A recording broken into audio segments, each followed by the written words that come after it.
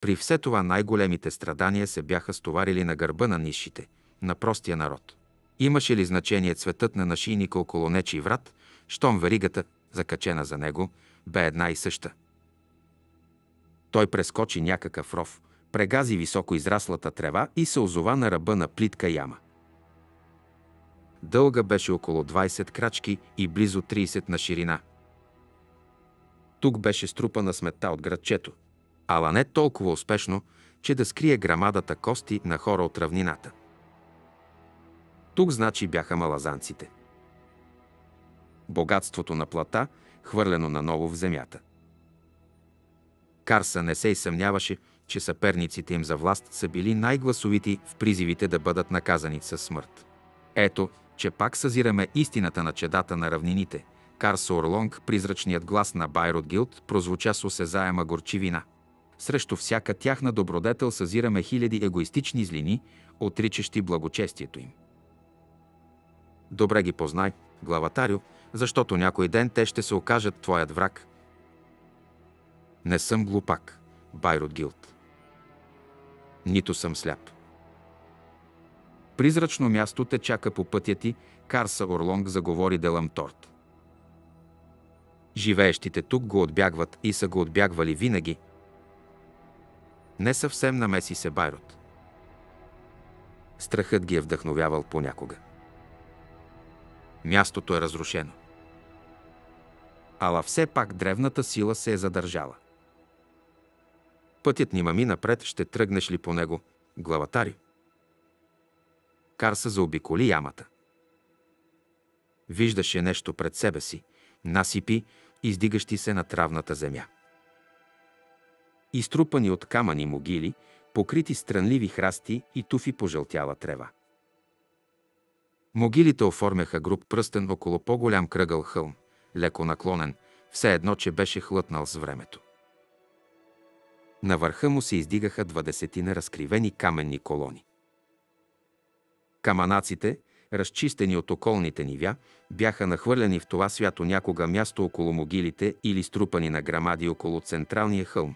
Други буклуци, строшени рала, палмови клони от покриви, купища глинени чирепи и кости от заклан добитък. Карса се шмугна между две от могилите и се заискачва по централния хълм. Най-близкият изправен камък едва стигаше до кръста му. Беше отрупан с черни знаци и изглеждаха сравнително скорошни. Теблорът разпозна местния език в някой от знаците, използвани от малазанската окупация на сам. Едва ли е място на страх, промърмори той. Половината от камъните бяха или щупени, или съборени, а от последното Карса заключи, че всъщност са по-високи от него, толкова надълбоко бяха набити в хълма. Самото било беше разровено и неравно. О, това наистина са белези на страх, Карса Орлонг, не се съмнявай в това. Това оскверняване. Ако тук не витаеше сила, отговорът щеше да е безразличие, Карса и сумтя и тръгна към центъра на каменния кръг. Там имаше четири каменни плочи. Жилавата трева се беше спряла пред тях, пред ивица гола пръст, осеяна с въглени. И парчета от кости, забеляза Карса, щом се наведе. Вдигна едно и го огледа на звездната светлина. От череп. На равнинец, според размерите, само че някак по-грубо, външният му ръб беше от очна кухина. Дебела. Като на моите богове. Байрот Гилд. Делъм Торт. Някой от вас усеща ли тук присъствието на дух или на Бог? Не, отвърна Делъм Торт. Шаман е погребан тук, главатарю каза Байрот. Главата му е била отсечена и поставена на върха на четирите камъка. Черепът е бил разрушен много по-късно. Векове. Хилядолетия, може би. За да не вижда повече. Да не гледа. Защо това място е важно за мен? Заради прехода, който предлага главатарю. Преходът през какво? Байрут Гилд, преходът на запад към Джак Одън, пътека през света на сънищата. Пътят, дълъг месеци, ще се съкрати до няколко дни, стига да решиш да тръгнеш по него. Още е жив, защото е бил използван много отдавна. От войска. И как мога да тръгна по този път? Ние можем да те водим, Карса Орлонг отвърна Делам Торт. Защото, също като погребаните тук преди много време, не сме нито мъртви, нито живи. Гуглата не може да намери душите ни, защото сме тук, с тебе. Присъствието ни усилва омразата на Бога на смъртта към теб, главатарио. Омраза. Заради това, което си му отнел и не искаш да му върнеш. Искаш да станеш пазител на своите души, нали? От това се бои той. Кога за сетен път е имал съперник гуглата? Карса се намръщи и се изплю на земята. Нямам желание да му ставам съперник. Бих искал да щупя тези вериги. Бих искал да освободя и теб, и Байрот Гилд. Ние не го искаме, главатарио. Струва ми се, че само ти и Байрот Гилд изпитвате това чувство, Делам Торт. Какво от това? Сопна се в ума му Байрот. Карса замълча. Започнал беше да осъзнава избора, който го очакваше някъде в бъдещето. Да отхвърля враговете си. Ще трябва също да отхвърля и приятелите си. А гуглата ме следва. И чака. Чака денят, който трябва да дойде. Ето, че криеш мислите си, Карса Орлонг. Тази твоя нова дарба не ни радва, аз съм главатарят изръмжа Карса. Задачата ми не е да ви радвам. Е, съжалявате ли, че ме следвате? Не, Карса Орлонг.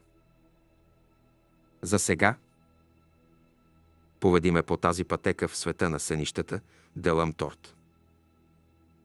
Въздухът изведнъж стана по-хладен. Мирисът му напомни за поляни по склоновете на високите планини – с идването на пролета. Мирис на оживял мек лиши имах. А пред него, там, където допреди миг се ширеха смекчените от нощта нивя, се простираше тундра под тежко надвиснало облачно небе. Пред него се ширна пътека, изпъната през хълмистата земя, с отъпкан, изритан на страна лиши и мъх. Точно както беше казал Байрот Гилд, по този път някога беше минала войска – въпреки че според дирите, като че ли бяха минали едва преди миг и Карса почти очакваше да види опашката на дългата колона далеч напред, ала нямаше нищо. Само празно, обрасло смъх и трева пространство във всички посоки. Тръгна по дирите на войската. Времето в този свят сякаш не съществуваше, небето си оставаше непроменимо. Понякога се появяваха стада, толкова далече, че не можеше да различи вида на животните, изкачваха склоновете на хълмовете и се скриваха в долините.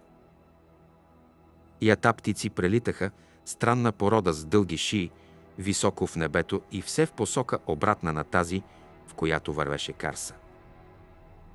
Ако не се броеше жуженето на рояците насекоми, цялата околност излъчваше странно, нереално безмълвие.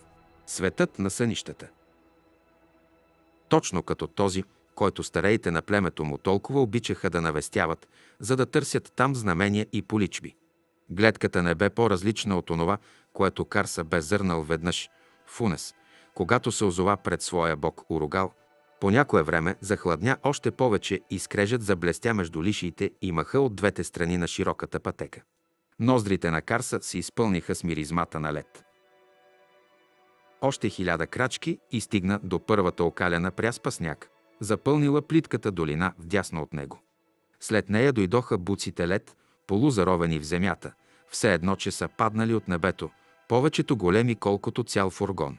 Самата земя тук беше много по-неравна, ниските хълмове отстъпиха пред ровове с стръмни брегове, по склоновете на високите хълмове се мяркаха оголени скали и пясък под замръзналото дебело покривало на торфа. Пукнатините в камъка блестяха с цвета на зеленикав лед. Байрот Гилд заговори в ума му. Вече сме на границата на нов лабиринт, главатарю. Лабиринт, враждебен към армията, която е стигнала до тук. И за това се е повела война. Колко време пътувах до тук, Байрот Гилд. В моя свят приближавам ли вече угарът? Сарпачия. Смехът на призрака прокантя като канара, затъркаляла се посипай. Те са зад тебе, Карса Орлонг. Вече приближаваш земята, известна с името Джак Одан, а не беше вървял и половин ден в този свят на сънищата. Все по-рядко се виждаха следи от преминалата войска, земята под нозете му беше замръзнала и твърда, повече валчисти камъни, отколкото пръст. Пред него се виждаше равнина, осеяна с грамадни плоски скали от черен камък. След още няколко мига Карса продължи между тях. Под скалите имаше трупове. Затиснати. Ще ги освободиш ли, Карса Орлонг? Не, Делам торт. Ще мина от тук, без да наруша нищо. Но тия не са Форкрула Сейл. Много от тях са мъртви, не са имали силата, притежавана някога от тяхната раса. Но други все още са живи и още дълго няма да умрат. Стотици, може би хиляди години. Карса Орлонг, нима не вярваш вече в милостта. В каквото и да вярвам, си е мое, делам торт. Не ще поправям нещо, което не разбирам, и това е. Продължи напред и скоро ужасната равнина остана зад гърба му. Пред него се просна ледено поле напукано, с локви вода, отразили сребристото небе. По него лежаха разхвърлени кости от стотици хиляди тела. Кости, каквито бе виждал – някои все още обвити в съсухрена кожа и плът. Сред тях се въргаляха късове от каменни оръжия, късове кожа и увенчани с рогове шлемове. Падналите войни очертаваха огромен полукръг около ниска четвъртита кула.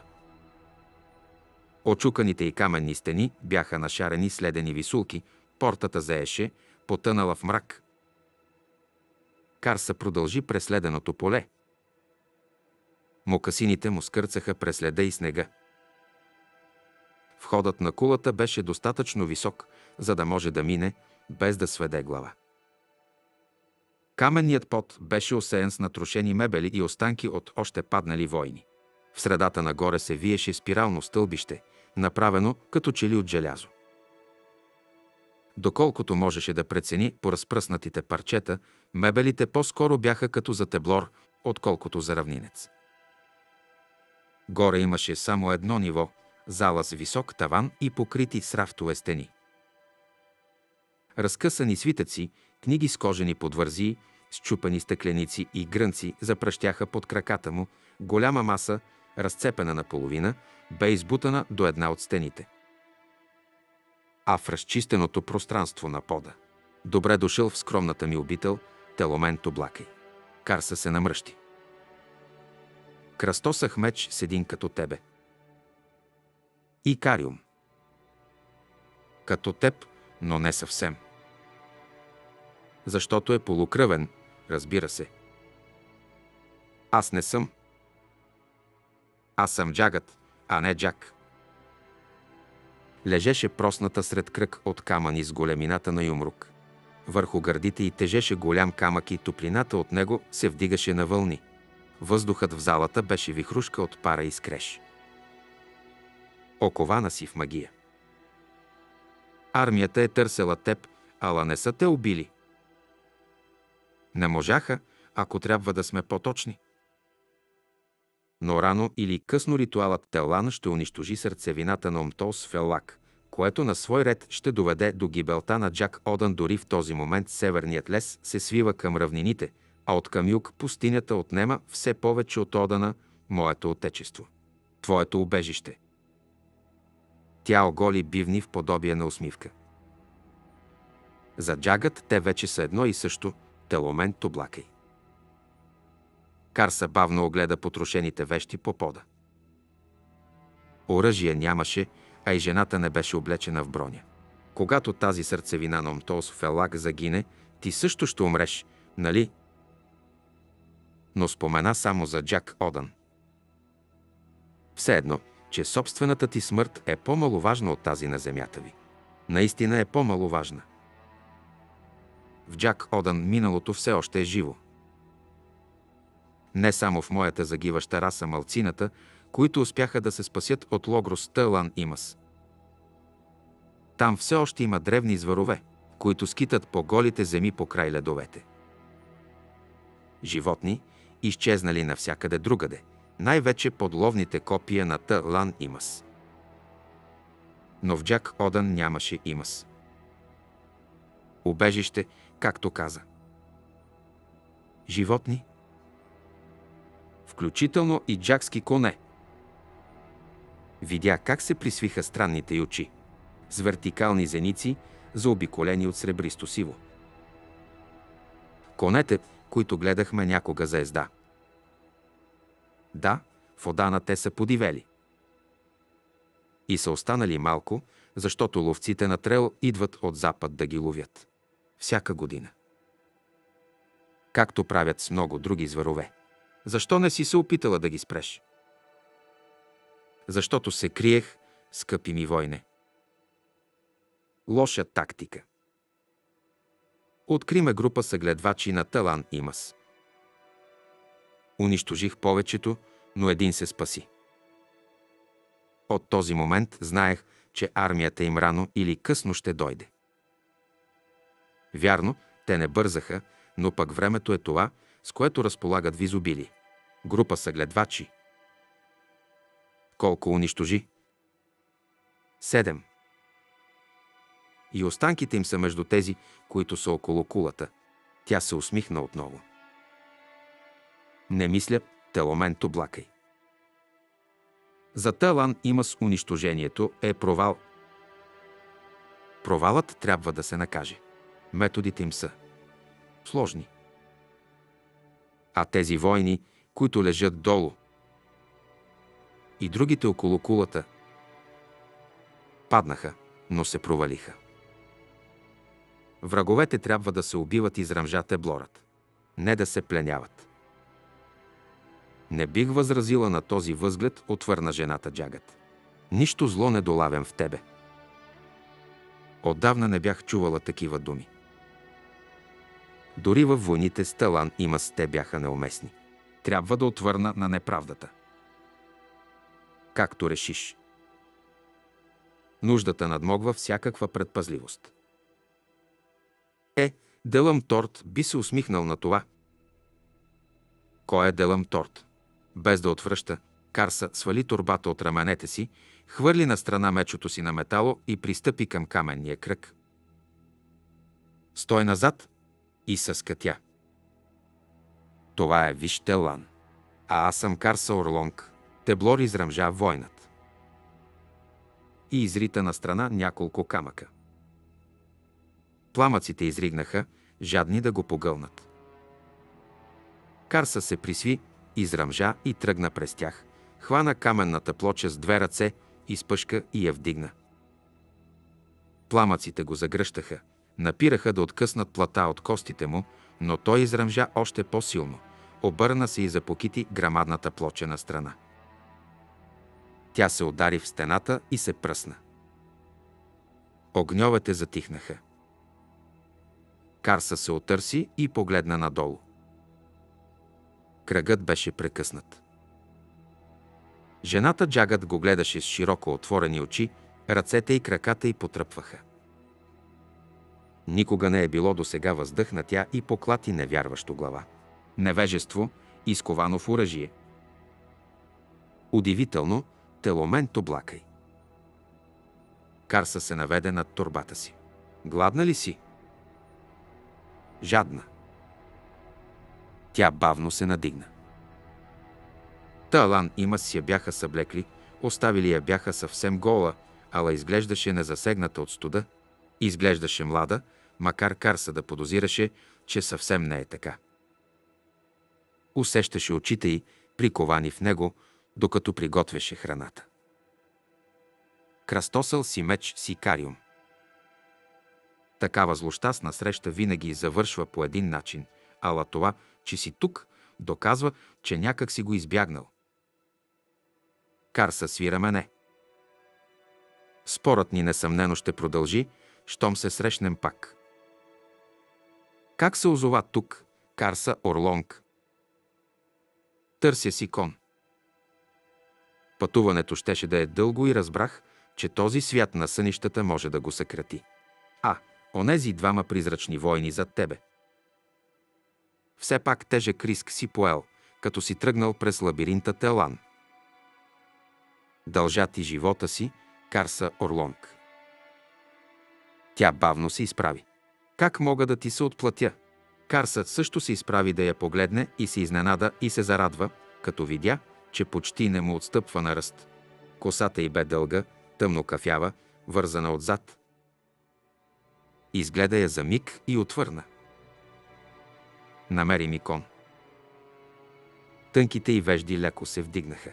Това ли е всичко, Карса Орлонг? Може би още нещо. Как се казваш? Това ли само ще ме попиташ? Не. Арамала. Той кимна и отново се залови с храната. Бих искал да науча всичко, което можеш да ми кажеш за тези седмина, които са те намерили, Арамала.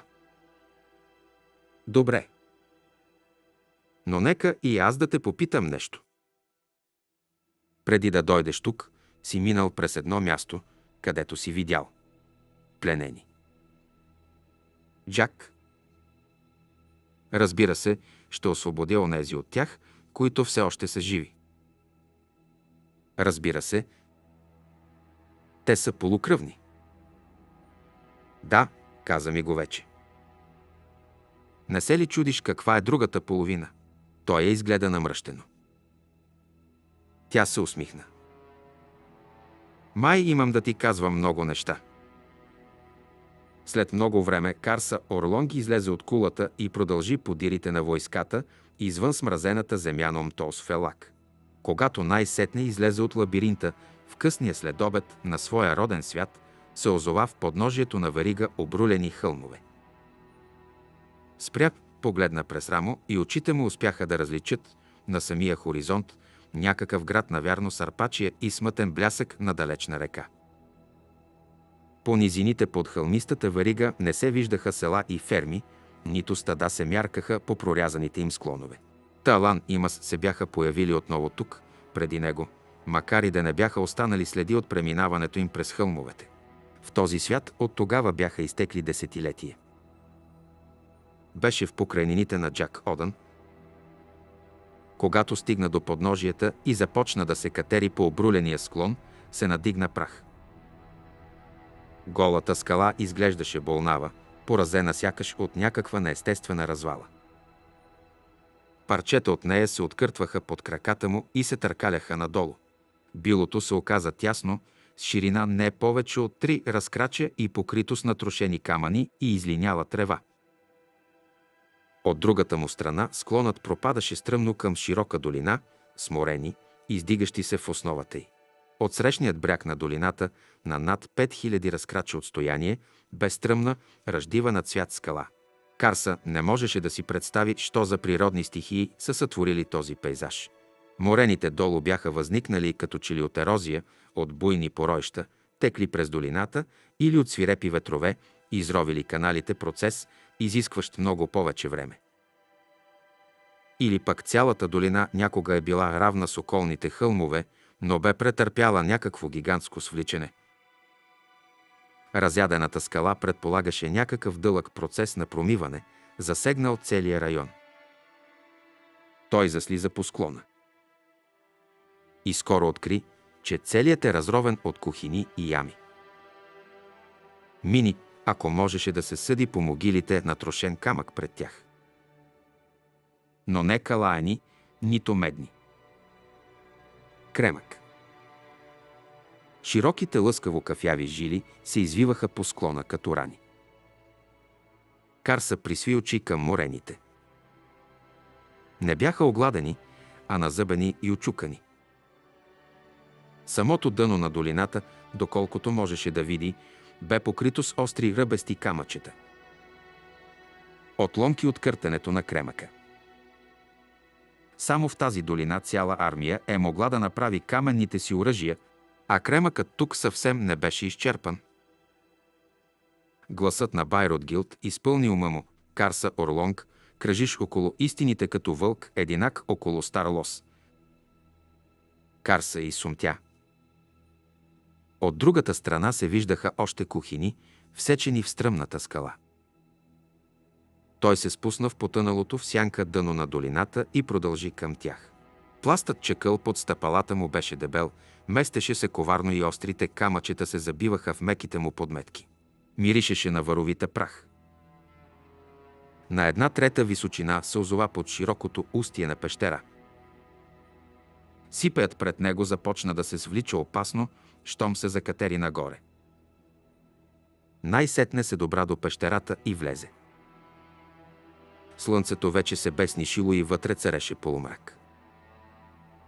Теблорът остави турбата си на каменния пот и запали фенера си.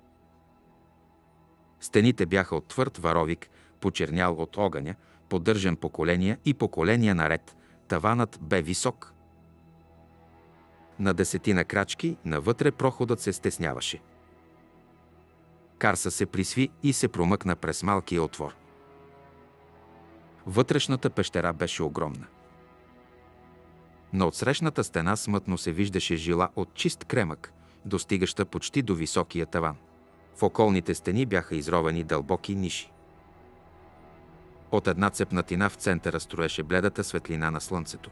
Точно под нея имаше купчина песъчлива пръст и от нея беше израснало чворесто дръвче голдинда, не по-високо от коленете му, с по-тъмно зелени листа от обикновено. Това, че дневната светлина можеше да проникне през две трети от стръмнината, само по себе си беше чудо, но това дърво. Кар се пристъпи до една от нишите и я освети с фенера. Зад нея имаше друга. И беше пълна с кремъчни оръжия. Някои натрошени, но повечето непокътнати. Мечове, двостри брадви с костени дръжки, стотици и стотици оръжия, осеяли пода. Оръжията на мъртвите. Оръжията на победените знаеше вече, че във всяка пещера по тази скала ще намери същото. Но това не бе важно за него. Той остави фенера до кремъчния стълб и изправи рамене. Урогал в такани, берук тих глас, калб безмълвен ловец, теник разбити, сибале неоткрита, халат гиганте, имрод жестоки. Ликове в скалата, богове на Теблор. Аз, Карса Орлонг, от племето Урит на Теблор, ви доведох тук. Бяхте сломени, отлъчени, без оръжие. Направих това, което ми повелихте. Доведох ви тук. Отвърна му хрипливият глас на Орогал. Ти намери това, което ни беше отнето, Карса Орлонг. Ти освободи своите богове. И призракът на Орогал бавно започна да се въплащава. Нисък плещест воин седри кости, по-нисък от чедата на равнината, но много по-широк в раменете. Костите на крайниците му бяха натрошени, доколкото Карса можеше да види между стегнатите каишки и парчетата кожа, с които бяха увързани. Държаха ги. Други каишки стягаха гърдите му. Карса Орлонг, ти намери оръжията ни. Войнат свира мене. Стига наистина да са сред хилядите в тези пещери. Тук са. Те не ни предадоха. Но ритуалът да.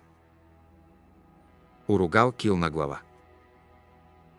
Шестимата други богове вече също се въплащаваха.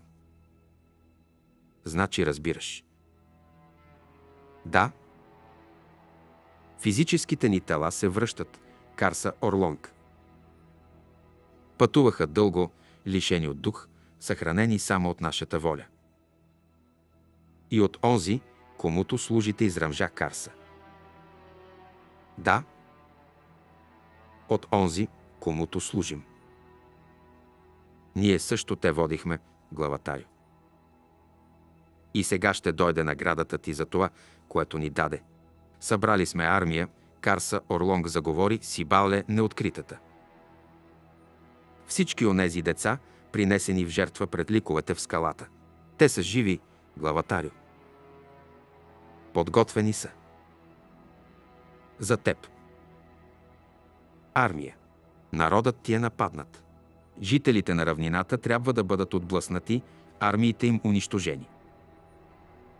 Ще пометеш надолу със своите легиони, през земите им, и ще избиеш равнинците.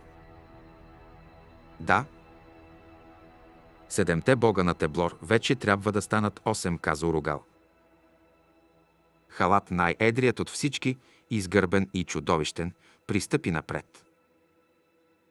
Трябва да си направиш меч, Карса Орлонг. От камък. Мините отвън те чакат, ние ще те научим. Не е нужно отвърна Карса. Изучил съм ядрата на камъните. Познанието си е мое и мечът също ще си е мой. Тези, които правите вие, стават за вашия вид. Но аз съм Теблор. Аз съм Теломен облакай. Обърна се рязко и закрачи към монолитния кремъчен стълб. Този шпат ще те излъже, заговори зад него халат. За да извадиш достатъчно дълго острие за меч, трябва да удариш отгоре. Огледай хубаво тази жила и ще видиш, че колкото и чиста да е, камъкът е слаб. Затова е изоставен. Удариш ли го, ще се натроши. И този провал ще опетни следващите ти усилия, ще отслаби магията на сътворяването. Карса застана пред тъмно кафявие, почти черен кремък. Трябва огън да напалиш в основата му, рече халат. Да гори непрестанно много дни и нощи. В долината долу няма много дървета, а Лавджак Одан, отвъд нея, са преминавали безброй стада бедерини. Огън, Карса Орлонг, после студена вода. Не. По този начин се губи всичко, талан и мъс. Не само вашият вид знае истините за камъка. Тази задача е моя и само моя. Стига думи. Името, с което ни нарече, изхриптя урогал. Как го научи? Карса се обърна рязко, с изкривено в гримаса лице. Глупав теблор. Така вярвахте. Такива искате да сме. Падналите ломент облакай. Но падналият винаги може да се изправи отново, урогал. Били сте някога талан имас. Но вече сте свободните. И изръмжа. От скиталчество до твърдина. От твърдината дом. Обърна се и се изкатери по кремъчния стълб. Извади късия малазански меч, огледа за миг каменната повърхност, после се наведе и огледа гладкия, спускащ се до пода на пещерата камък. С върха на меча започна да стърже по върха на стълба на една длан ширина от острия ръб. Виждаха се следи от стари удари, та Лан и Мас се бяха опитвали, въпреки думите на халат, но не бяха успели. Ровеше жлеба, където трябваше да нанесе удара и говореше в ума си. Байрот Гилд Делъм торт Чуйте ме, след като никой друг не може. Един ден ще щупя веригите си и ще освободя душите, които ме тързаят сега. Не искате да сте сред тях, или така твърдите поне. И аз не искам да ви прегърне гуглата. Помислих добре над това ваше желание. И съм намерил изход. Двамата с Делъм Торт разбираме намерението, ти, главатарю. Твоят гений непрекъснато ме изумява, Карса Орлонг. Само с нашето съгласие ще успееш. Тъй, че дай ни думата си и ще отворим пътя си. Към обятията на гуглата. Или каквото търсиш. Карса поклати глава. Не само аз, Байрот Гилт. Вие също. Нима го отричате. Не, главатарю. Приеми тогава това, което предлагаме. Карса знаеше, че в този миг само той чува призрачните гласове на своите приятели, а те се разтвориха, смалиха се до чиста воля и тя се вля в кремъка. Вля се, за да подири форма, сцепление. Очакване. Той изтри с длани прахта и ситните камъчета по грапавата повърхност, после стисна с две ръце дебелата дръжка на меча. Надигна го високо над себе си, впи очи в изровения жлеб и посече надолу. Крас. Икар скочи напред, мечът изхвърча от ръцете му, превъртя се във въздуха. Сгънатите му колене посрещнаха с блъсъка и в същия миг той вдигна ръце да хване дългия кремъчен отломък. Отломък, дълъг почти колкото ръста му. Плосък и гладък, той се откърти от стълба и падна в ръцете му. Топлина облиза дланите му и кръв рукна надолу до лактите му. Карса бързо сложи кремъка на пода, вдигна ръце и видя, че са порязани до кокала. Умник си, Байрот. Изпи от кръвта ми, да подпечаташ сделката. Ти? Ни надмина прошепна смаян халат. Карса отиде при турбата си и извади превръзки, игла и конец. Раните нямаше да заберат, разбира се, и бързо щяха да зараснат. Ала все пак трябваше да ги зашие, та да може да се залови с остренето на меча и да го държи здраво. Ще вложим сила в оръжието, обади се зад него уругал.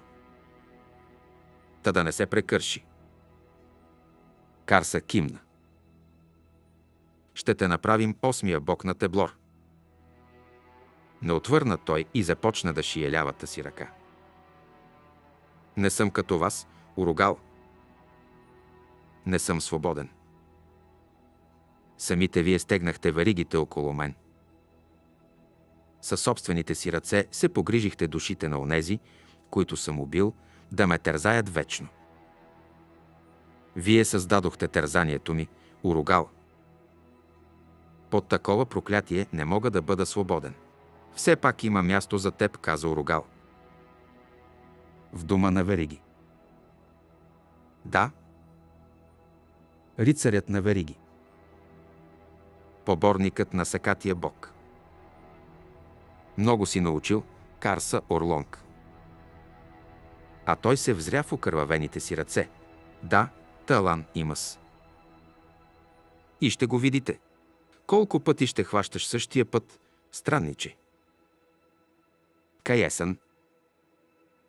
Прахта от имперската армия скриваше обраслите с гори хълмове на ватар на север.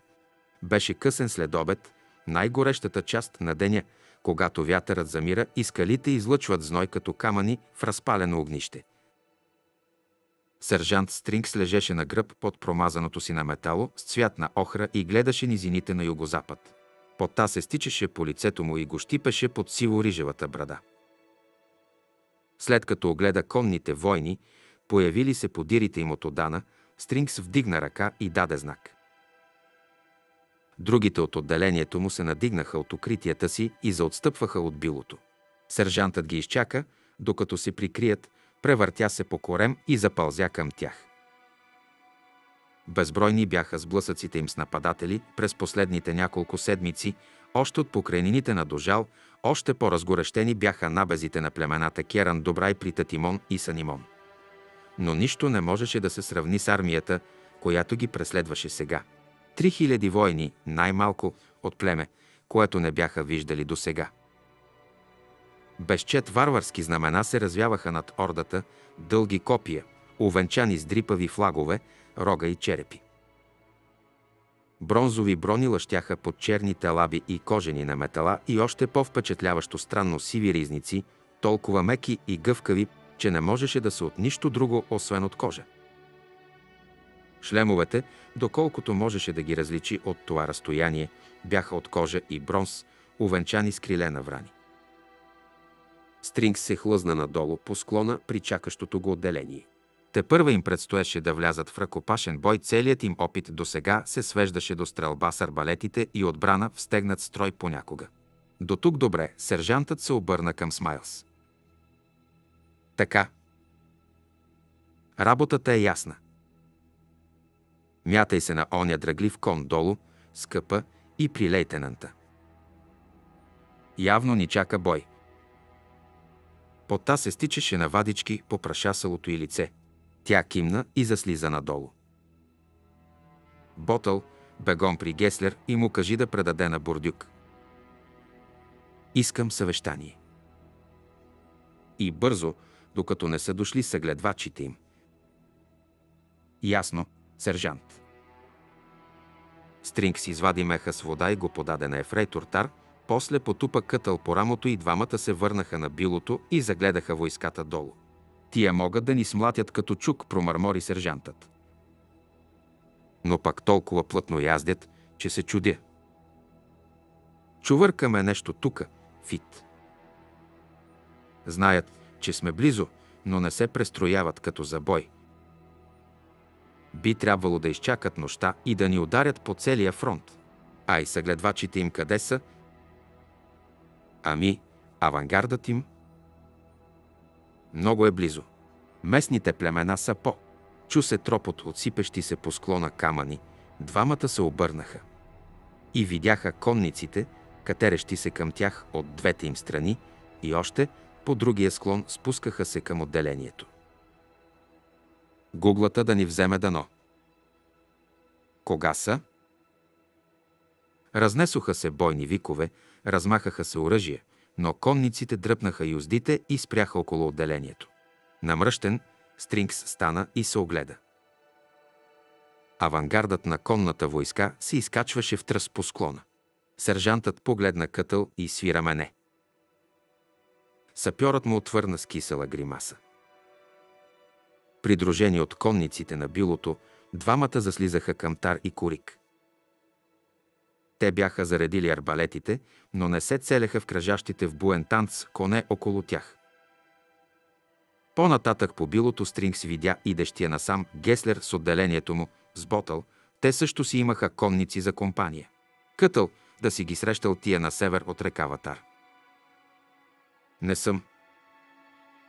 Но мисля, че се сещам кои са. Никой от съгледвачите не носеше бронзова броня. Сивата кожа под наметалата им с цвета на пустинята изглеждаше странно, някак змийски. Под лактите си носеха гривни с криле на врани, извити назад като плавници. Лицата им бяха по-светло кожи, отколкото на местните племена. Освен това имаха бради и мустаци.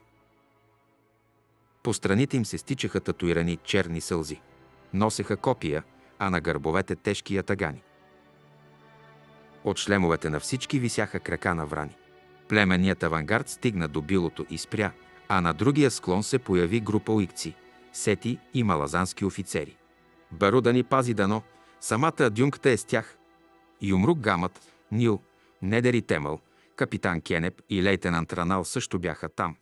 Двете конни части застанаха една срещу друга от двете страни на тясната клисура и Стрингс видя как Темъл видимо се стъписа, наведе се и заговори нещо на адюнктата.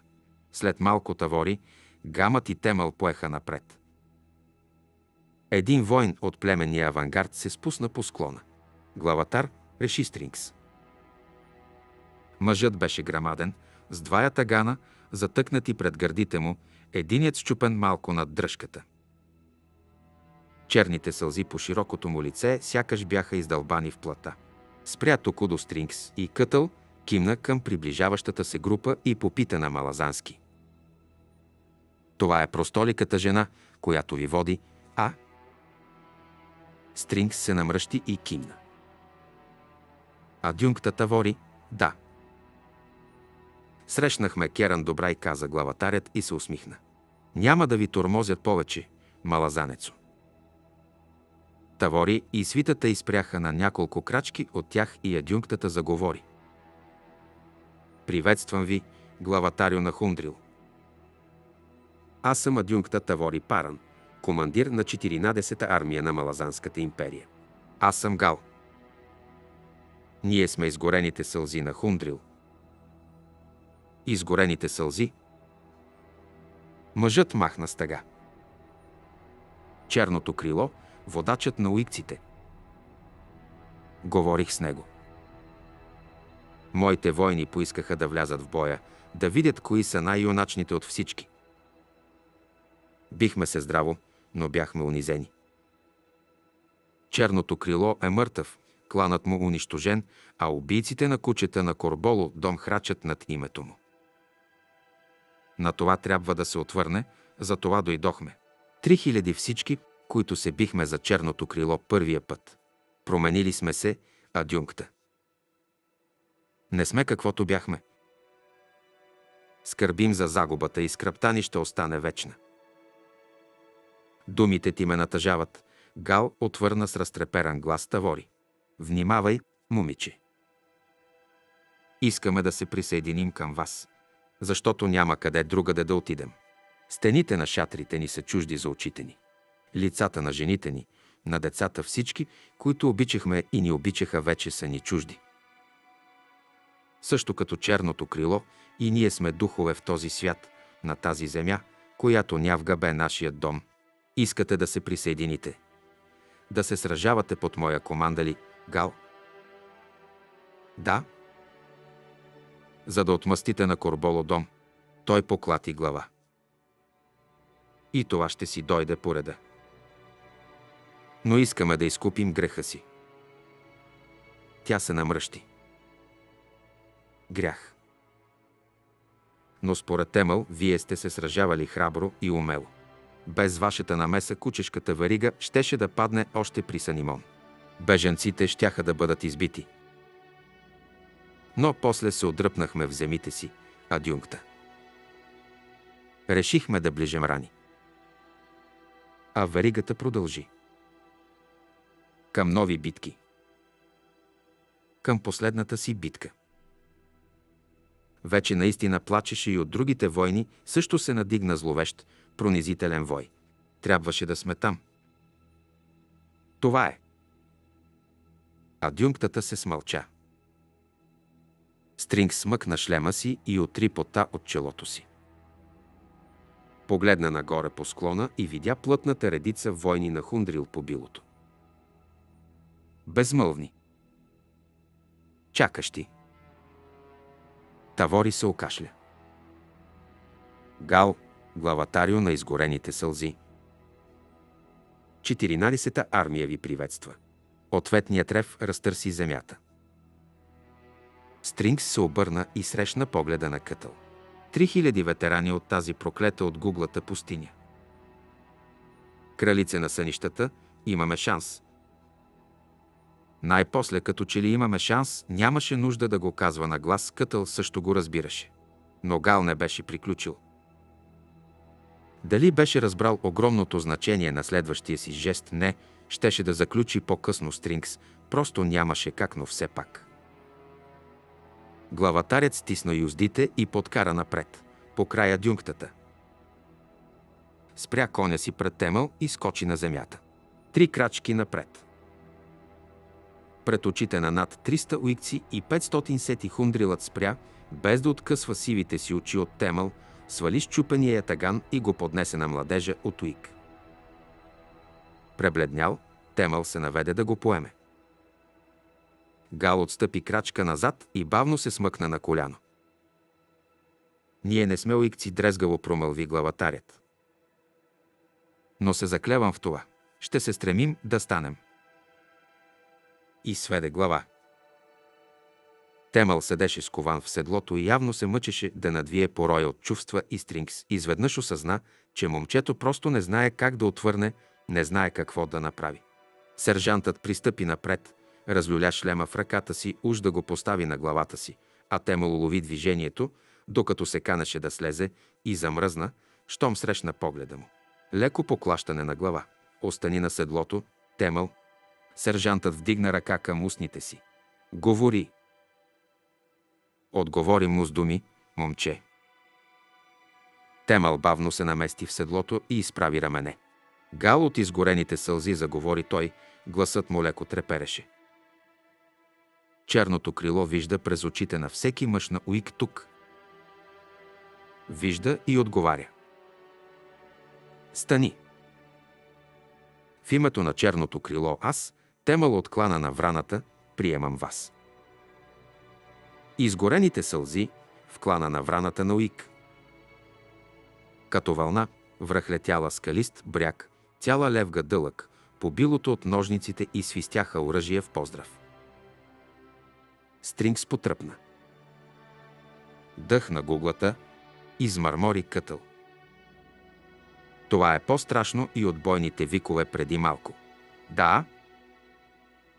И злокобно като усмивка на гуглата хвърли поглед към Темъл и видя, че младежът го гледа. Сержантът се ухили и му кимна. Идеално, момче. По-добре и аз не бих могъл да го направя. Темъл вече не беше сам сред намусените престарели вълци, които не го приемаха за свой командир. Младежът вече имаше гал и 3000 отцапани с кръв войни, които да застанат зад думата му. И това е окончателно. Гал, ако бях религиозен, тази нощ щях да изгоря крило на врана в твоя чест. Гуглата да ме вземе дано, като нищо мога да го направя, гал от изгорените сълзи, каза адюнктата. Моля, присъединете се към нас в командния ни щаб. Можем да обсъдим състоянието на силите ви на вечерята, скромна вечеря. Уви. Най-сетне хундрилът се изправи и се обърна към адюнктата. Скромна? Не. Донесли сме храна и тази нощ ще има пир, нито един войник няма да си отиде без поне една мръвка от бедерин или глиган. Завъртя се и огледа свитата си, докато не намери когото търсеше. Имрал, смъкнете месото от фургоните и го донесете. И намери 200-те готвачи и дано да са трезви вече. Че ако не са, главите ще им откъсна. Имрал стари със сухрен, тялото му сякаш плуваше в древната бронзова броня, отвърна с широка беззъба усмивка, обърна коня си и го срита в лек галоп нагоре по склона. Гал вдигна ръце към небесата и криле на врани сякаш се разпериха под лактите му. Нека треперят убийците на кучета, изрева той. Изгорените сълзи започнаха своя лов. Кътъл се наведе до ухото на Стрингс. Един проблем се реши младокато Туик, най-сетне стъпи на здрава почва. Една рана се заши, но се отвори друга. Друга. О, да. Призрачният юмрук на уикците се надига непрекъснато. Горкото момиче. Варигата на Колтейн без друго я беше оковала да ме прощаваш за каламбура, продължи сапьорът. Обаче храбро го понесе все пак. Нямаше избор, Стрингс се обърна към отделението си. Строй се. Окопи трябва да се копаят. Преди да ядем. Те запъшкаха и той се намръщи. И смятайте, че сте извадили късмет това, че не забелязахме съгледвачите им, не говори добре за способностите ни, нали? Геслер и Бордюк се приближаваха с отделенията си. В случай, че ти се е изплъзнало от ума, Фит, ние също не видяхме кучите му синове и сумтя кътъл. Прав си отвърна Стрингс. Съвсем ми се изплъзна от ума. Ха, и сега пак. Кътъл почеса отока на брадичката си. Странно. Та за какво говорехме? За бедерини и глигани май. Прясно месце. Хеме. Направо ми потекоха лигите. Гамът спря пред командната шатра. Веселбата вървеше с пълна пара, хундрилите сновяха из лагера и пееха варварските си песни. Въртяха се стомни с ферментирало мляко и умрукът бе сигурен, че не е един корем, пълен с полуовъглено, полусурово месо преждевременно се е изпразнил в тъмното зад огньовете или скоро ще го направи. походът на другия ден щеше да се съкрати на половина по заповед на адюнктата, макар че дори пет камбани преход щеше да накара повечето войници да съжалят за буйствата си тази нощ. А може би не. Видя един от морските пехотинци от легиона си. Залиташе. Някаква хундрилка го беше яхнала с крака, увити около кръста му и ръце около врата му. Беше гола, пехотинецът също почти гол. Двамата продължиха на зигзаг, подминаха го и изчезнаха в тъмното. Гамът въздъхна, придърпа на металото си и се приближи до двамата уикци, стоящи на пост пред шатрата на адюнктата. Бяха от клана на враната, сивокоси и нещастни, че не участват във веселбата. Щом го познаха, отстъпиха в страни. Юмрукът мина между тях, наведе се и се шмугна вътре. Всички офицери си бяха отишли. Останали бяха само адюнктата и Гал, който се беше изтегнал в някакъв тежък стар и очукан стол, явно докаран на фургоните на Хундрил. Бе свалил шлема си и буйната му къдрава коса се беше смъкнала до раменете му, мазна и лъскава. Черният цвят трябваше да е боя, предположи гамът, тъй като Гал бе преживял поне 50 лета. Дългите му мустаци висяха на гърдите и изглеждаше полузаспал, стиснал в огромната си шепа дръжката на глинена стомна. Адюнктата седеше близо до него, свела очи над мангала и потънала в размисъл. Да бях художник, щях да нарисувам тази сцена. Точно този момент и нека всички да се чудят, той пристъпи до масата с картите, където чакаше друга стомна. Армията ни е пияна, адюнкта промърмори и умрукът и си наля пълна чаша. Като нас избоботи гал, армията ви е загубена. Гамът погледна Тавори, но реакция не последва. Вдиша дълбоко и се обърна към Хундрила. Те първа ни чака решително сражение, главатарю.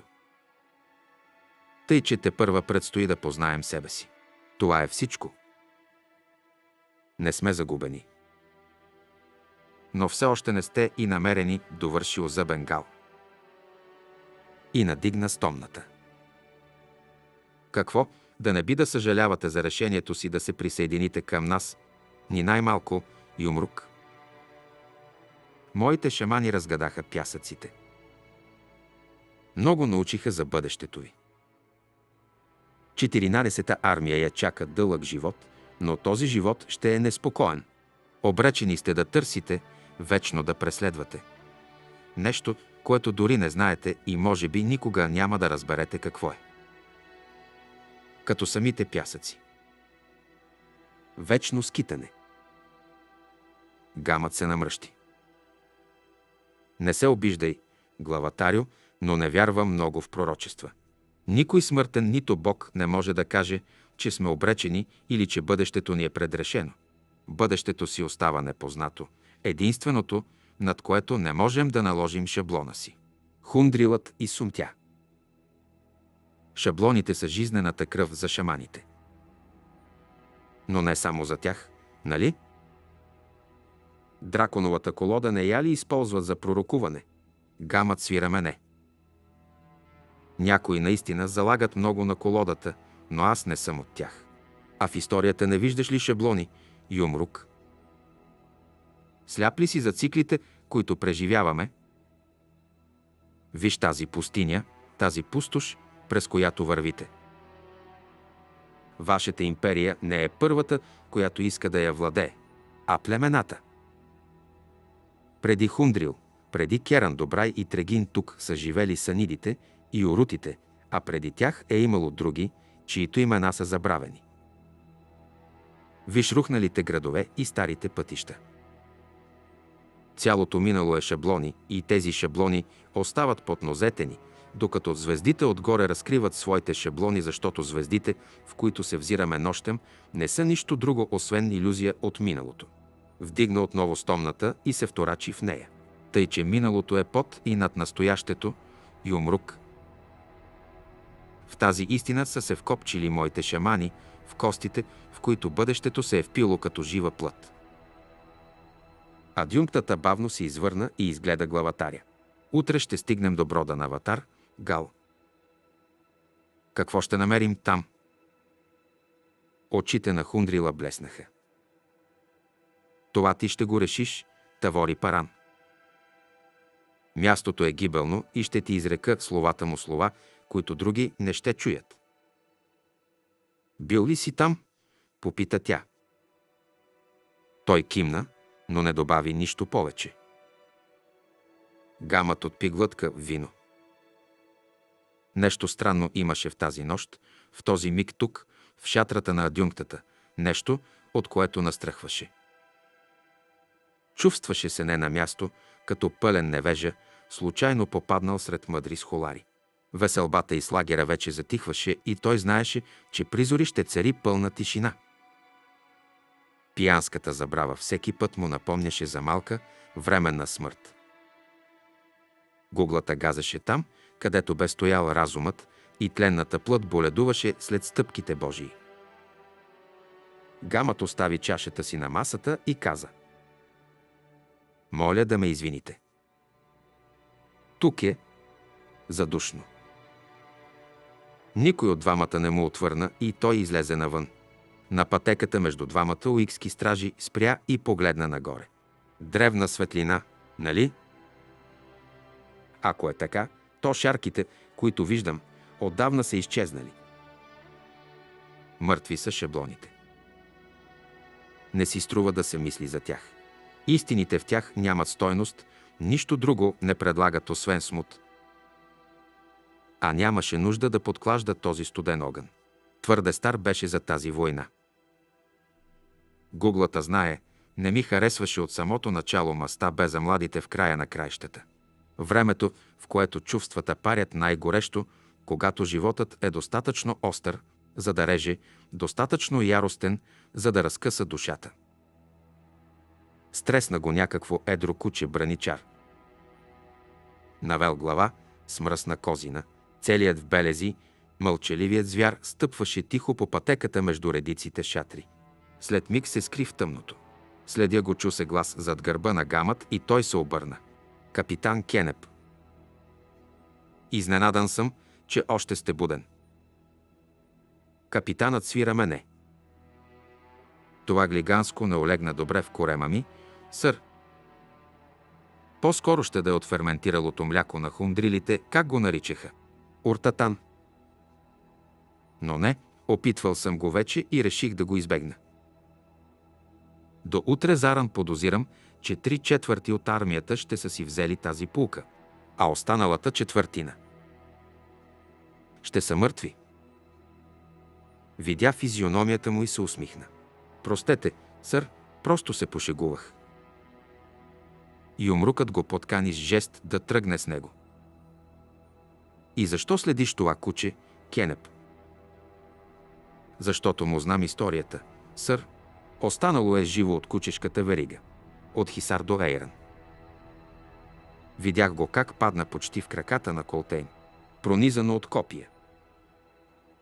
Не трябваше да оживее.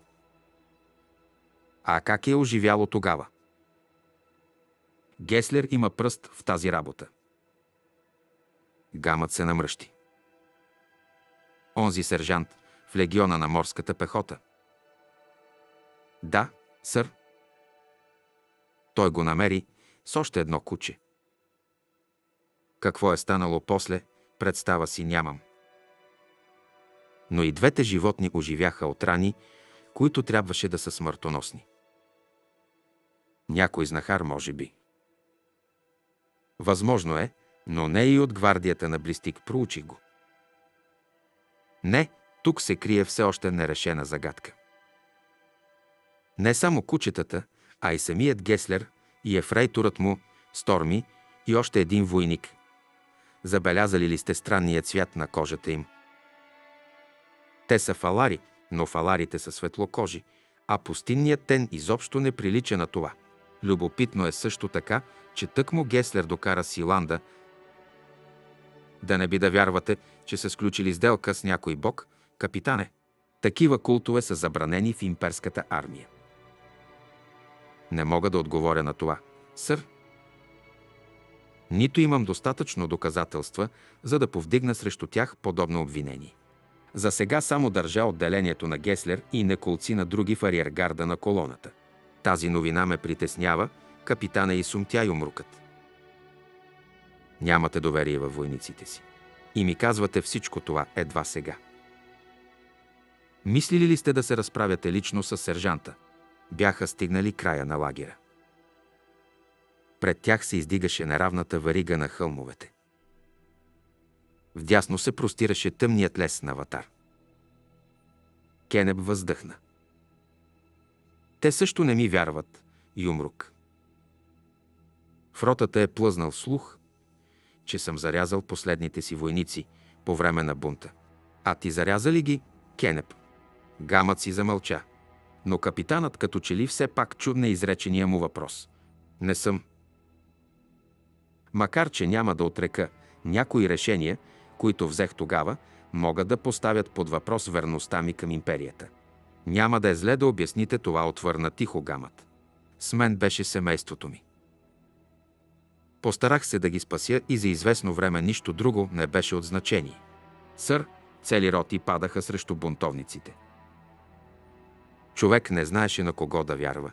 И както се оказа, командират ми. Не говорете повече за това, капитане. Премислих. Не искам да знам повече. А семейството ви? Спасихте ли го? Да, сър. С малко навременна помощ от страна на един обявен за изменник под палвач на мостове. Един. Какво? Кой? В името на гуглата. Капитан Калам, сър. Той е тук. В седемте града. Беше. На път към императрицата, струва ми се. Доколкото разбрах, искаше а, да постави няколко въпроса пред нея. Лично. Кой още знае за това? Никой, сър. Чух историята, че подпалвачите на мостове били унищожени. Но мога да ви уверя, сър, Калам не беше между тях. Той беше тук, сър. А къде е сега, може би единствена императрицата знае.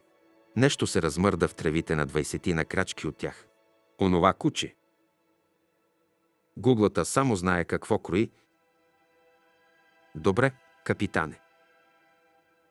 Дръжте за сега Геслер в ариергарда. Но в някой момент преди битката ще трябва да го подложим на изпитание, трябва да знам дали може да се разчита на него. Ясно, сър. Твоят звяр обикаля там някъде. Знам. Всяка нощ. Сякаш търси нещо. Според мен може да е Колтейн. Търси Колтейн. Къса ми сърцето, сър. Е, ако това куче наистина търси Колтейн, капитане, признавам, че съм изненадан. Какво искате да кажете, сър? защото кучият му син е тук. Трябва да сте сляп, глух и тъп, ако не сте го забелязали, капитане. Лека ви нощ. Обърна се и се отдалечи. Искаше му се да се изплюе, но знаеше, че горчивият вкус в устата няма да го остави лесно. Огънят отдавна беше угаснал. Загърнат в наметалото си, Стрингс седеше до него и гледаше, без да вижда пластовете пепел, останали от сухата тор. До него лежеше мършевото пале, което според труд се казваше роуч. Кокълът, който гризеше жалкото същество, беше по-голям от него и ако имаше зъби и апетит, отдавна щеше да го е излапал. Хубава компания напукна тази окаяна нощ. Загърнати в одеялата си, войниците му спяха наоколо. Твърдо уморени бяха, за да се напият, след като вдигнаха загражденията и дадоха първите постове, а пълните кореми ги приспаха бързо. И толкова по-добре. Щяха да са от малкото, опазени от мъките на Махмурлука след няколко камбани. Дори Кътъл още не беше се събудил, какъвто навик имаше, а може би беше отворил очи, както лежеше на гръб край огъня. Все едно. Самотата, измъчваща Стрингс, не можеше да се облегчи от ничия компания. Най-малкото тук. А и мислите му не бяха такива, че да ги сподели с някого. Бяха храчили прах почти от самото начало на похода. Мястото беше неподходящо за десантници, освен ако ариергардът не беше застрашен от масиран удар, а не беше така. Не. Кене просто ги наказваше и Стрингс нямаше представа защо го прави. Дори лейтенантът, който все избягваше да се мярка край тях и да си командва отделенията, не беше наясно за мотивите на капитана. Не, че не е доволен. От друга страна, как може да се надява Ранал да спечели звездна слава пред войниците си, докато войниците му гълтат прахта на цялата 14-та? Между другото, пука ли ми изобщо вече за това? Нощният въздух вонеше, сякаш самата полиел бродаше из лагера. Неочакваната придобивка с трите хиляди ветерани несъмнено бе повдигнала духа на 14-та дано, само това да не се окажеше зла поличба.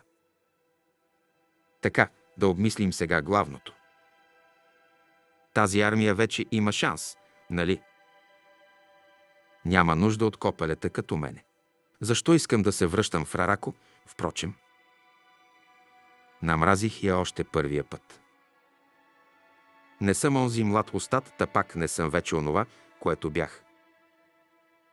Наистина ли си въобразявам, че ще си върна нещо в онази свята пустиня? Какво точно? Изгубените години. Онзи порив, който е присъщ на младостта, на войници като Смайлс, Курик, Ботъл и Тар.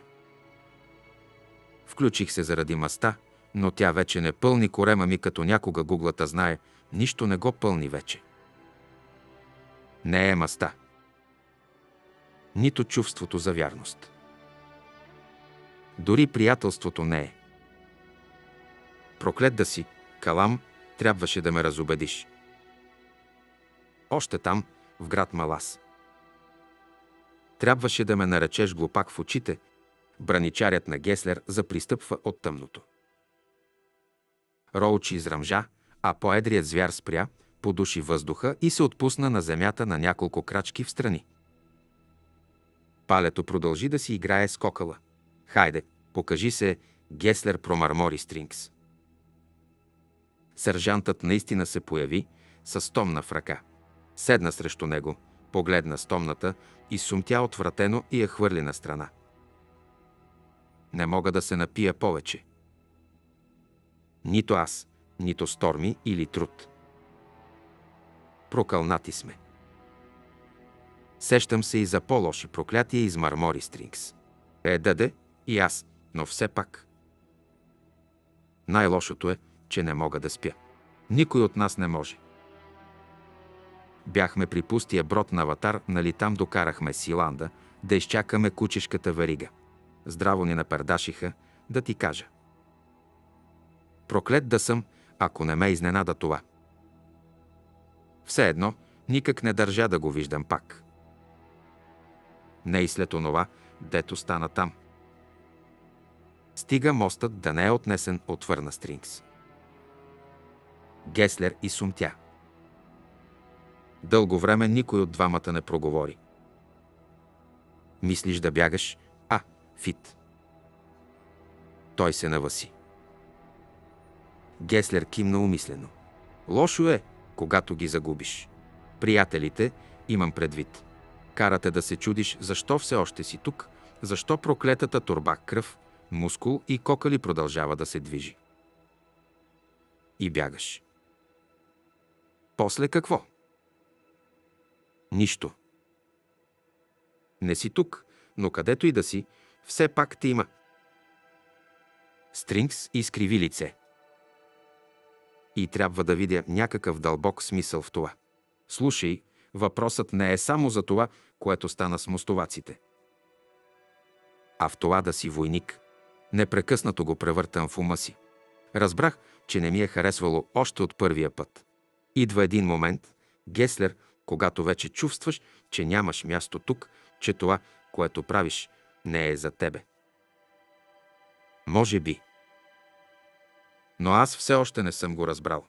Всичко се свежда до това в какво си добър. В нищо друго – фит. Не искаш да бъдеш повече войник. Добре, но какво друго ще правиш? Някога чиракувах за зидар. Чираците са 10 годишни, фит. Не са кекави старци като тебе.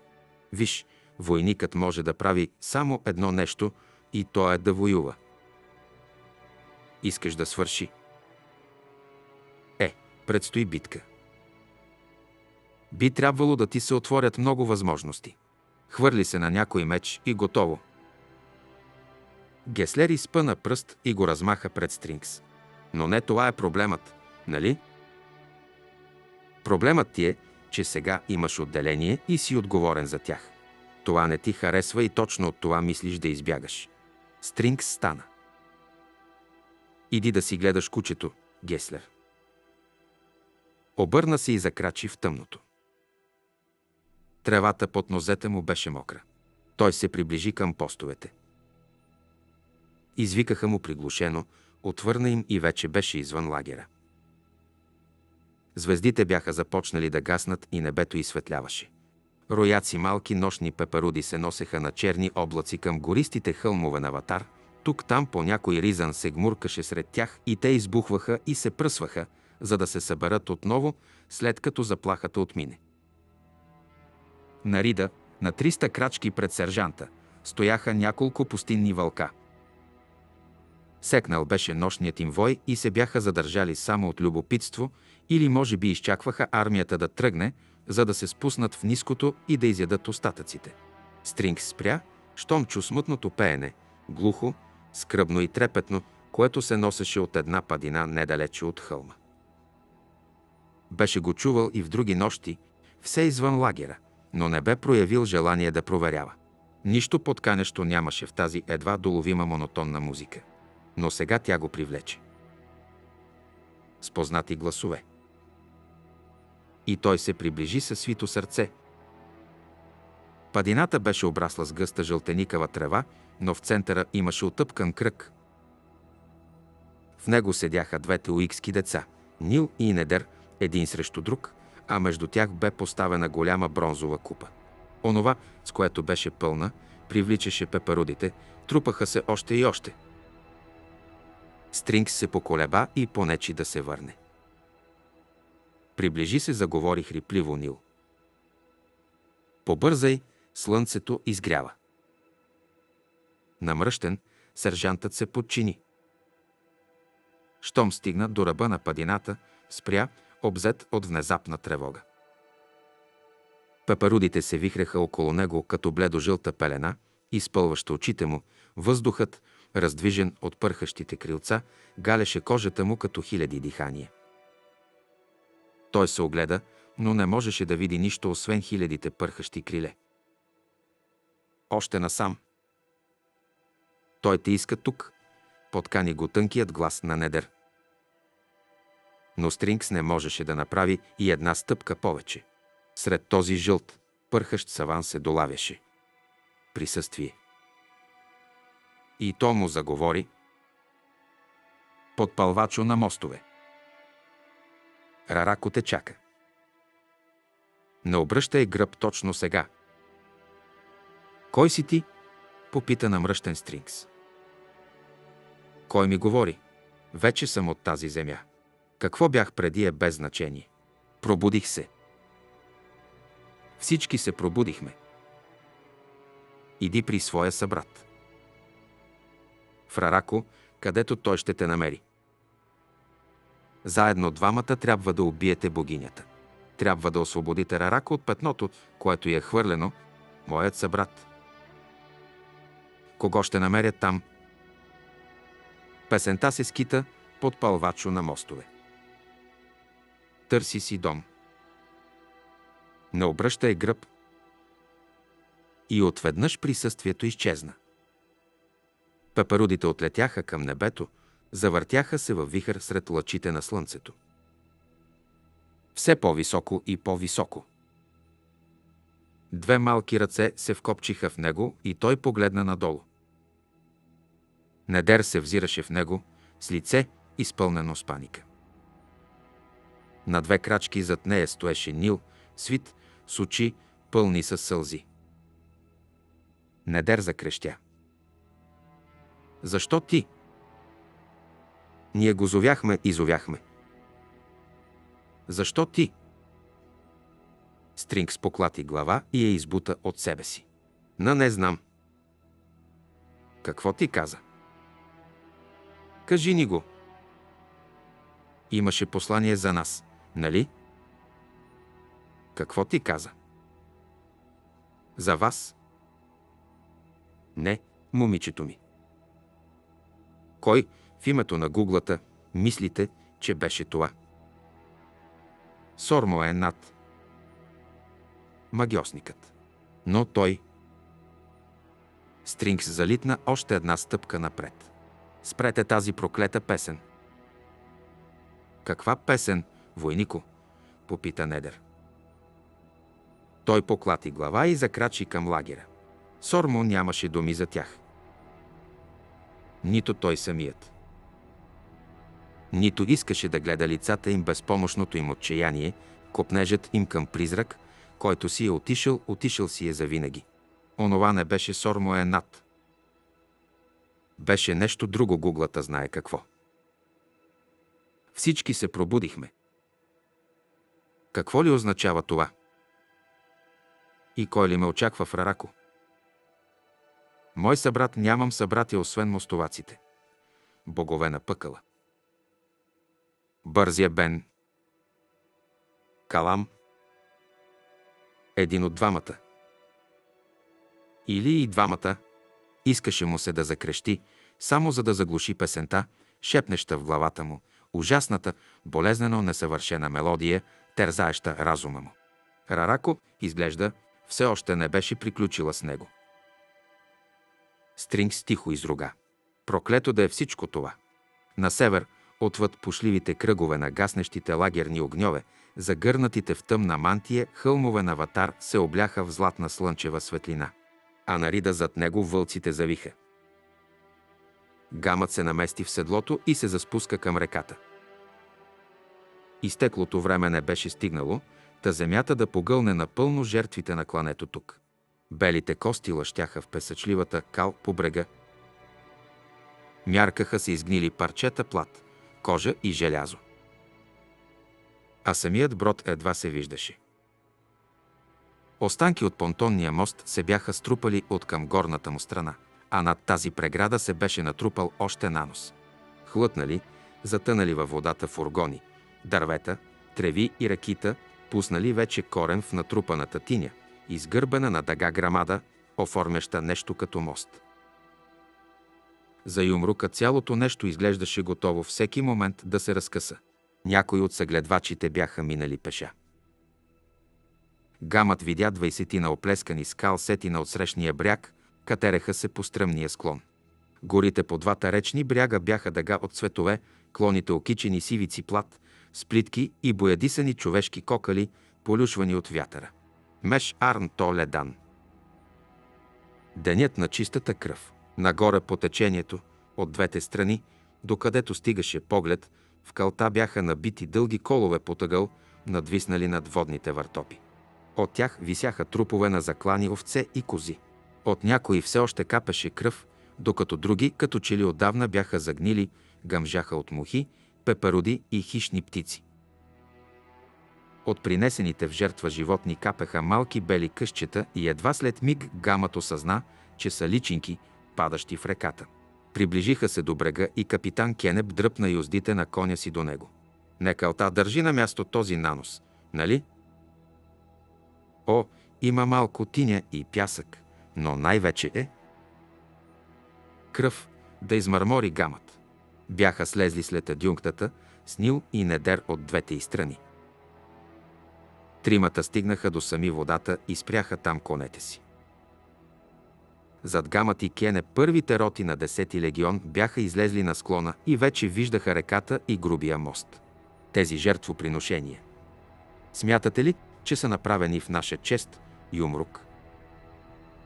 Не мога да си представя, че такова клане ще продължава дълго, стадата бързо ще се изчерпат. Някои са били тук от доста време, отбеляза гамът. Но би трябвало да сте прав, капитане. Значи ще преминаваме река от кръв. Ако тези проклети племена смятат, че този жест е почетен, значи кралицата им е взела ума. Тази идея да се гледа на света метафорично винаги ме е обърквала. Тукашните в седемте града гледат на всичко по различен начин. За тях околният пейзаж е одухотворен не просто старата представа за духове, но и по някакъв друг, по-сложен начин. Гамът го изгледа. Заслужава ли си да се проучва това, капитане? Кенеп се сепна, после му отвърна с полуусмивка и някак унило свиване на рамене. Точно този диалог говореше за бунта и само за бунта месеци и месеци наред, преди най-после да се случи. Ако си бяхме направили труда да разчетем тези знаци, Юмрук, щяхме да сме много по-добре подготвени. Бяха спрели за тадюнктата и двете деца от Уик. Щом чу думите на Кенеп, Тавори обърна коня си и погледна капитана. Понякога знанието не е достатъчно. Моля за извинение, адюнкта отвърна Кенеп. Строгият поглед на Тавори се спря на гамът. Изведете морската пехота напред, Юмрук. Ще ни трябват сапьори и муниции. Ще преминем брод, а не мост от останки, задържан с кръв. Слушам, адюнкта. Капитане, елате с мен. Двамата обърнаха конете и поеха обратно по склона. Гамът хвърли поглед към капитана и видя, че се усмихва. Какво ви развеселява, капитане? Мунициите, сър. Сапьорите ще се разреват. Стига да не унищожат и самия брод, с радост ще им предложа утешителната си прегръдка.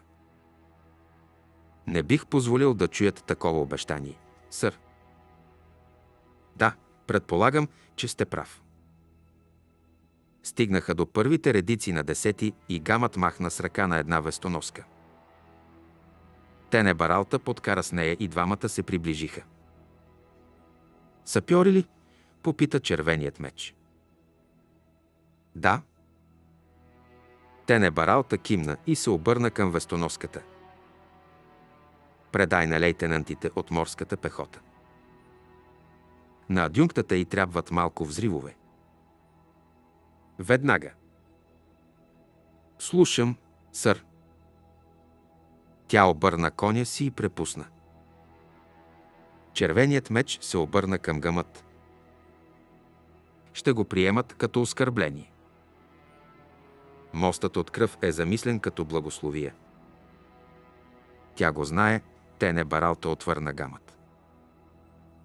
Но основата е прекалено коварна. Би трябвало да е очевидно, дори за скритите им наблюдатели. Едрият мъж свира мене и бронята по гърдите му издранча. Може би две-три думи на самес Гал от Хундрил, някой ездач, който да ги намери тези наблюдатели, да поговори с тях, за да не възникнат недоразумения. Добро предложение отвърна гамът. Тогава ще се погрижа. Червеният меч се отдалечи. Простете ми за дързостта, измърмори Кенеп, но ми се струва, че това, което стана току-що, никак няма да се хареса на адюнктата. Смятате ли, че тя не харесва инициативи сред офицерите си, капитане? Не бих допуснал. Току-що го направихте. Аха. Разбирам ви. Моля за извинение, Юмрук. Никога не се извинявай, когато си прав, Кенеп. Изчакай тук за отделенията. Подкара надолу към адюнктата. Нил и Недер бяха слезли от конете и бяха коленичили във водата, навели глави. Щом се приближи, гамът ясно видя едва удържания гняв на Тавори. Да, все още са се вкопчили във веригите си и като че ли да ги пуснат е последното нещо, което им се иска. Ако имат избор. Е, нали аз говорих за инициатива? Виждам, че децата си играят в калта, адюнкта. Тя извърна рязко глава към него с присвити очи. Гамът продължи. Предлагам да им назначим гледач, да не се наранят в лудориите си. В края на краищата, адюнкта, съмнявам се, че императрицата е възнамерявала да ги осиновите, нали? Не и сумтя тя. Трябваше да са моите магове. Точно така. Затова се чудя, заповядвала ли сте им да общуват с призраци, да не би да се опитват да умилостивят речните духове. Отново не, Юмрук. Всъщност представа нямам какво правят. Според мен се оказвате твърде снисходителна като майка, адюнкта. Нима. В такъв случай ви разрешавам да действате от мое име, Юмрук. Не беше възможно Нил и Недер да не са чули разговора им, но никой от двамата не помръдна от мястото си. Гамът въздъхна силно, слезе от коня и тръгна към разкалената вода.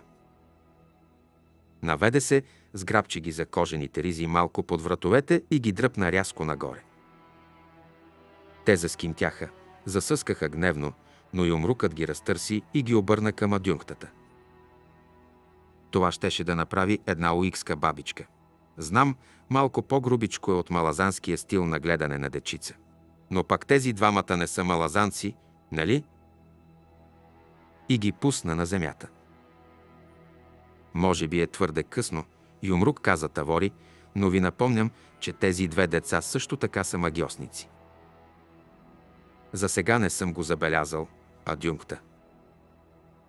Но ако искат да ме прокълнат, тяхна работа. За сега обаче като че ли и двамата не бяха склонни да го направят. Гневът им беше отстъпил на нещо, което много напомняше на цупене. Тавори се окашля. Нил, Недер. Мисля, че на армията ни ще и трябват представители, които да издирят местните племена в тази гора, да ги уверят, че сме наясно със значението на техния жест и че все пак трябва да си осигурим безопасно преминаване през този брод.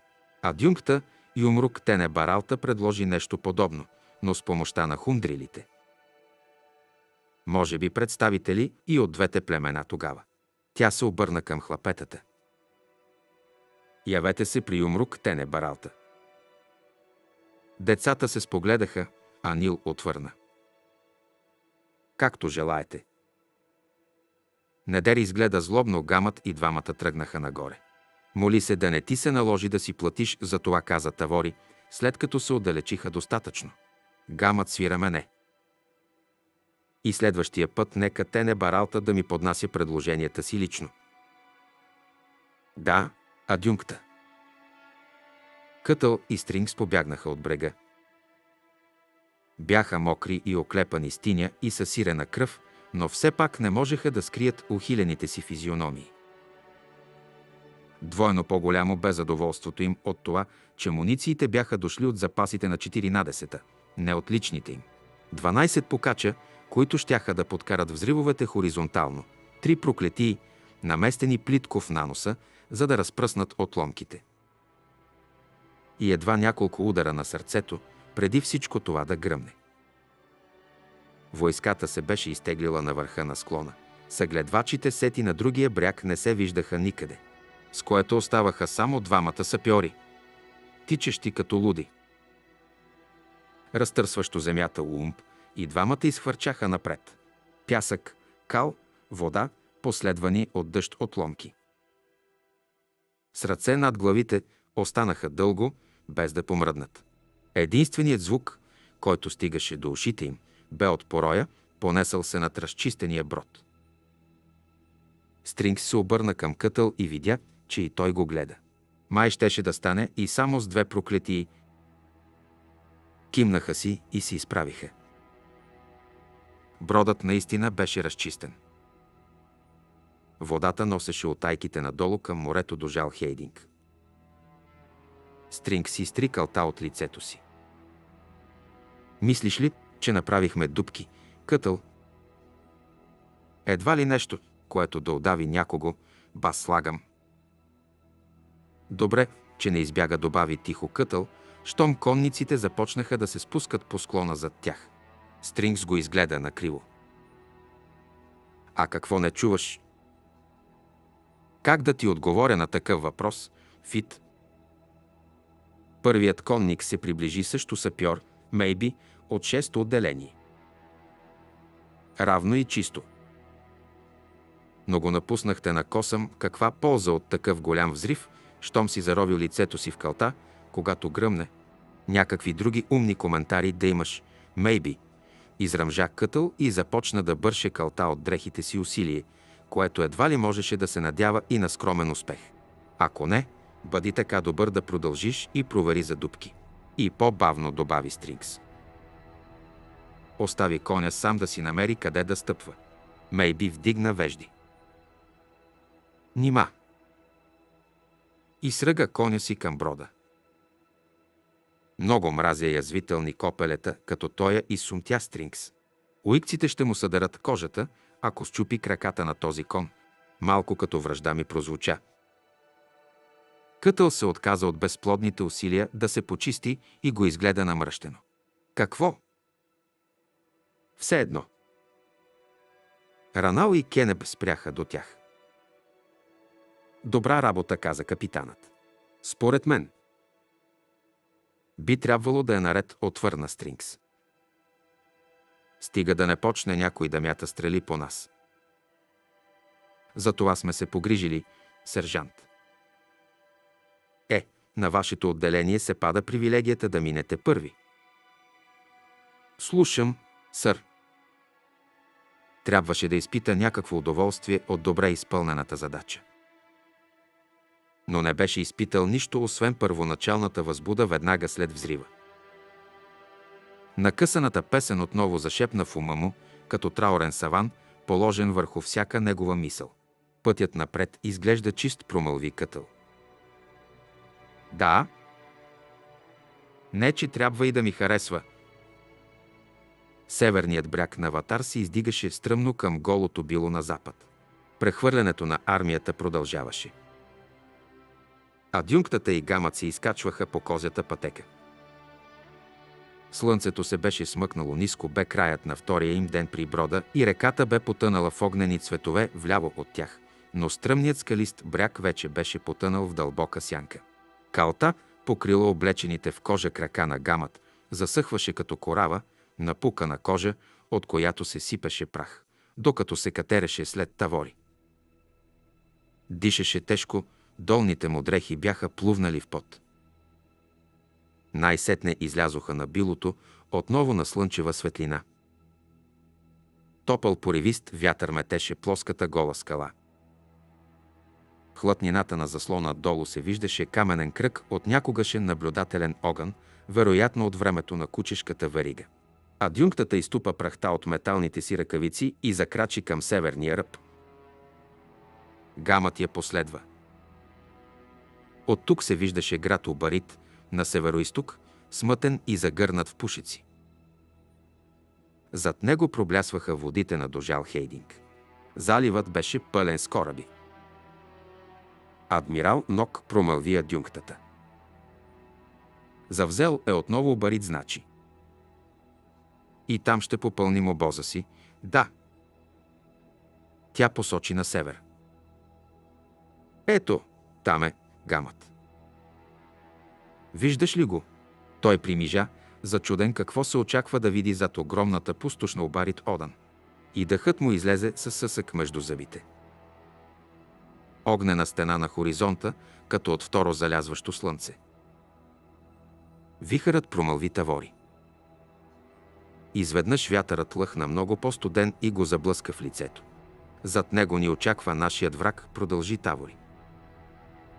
Кажи ми, смяташ ли, че Ша Ик ще се опита да спре настъплението ни? Ще е глупачка, ако не го направи, отвърна гамът. Сигурен ли си?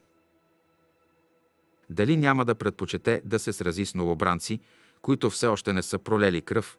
Рискът е огромен, адюнкта. Походът сам по себе си трябва да е закалил 14-та.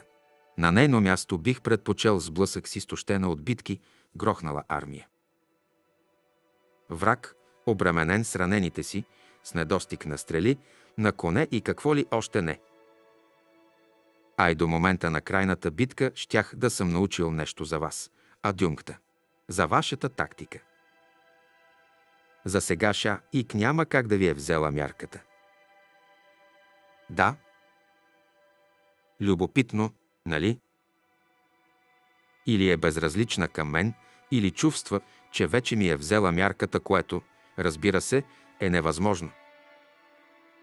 Дори да приемем, че си има шпиони в армията ни, до сега не съм направила нищо, освен да се грижа походът ни да върви в добър ред.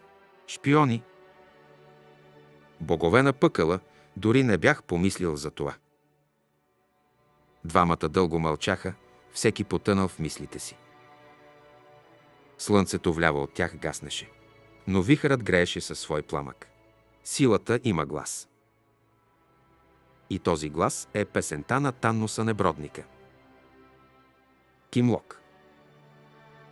Събуди се от лекото душене на мокра муцунка.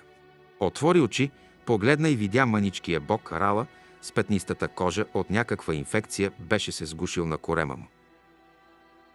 Калам се надигна стреснато и едва овладя желанието си да сграбчи дребното същество за врата и да го запокити в стената. Несъстраданието го накара да премисли, разбира се. По-скоро беше обстоятелството, че този подземен замък бе дом за стотици, може би хиляди бог Арала, а тези същества притежаваха сложна социална структура на ранешили това маниче, можеше да се окаже под цяла купчина разгневени машкари. А колкото и малки да бяха зверчетата, зъбите им бяха като на мечка. Така че той с усилие овладя отвращението си и избута пъстрото маниче възможно най-нежно. Той схленчи жално и го погледна с големите си воднисти очи.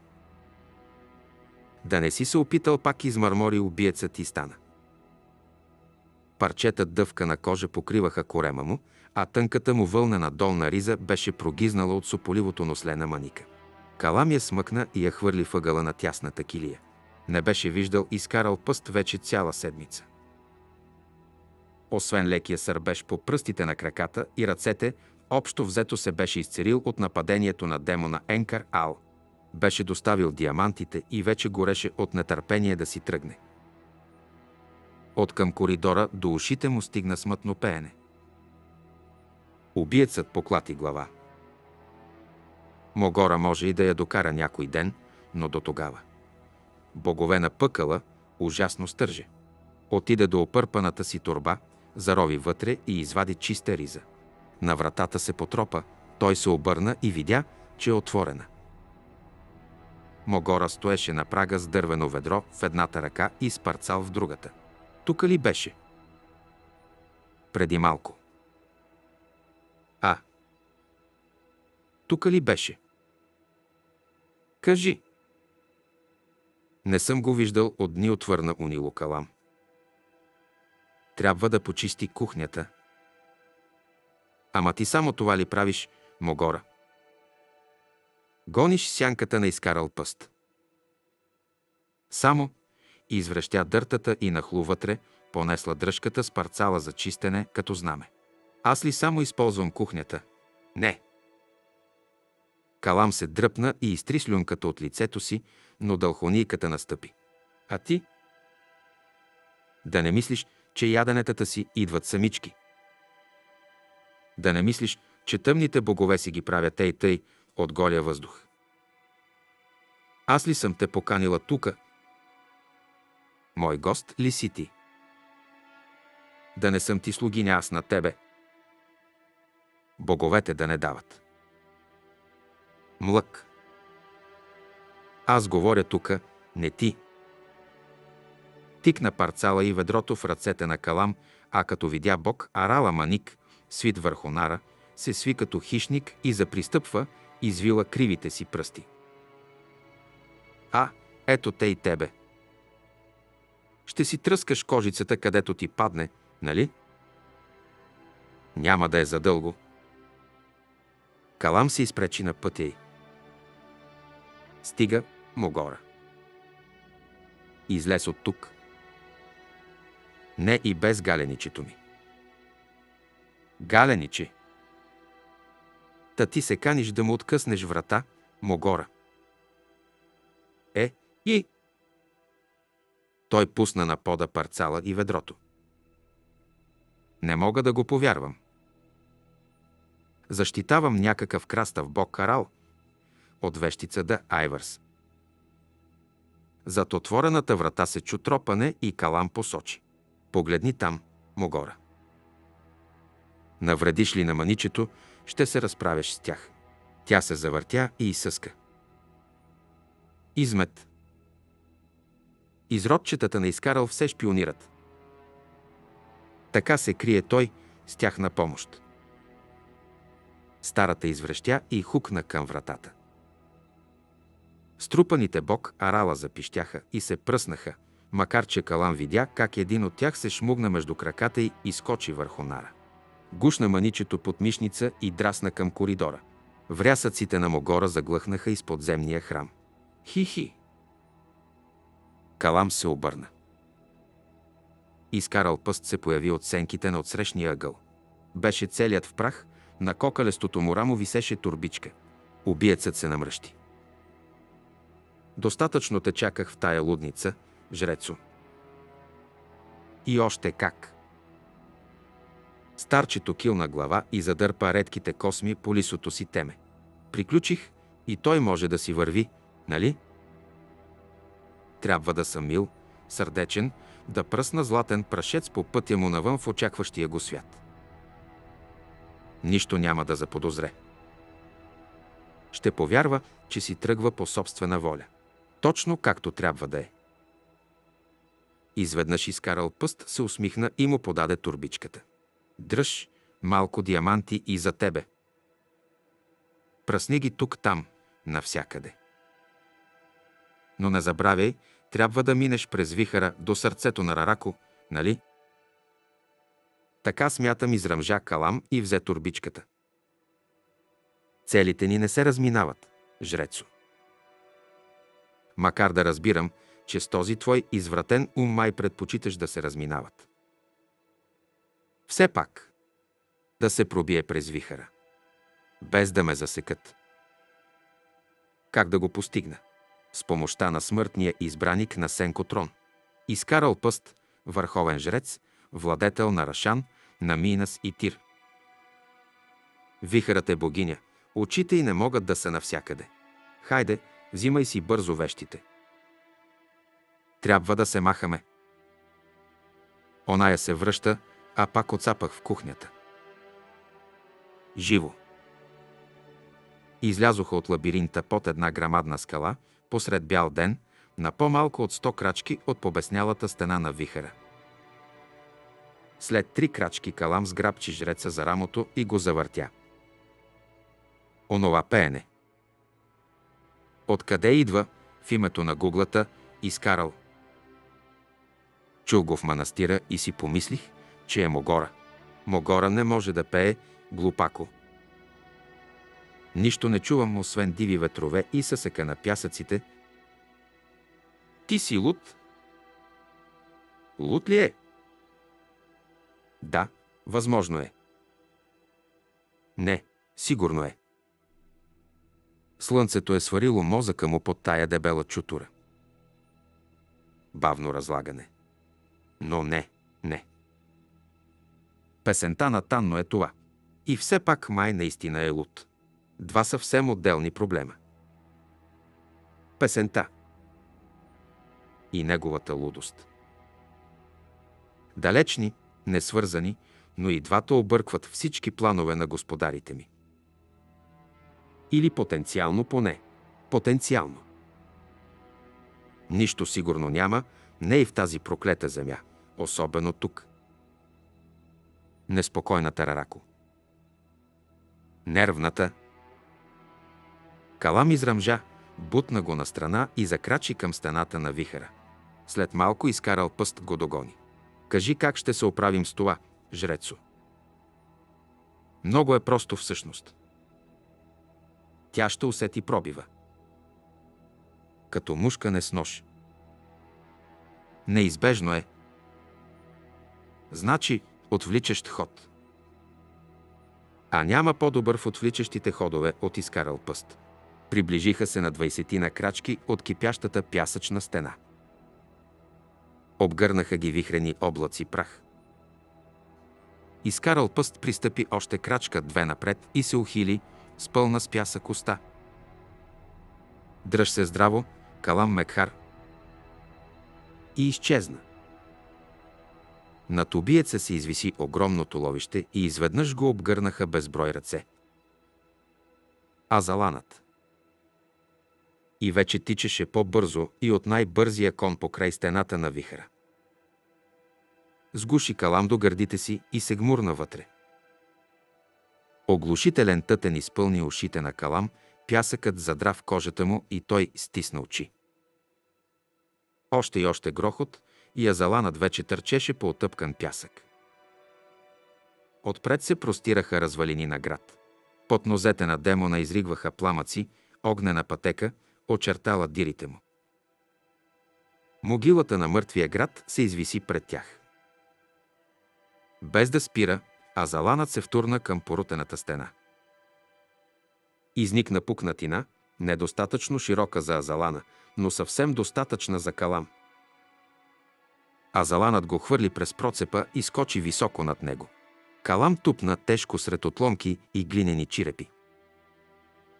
Взривовете бяха секнали, останал бе само ревът на вихара. Май се измъкна обратно. Бърз е кучият му син. Убиецът дълго остана неподвижен, зачуден дали хитрината е успяла. Все едно щеше да изчака нощта, преди да се измъкне навън. Вече не чуваше песента. Нещо, за което трябва да съм благодарен. Стените на процепа разкриваха многобройни пластове черепи от едната страна, хлътнал отсек от кълдарамена улица от другата и част вътрешна стена на сграда с изронена мазилка от третата. Пластът от ломки от зидария под краката му беше ронлив и дълбок. Калам опипа оръжията по тялото си и се настани да изчака. Катър прекрачи през портала с апсалар на ръце. Тежеста му причиняваше вълни от болка в отеклото рамо. Нямаше да може да я носи така още дълго. На 30 крачки напред, в края на поляната, където се сливаха двете пътеки, лежаха проснати десетки трупове. А сред тях стоеше котильон. Кътър закрачи към бога на сянката. Телата на мъртвите тайст Едор лежаха струпани в кръг около разчистеното петно вляво, но вниманието на Котилон като че ли беше съсредоточено върху едно определено тяло в краката му. Докато младият Даро се приближаваше, Богът бавно се наведе и отметна с ръка косите от лицето на трупа. Беше старата вещица, онази, която беше изгоряла. Онази, за която помислих, че е източникът на силата в малазанската група. Но не беше тя.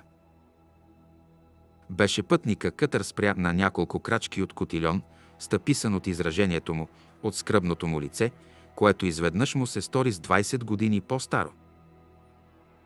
Облечената в ръкавица ръка, която беше отметнала косата, вече галеше обгореното лице на мъртвата. Познаваше ли я? Промълви Кътър. Хол отвърна след миг той. Мислех, че въслата ги е премахнала всички. Че не е останал нито един от командата на ястребовия нокът. Мислех, че е мъртва. Тя е мъртва. И веднага затвори уста. Колко ужасно е да го кажеш. Научи ги да се крият добре, продължи Котильон, без да откъсва очи от жената, лежаща на отъпканата окървавена трева. Толкова добре, че можеха да се скрият дори от мен, изглежда. Какво е търсила тук според теб? Котильон леко потръпна. Не това е въпросът, Кътър. По-скоро, Била ли е спътника? Какво е намислил ястребовият нокът? А пътника? Богове, знаел ли е коя е? Разбира се, че е знаело, тя е стара и болна, но все пак. Би могъл просто да го попиташ измърмори кътър, намести псалар в ръцете си и изпъшка. Той е в двора зад нас в края на краищата. Котилион се пресегна към шията на жената и вдигна нещо, окачено на каишка. Някакъв птичи нокът, жълт. Дръпна го, огледа го за миг, след което го хвърли към кътър. Нокътят се удари в гърдите му, падна и остана да лежи в скута на Апсалар. Дароджистанецът го зяпна, после вдигна глава и срещна погледа на Бога. Иди при кораба на Едур, Кътър. Изпращам те при друг от агентите ни. Какво да направя? Ще чакаш. В случай, че потребваш. За какво? Да помогнеш на други да премахнат господаря на ястребовия нокът. Знаеш ли къде е той? Всъщност мъж ли е? Котильон вдигна хол на ръце и се изправи. Имам подозрение. Най-сетне подозрение за всичко това. Крехкото тяло се отпусна леко в ръцете му. Той изгледа кътър за миг. По устните му пробяга тъжна усмивка. Виж ни само двамата. Обърна се и тръгна по горската пътека. Кътър зяпна след него. И извика. Не е същото. Не е. Не е. Богът потъна в сенките на леса. Кътари съска проклятие, обърна се и тръгна по пътеката към брега. Богът Котилион продължи до една малка поляна в страни от пътечката. Отнесе товара си в центъра и нежно го положи на земята. Сенките срещу него оживяха и бавно се сгъстиха в смътната фигура на Сенкотрон. Този път Богът дълго мълча. Котильон коленичи до тялото на Хол. Пътника е тук, а Манас. В руините на Едор. А Манас и сумтя тихо и свира мене. Едва ли ще иска да отговори на въпросите ни. Никога не го прави. Опорите е като всички дълхоници. Ти самият си дълхониец изтъкна Котильон. Точно така. А Манас пристъпи безшумно и застана от другата страна на тялото й. Тя е, да? Тя е? Колко пъти трябва да умират следовниците ни, Котильон, попита с въздишка Богът. Но пък тя явно престана да бъде сред тях още преди много време. Мислеше, че вече не съществуваме, а Манас. Императорът и танцора. Че ни няма. Че сме мъртви.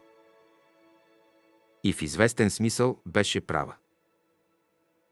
В известен, да. Но не в най-важния. Тоест. Котильон го погледна с гримаса беше ни приятелка. А, в този най-важен смисъл. А Манас помълча дълго. Ще го проучиш ли това? Не виждам друг избор. Ястребовият нокът крои нещо. Трябва да ги спрем. Не, приятелю. Трябва да се погрижим да се провалят. Намерил ли си? Следа? Повече от следа. Разбрах кой е начало на цялата работа. Сенкотрон килна леко загърнатата си в качулка глава. И там ли отиват сега Кътър и Апсалар? Да. Достатъчни ли са? Котильон поклати глава. Разполагам с други агенти. Но ми се ще Апсалар да е наблизо в случай, че нещо се провали. Амманас кимна. Е, и къде? В Рарако. Макар да не можеше да види лицето на приятеля си, Котильон знаеше, че се усмихва широко. Ах, скъпо ми въже! Май дойде времето да ти поразправя за моите ходове. Диамантите, дето ги дадох на калам, чудех се за тях. А Манас смахна към тялото на Хол. Да я отнесем у дома нашия дом, де. И там можем да си поговорим. Надълго и широко.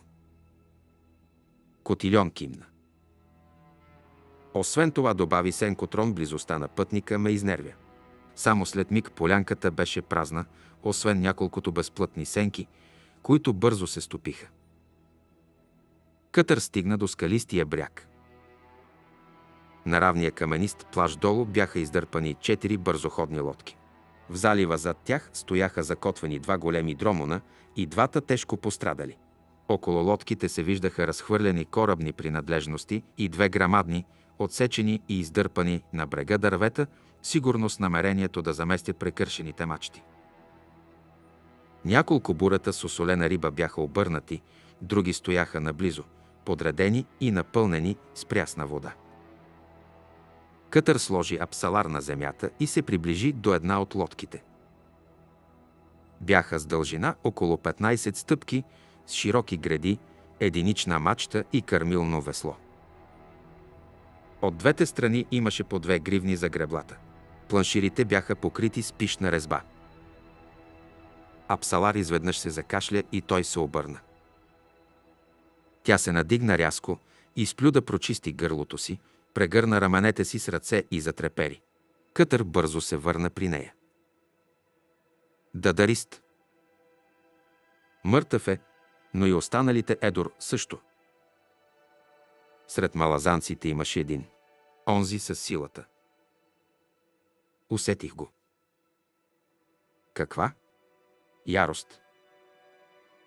Кътър отида до едно от буретата с вода, намери черпак, гребна и се върна при нея. Нарече се пътника. Знам го, промълви тя и потръпна. Не от своите спомени. От тези на танцора. Танцора го познаваше. Много добре го познаваше. Били са трима. Изобщо не са били само двама, знаеш ли го това? Изобщо не са били само танцора и келанвет. Не, и той е бил с тях. Почти от самото начало. Преди Тайсхрен, преди Дожек, дори преди въслата. Е, вече е все едно, а Псалар отвърна Кътър. Трябва да напуснем този проклет остров пътника да си го пази. Ако ще, все ми е едно. Са взели се достатъчно. Да ми помогнеш да избутаме един от тия бързоходи във водата. Имаме храна и вода в изобилие. Къде отиваме?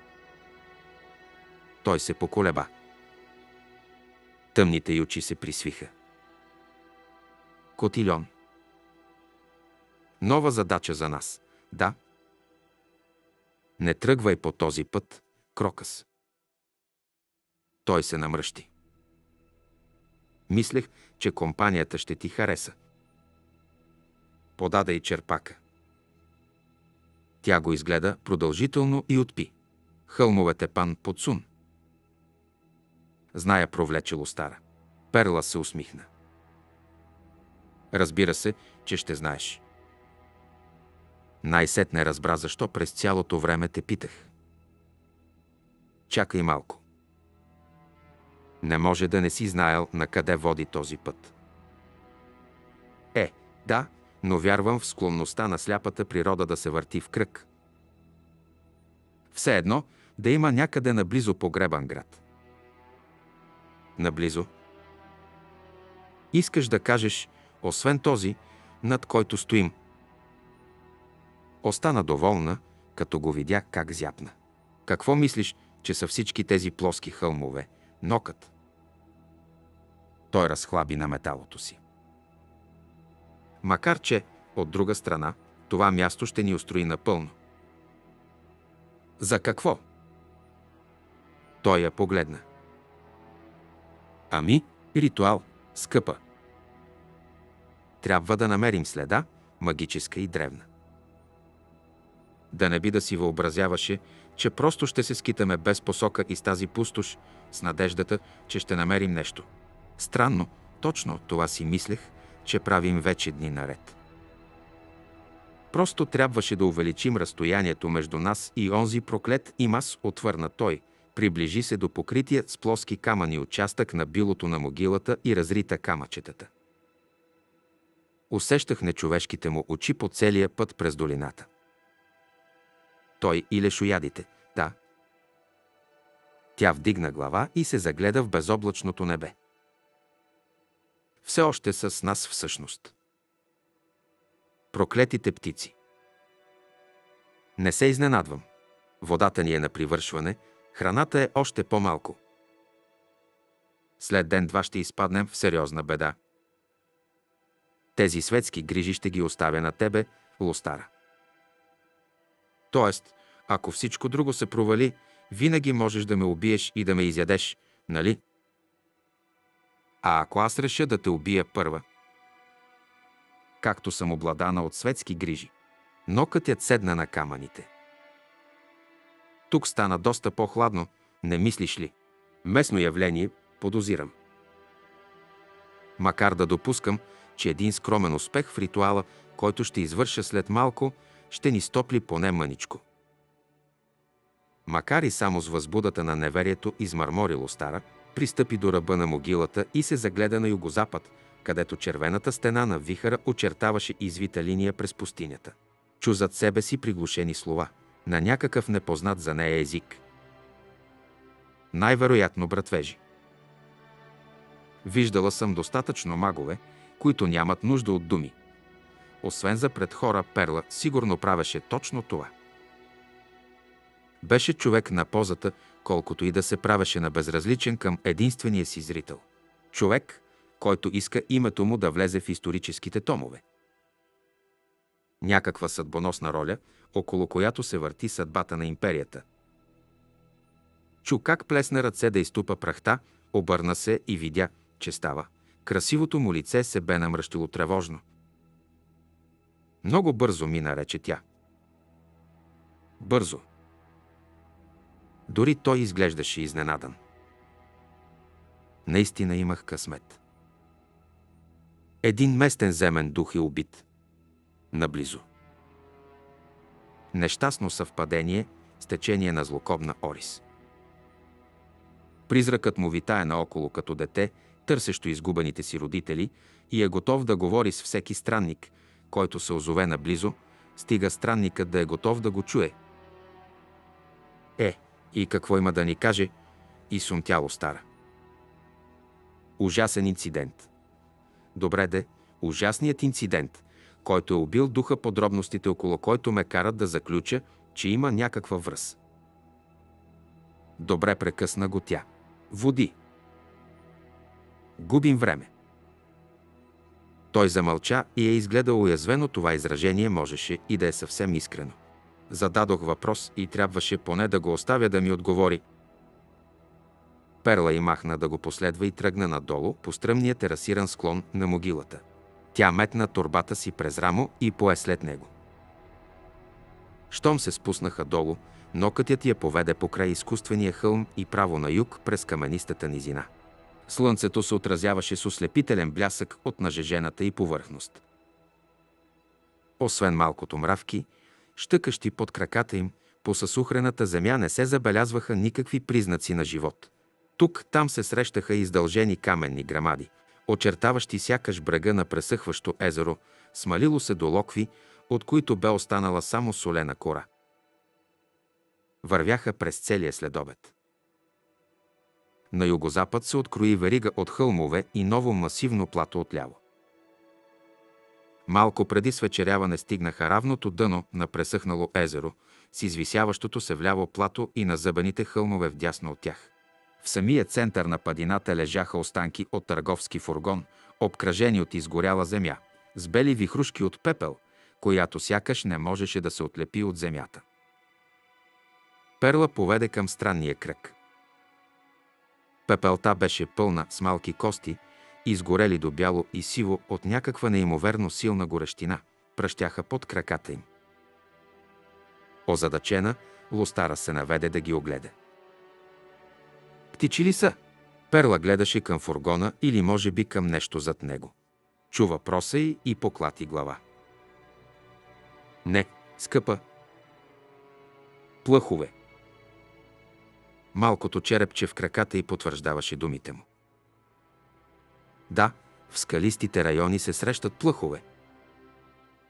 Той я погледна през рамо. Тези са били съда Айвърс.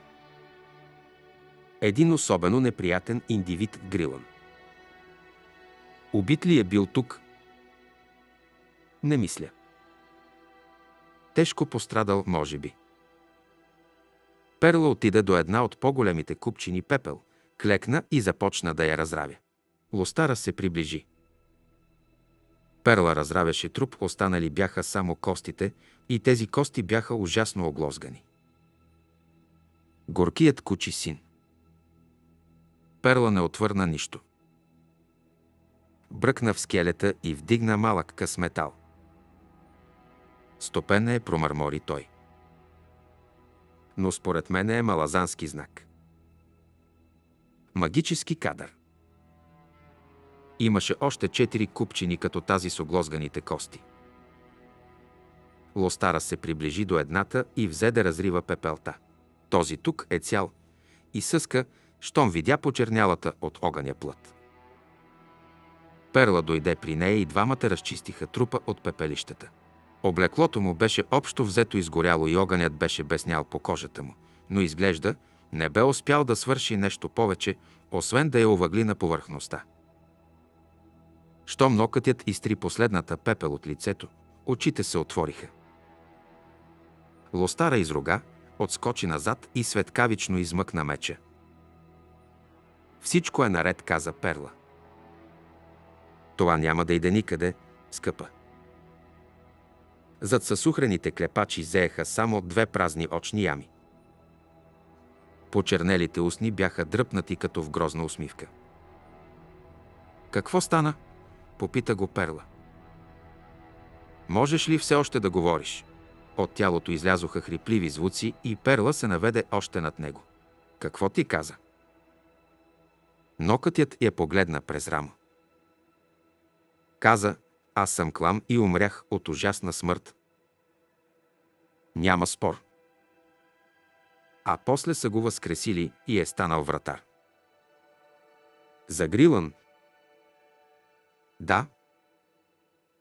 Тя прибра оръжието си. Изключително неприятна професия след смъртта изглежда.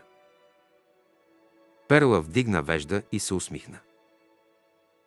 Уви, нищо повече няма да получим от милия клам.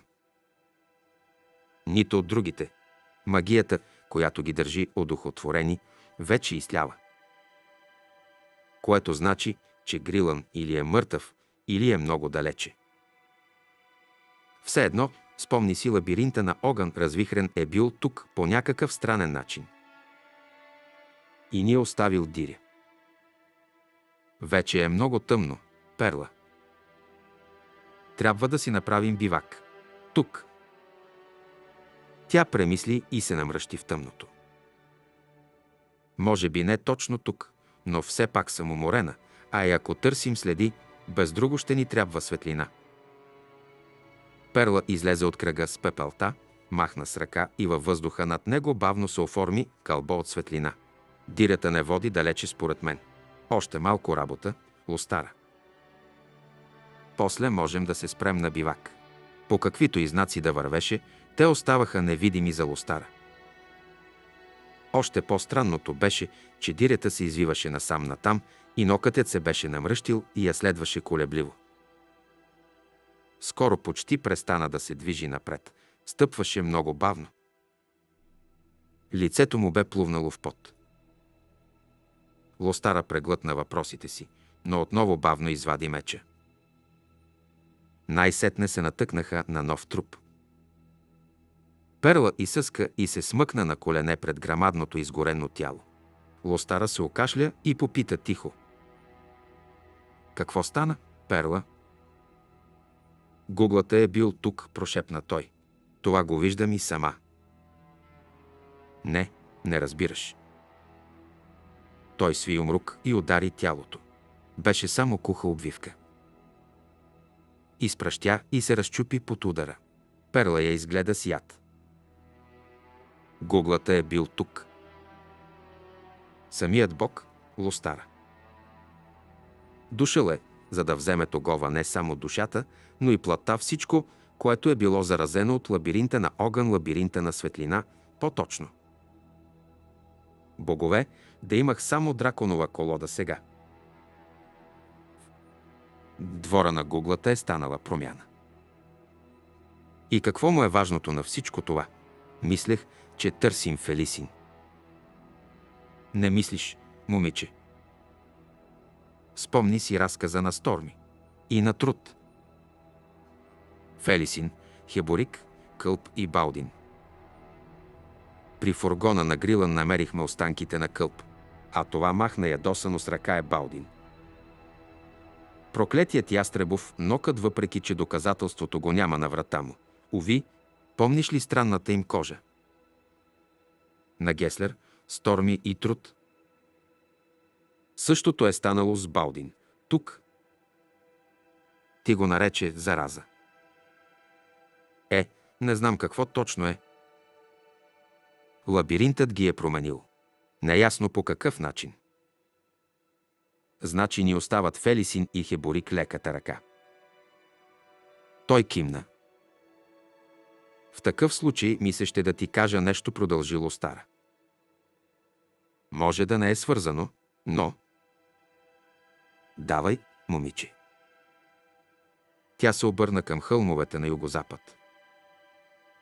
Когато проследихме онзи агент на Ша Ик в онези хълмове. Калам Мекхар. Да. И устроихме засадата на Ша Ик в стария храм на билото на пътеката, водеща към Рарако. Точно както го описа. Е, и... Трябваше да видим всичко това. Следователно събитията, на които сега се натъкнахме, трябва да са станали след нашата засада. Е, да. Тя въздъхна и скръсти ръце. Фелисин и Хеборик с армията на Апокалипсиса. Перла. Фрарако. Кое те кара да си толкова сигурна? Тя свира мене. Къде друга да може да са? Помисли.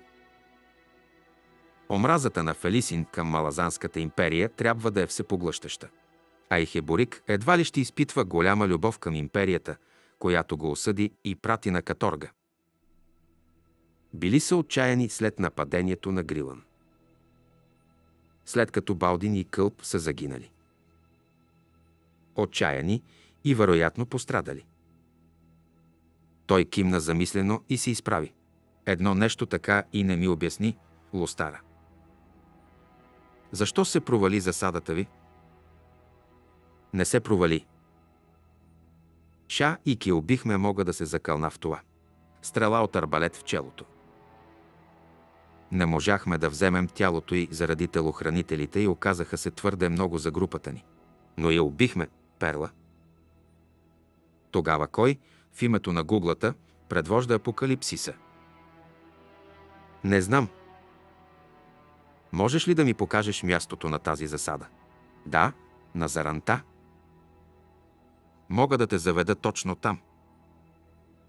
Той я загледа мълчаливо. Светлото кълбо над тях започна да трепти, после се стопи с тиха въздишка. Спомените му се бяха събудили. Онова, което се бе отаило от Алан Имас, пласт след пласт, трупани през столетията, беше като пейзаж – който Онрак отново можеше да разпознае. И това, което виждаше пред себе си. Изчезнаха платата на хоризонта, изваяните от вятъра кули от пясъчник, пясъчните дюни и белите ивици корал. Нямаше ги вече сухите клисури и дерета, мъртвите речни корита, засетите поля и напоителните канали. Дори градът на север, на самата ивица на хоризонта, вкопчил се като тумор за широката лъкатушеща река, се разми и стана ефимерен за вътрешния му взор. И всичко, което вече виждаше, беше отпреди. Толкова отдавна. Сивите вълни на вътрешното море, връхлитащи с обещание за вечност по дългия чекълест бряг, протягащ се на север чак до планините, които един ден щяха да се нарекат Талас, и на юг, за да обхване жалката останка, знайна сега под името море Клатар. Коралови рифове, огоили подобните си на акули гръбнаци на една шеста левга навътре от брега, над които кръжаха чайки и отдавна изчезнали дългоклюнести птици. По брега крачеха фигури. Кланът на Рени Кобар, дошли от своите тундри да закупят китова кост и масло на денраба и донесли сякаш със себе си ледените ветрове. Или навярно това необичайно време, дошло в тукашните земи, стопъл климат подсказваше за нещо по-тъмно. Джагът, скрит в някоя твърдина и разбъркал казана на Омтолс Фелак. Още студ и рифовете щяха да умрат, а с тях и съществата, чието съществуване зависеше от тях. Някогашният онрак, от плът и кръв, въздъхна притеснено. Беше отстъпил. Не беше вече гадателят на кости на своя клан, Таналия Псин, Толай бе много по-вещ от него в тайните изкуства, а и беше по-податлив на жадната амбиция, тъй нужна за следовниците на пътя на Телан. Умът на Онрак твърде често се залисваше по други неща. По грубата красота, например, като тази, която сега виждаше пред себе си. Непригоден беше за бой, за ритуалите на унищожението. Винаги с неохота беше танцувал шаманския танц в дълбоките пропади на пещерите, в които барабаните тътнеха и ехото пронизваше плът и кости, все едно, че лежиш на пътя на лудо, препускащо стадо ранак стадо като това, което онрак току-що бе издухал по стените на пещерата наоколо. Устата му горчеше, пълна с слюнка, въглени охра. Ръцете му се бяха изцапали, докато преграждаха пръските от устните му, за да се оформят фигурите по камъка. Изкуството се твореше в самота, образите се извайваха без светлина, по невидими стени, докато другите от клана спяха във външните ниши. И простата истина бе, че Онрак беше освоил магията на рисуването само заради това желание да бъде сам. Сред народ, в който самотата се смяташе почти за престъпление в който самото раздробяване на образа на неговите съставки, от виждането към наблюдението, от възкресяването на спомена до извайваното му, извън живия поглед, върху каменните стени, всичко това изискваше твърде изострена, потенциално опасна, гибелна за рода чувствителност. Жалък шаман. Онрак, ти изобщо не беше онова, което трябваше да си и когато наруши неписания закон и нарисува достоверен портрет на смъртен имас, когато затвори във времето онази красива смугла жена в онази дълбока и тъмна ниша, която никой не биваше да открие.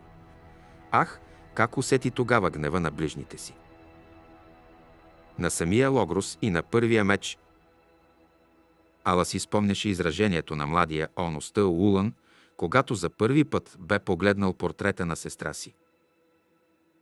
Удивление, възхита и прилив на томителна любов Онрак беше сигурен, че видя всичко това на лицето на първия меч, сигурен беше, че и други го бяха видели, макар никой да не го изрече, разбира се.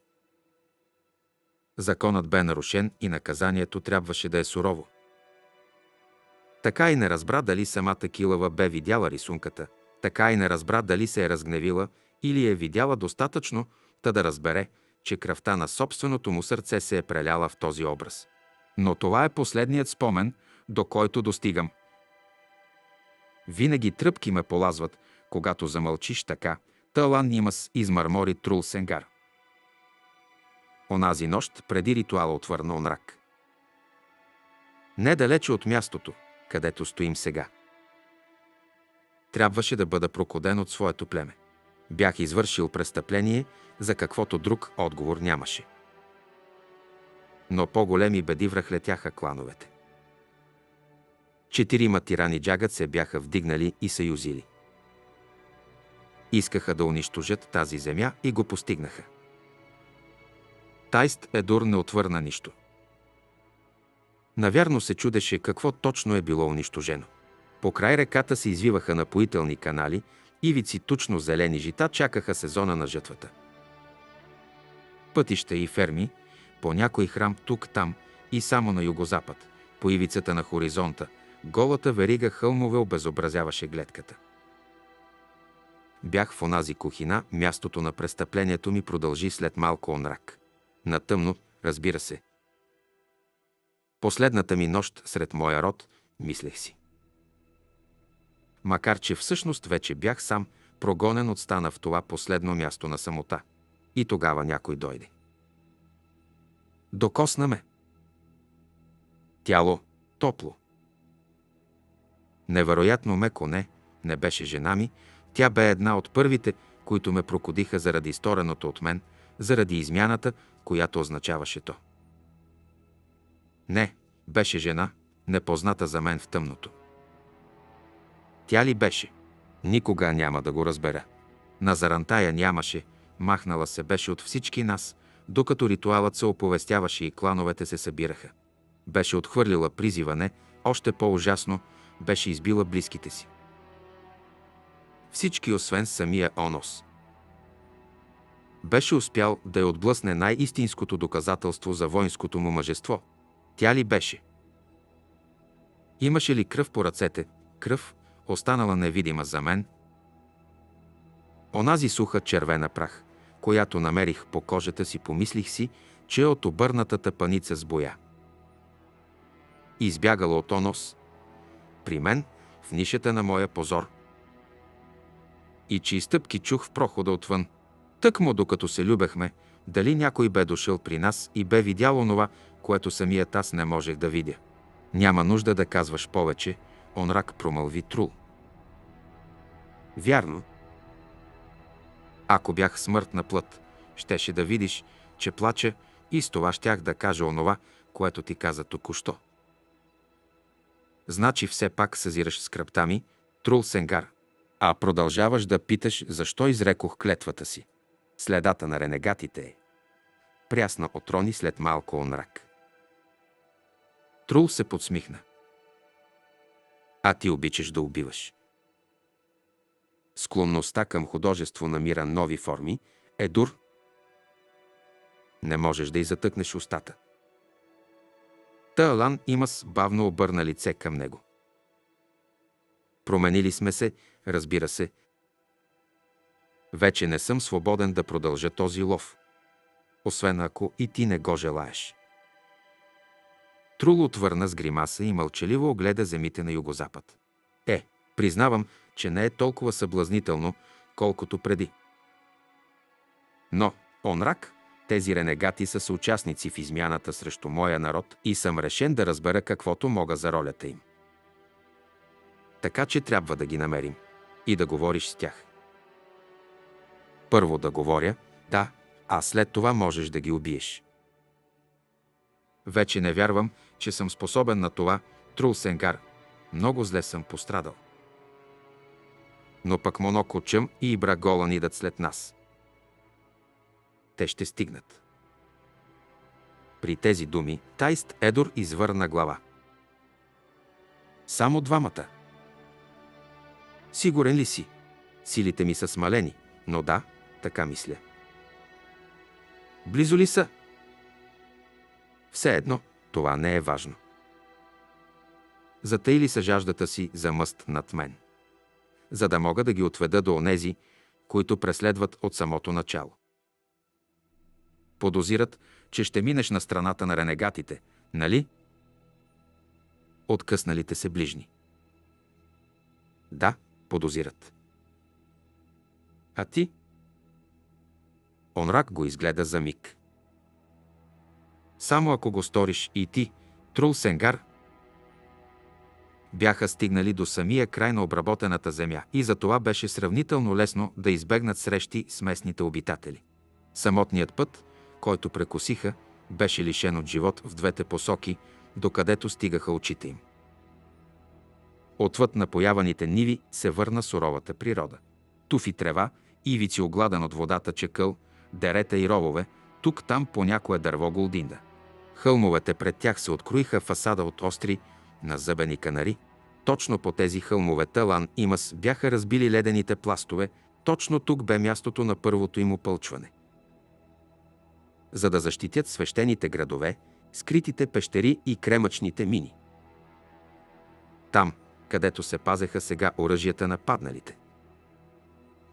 Оръжията, които тези отстъпници искат да вземат, нямаше потекло магията, вложена в тези каменни остриета, поне по отношение на Телан. Щяха да подсилят онези, които ги държат, стига да са потомци на създателите им или да са сътворени от същите тези ръце преди много време. Има да са, тъй като изкуството отдавна бе забравено от смъртните. А и ако намереха тези оръжия, това щеше да даде на отстъпниците пълна свобода, откъсвайки силата на Телан от телата им. Спомена за предателство на твоя клан, каза Трул Сенгар, докато се приближаваха към хълмовете. Стари са като че ли тези спомени, онрак. Може би сме обречени да повтаряме престъпленията си, Трул Сенгар. Върнаха се спомените ми всичко, което мислех, че съм изгубил. Не знам защо. Откъсването от ритуала. Може би. Какво беше престъплението ти? Затворих една жена във времето. Така поне изглеждаше. Нарисувах лика и в една свята пещера. Сега вярвам, че с този свой акт съм виновен за ужасните убийства, които последваха, за нейното бягство от клана. Тя не можа да се включи в ритуала, който ни направи безсмъртни, защото от моята ръка вече бе станала безсмъртна. Дали знаеше това? Дали това бе причината да се опълчи на Логрос и на първия меч? Няма отговори на тези въпроси. Що за лудост бе обзела ума и, та да убие най-близките си, да се опита да убие самия първи меч, собствения си брат. Не е била твоята жена, значи. Не. Беше гадателка на кости. Сул Тейкън. Но си я обичал все пак. Той свира мене. Страста е отрова сама по себе си, Трул Сенгар. Към билото водеше тясна козя пътека, стръмна и лъкатушеща по склона. Започнаха да се изкачват. Не приемам този възглед, че сме обречени да повтаряме грешките си, онрак каза Тайст Едор. Нима не се научаваме. Нима опитът не води към мъдрост. Трул Сенгар. Току-що предадох Монок Очем и Ибраголан. Предох Талан Имас, защото предпочетох да приема собствената си съдба. Значи същото престъпление, каквото извърших толкова отдавна – винаги съм жадувал за самота, да съм отделно от своята раса. В новородение бях доволен. Както и в свещените пещери отпред. Доволен. А сега, в този момент. Онрак помълча дълго. Когато спомените се върнат, Трул Сенгар, самотата се оказва иллюзия – защото всяко мълчание е изпълнено с кресливото търсене на смисъла. Звучиш все повече като смъртен с всеки изминал ден, приятелю. По-уязвим искаш да кажеш. Все едно. Но виж какво правиш сега, онрак. Какво имаш предвид?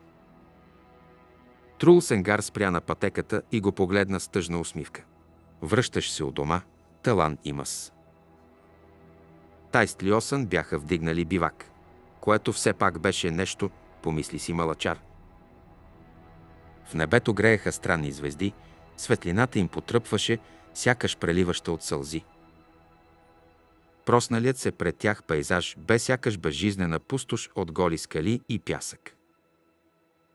Огънят, който бяха запалили в края на изгърбеното плато, беше привлякал странни нощни пеперуди с големината на малки птици, както и рояци други летящи същества, сред които и крилати гущери.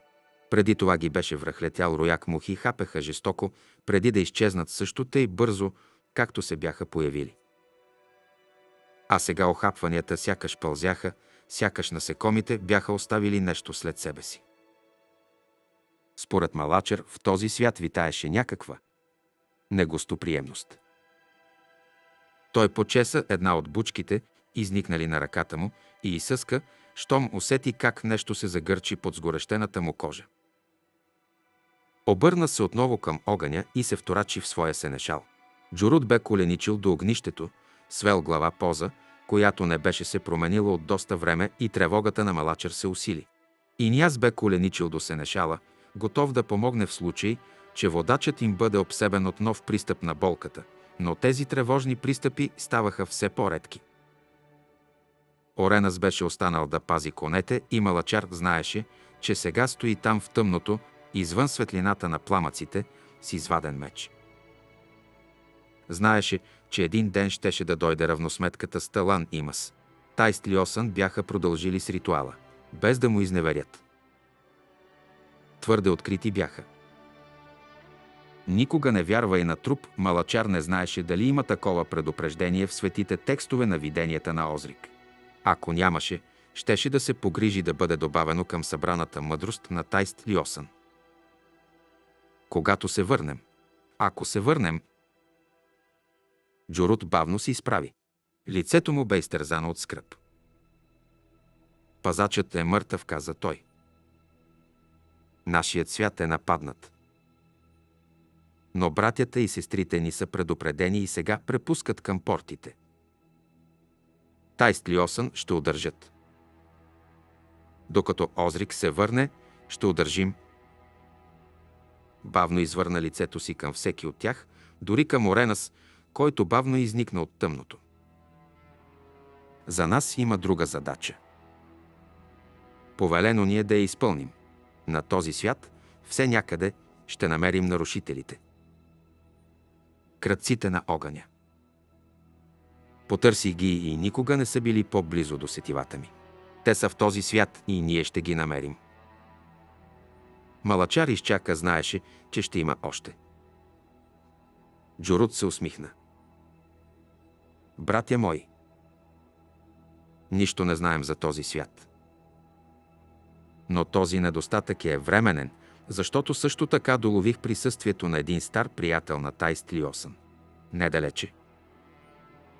Ще го открием, това е първата ни задача и ще го помолим да ни запознае с трудностите по тази земя. Кой е този стар приятел, Сенешале? Попита и аз. Създателят на времето, братко Иняс. Малачар кимна замислено. Приятел на Тайст Льосън. Как не? Убиецът на десете хиляди. Икариум. Приготви конете, Орена снареди Джурут. Седем лика в скалата, седем лика към Теблор, единият е неоткритата. Майка на племето призрачно. Децата на Теблор. Повелиха. Да извърнем очи. Дарствена молитва на майката сред Теблор. Карса Орлунг не беше чужд за камъка. Суровата мед, изтръгната от рудата, калаят и тяхното съчетание, бронзът, си имаха място. Но дървото и камъкът бяха речта на ръцете, святото извайване на волята. Успоредни люспи, дълги и тънки, прозрачни трещици, отчупени от острието на кръстосващи се вълни от ръба до извития гръб. Още по-малки люспи, избити от двата ръба, най-напред от едната страна, сетне с завъртане на меча между ударите, напред и назад по цялата дължина. Боят с такова оръжие изискваше промени в стила, който Карса владееше най-добре. Дървото се огъваше, хлъзгаше се с лекота на тръбовете на щита, без усилие се шмугваше по край замахващите железни остриета. На зъбаните ръбове на този меч щяха да се държат другояче и той трябваше да се приспособи, най-вече заради внушителната му тежина и дължина. Дръжката се оказа най-голямото предизвикателство. Кремъкът не търпеше закръглеността и колкото по-гладка станеше дръжката, толкова по-нестабилни щяха да са удрящите плоскости. За Ефеса той придаде на камъка форма на голям диамант с стъпчета повърхност, застъпващите се почти под прав ъгъл фасети можеха да се възприемат като опасен недостатък, който ще привлича съсредоточена за разбиването му сила. Но боговете бяха обещали да направят оръжието несъкрушимо, тъй че Карса потисна инстинктивното си безпокойство. Трябваше да изчака, докато намери подходящ материал и за напречника. Представа нямаше колко време бе изтекло в правенето на меча. Всякакви други потребности и съображения бяха изчезнали от ума му, нито глад изпитваше, нито жажда, докато температурата се покачваше все повече и най-сетне и той, и камъкът бяха плувнали в пот. Не забелязваше и огъня в ограденото с валчести камъни огнище, огън, който гореше непрестанно, неподхранван и пламъците му танцуваха със странни цветове. Мечът властваше над всичко друго. Усещането за двамата му призрачни приятели резонираше от камъка в пръстите му, а оттам по всяка кост и мускул на тялото му. Байрот Гилд, чиято режеща ирония сякаш се беше просмукала в оръжието, както и пламенната вярност на Делъм Торт, два неочаквани дара бяха това загадъчно сплитане на теми и аспекти, придаващи на мече самоличност. Сред легендите на народа му имаше песни, възпяващи драгоценни оръжия и техните владетели, герои на Теблор. Карса винаги беше смятал, че представата за оръжие, притежаващи своя собствена воля, не е нищо повече от поетична лъжа. А колкото до онези герои, които изневерявали на оръжията си и поради това ги сполетявала зла съдба, то във всяко подобно сказание Карса можеше лесно да посочи други, много по-явни недостатъци в действията им, достатъчни да обяснят кончината на героя. Теблор никога не предаваха оръжията си на наследниците, всички вещи придружаваха покойника, защото каква полза от дух, лишен от всичко, което е притежавал в тленния си живот. Ето защо кремъчният меч, добил форма в ръцете на Карса, бе по-различен от всичко, което бе познавал или за което бе чувал. Лежеше на пода пред него странно гол, въпреки кожата, която бе овил около ръкохватката. Без дръжка, без ножница. Грамаден и груб и същевременно красив в симетрията си, въпреки струйките кръв, останали от нарязаните му ръце. Изведнъж усети парещия зной и бавно вдигна глава. Седемте бога стояха срещу него в издължен полукръг и пламъците от огнището примигваха по осъкатените им тела. Държаха оръжия, подобни на това, което лежеше пред него, но по-малки, подходящи за ниските им набити фигури. Върнахте се истински отбеляза Карса. Онзи, когато познаваше с името Урогал, отвърна. Да, вече сме свободни от оковите на ритуала. Веригите са щупени, Карса Орлонг. Заговори друг с нисък, хриплив глас. Лабиринтът на Телан споходи твоя меч, Карса Орлонг. Вратът на Бога беше посечен, главата беше клюмнала на едното рамо и се държеше само на мускул и жили. Никога няма да се щупи. В онези кухини има щупени оръжия и сумтя Карса. Древна магия отвърна рогал враждебни лабиринти. Нашият народ е водил много войни. Водили сте, вярно рече войнат Теблор. Вървях по стъпки, оставени от вашите близки. Виждал съм толкова паднали талан и мъс, че умът не може да го побере. Огледа бавно седемте същества, стоящи пред него. Коя битка ви порази? Урогал свира мене. Това е без значение, Карса Орлонг. Стародавна борба, врагът ни вече е прах, провалът е най-добре да се забрави. Безчет войни сме познали и какво постигнаха те. Джагът бяха обречени на изчезване, ние само ускорихме неизбежното. Други врагове се вдигаха и заставаха на пътя ни. Оставахме безразлични към каузите им. Никой от тях не бе достатъчна да ни откаже. Затова ги избивахме. И все така. Войни без смисъл, войни, които не променяха буквално нищо. Животът е страдание. Съществуването дори като нашето е съпротива.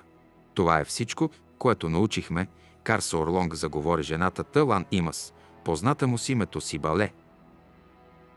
В неговата цялост. Камък, море, гора, град и всяко същество, което е живяло някога за всички ни е в сила същата тази борба. Съществуванието се съпротивлява на несъществуването. Редът воюва срещу хаоса на унищожението, на безредието. Карса Орлонг, това е единствената истина, най-голямата от всички истини. Какво друго почитат самите богове, освен съвършенството? Непостижимата победа над природата, над нейната несигурност. Много думи съществуват за тази борба. Ред против хаос, целостта срещу разпада, светлина срещу мрак, животът срещу смъртта. Но всички те означават едно и също. Тълан Имас с прекършения врат заговори шепнешком и думите му се заизливаха в монотонен напев. Ранагът е окуцял. Отдалечил се от стадото. Ала върви по дирята му. Търси закрилата на стадото. Времето ще изцери. Или ще отслаби. Две възможности. Но куцият ранак не знае нищо, освен опорита надежда. Защото тя е в природата му. Глутницата Ай са го видели и вече се приближават. Жертвата все още е силна. Но сама Айте познават слабостта. Като миризма в студения вятър. Тичат редом с залитащия ранак. И го отвличат от стадото. Все още е има упоритата надежда. Тя го кара да устои. Наведена глава, рога, готови да чупят ребра, да запращат враговете във въздуха. Но айте са умни. Кръжат, нападат и отскачат. Отново и отново. Гладът воюва с упоритата надежда, докато ранагът се изтощи. Започва да залита. После всички ай нападат отведнъж. Поврат. По крака. За гърлото. Докато ранагът не бъде смъкнат на земята. И упоритата надежда отстъпва, Карса Орлонг. Отстъпва, както винаги е длъжна да отстъпи пред неизбежността. Теблорът се озъби. Но вашият нов господар иска да приюти куция звяр. Готов е да му предложи подслон. Прехвърляш мост, преди да си го построил, Карса Орлонг рече урогал. Изглежда, Байрот Гил те е научил да мислиш, преди самият той да падне и да умре. Наистина си достоен за името главатар. Съвършенството е иллюзия, каза си Бале. Така смъртен и безсмъртен се стремят към нещо непостижимо. Нашият нов господар иска да промени парадигмата. Карса Орлонг. Трета сила, която завинаги да промени вечната война между реда и разпада. Господар, който иска да се почита несъвършенството, изръмжате блорът. Сибале кимна. Да. Карса усети, че е ожеднял, отиде при турбата си и извади меха. Напи се, после се върна при меча. Стисна го с две ръце, вдигна го пред себе си и огледа вълнистата му повърхност. Необикновено оръжие рече урогал. Ако оръжията на Имас можеха да си имат Бог. Карса се усмихна на Талан Имас, пред когото някога бе коленичил на една далечна поляна във време на младост, когато светът пред очите му бе едновременно прост и съвършен. Вие не сте богове. Богове сме отвърнал рогал. Да си Бог значи да имаш поклонници. Да ги водиш добави си Бале.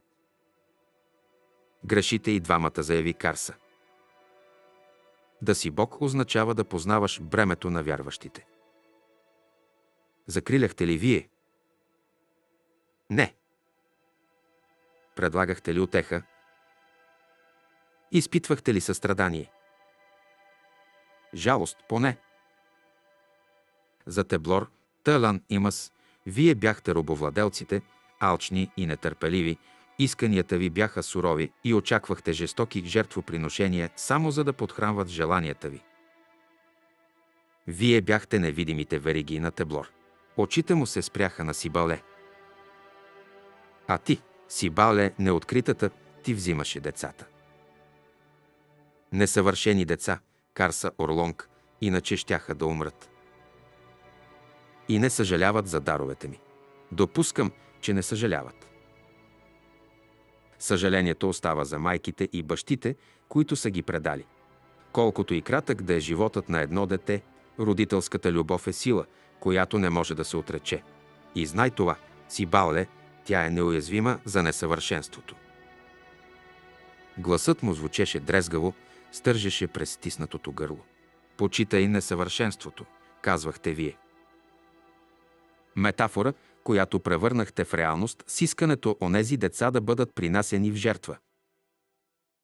Понятие нямахте какво значи да облегчиш бремето на онези, които трябваше да ви почитат. Но и това не е най-тежкото ви престъпление.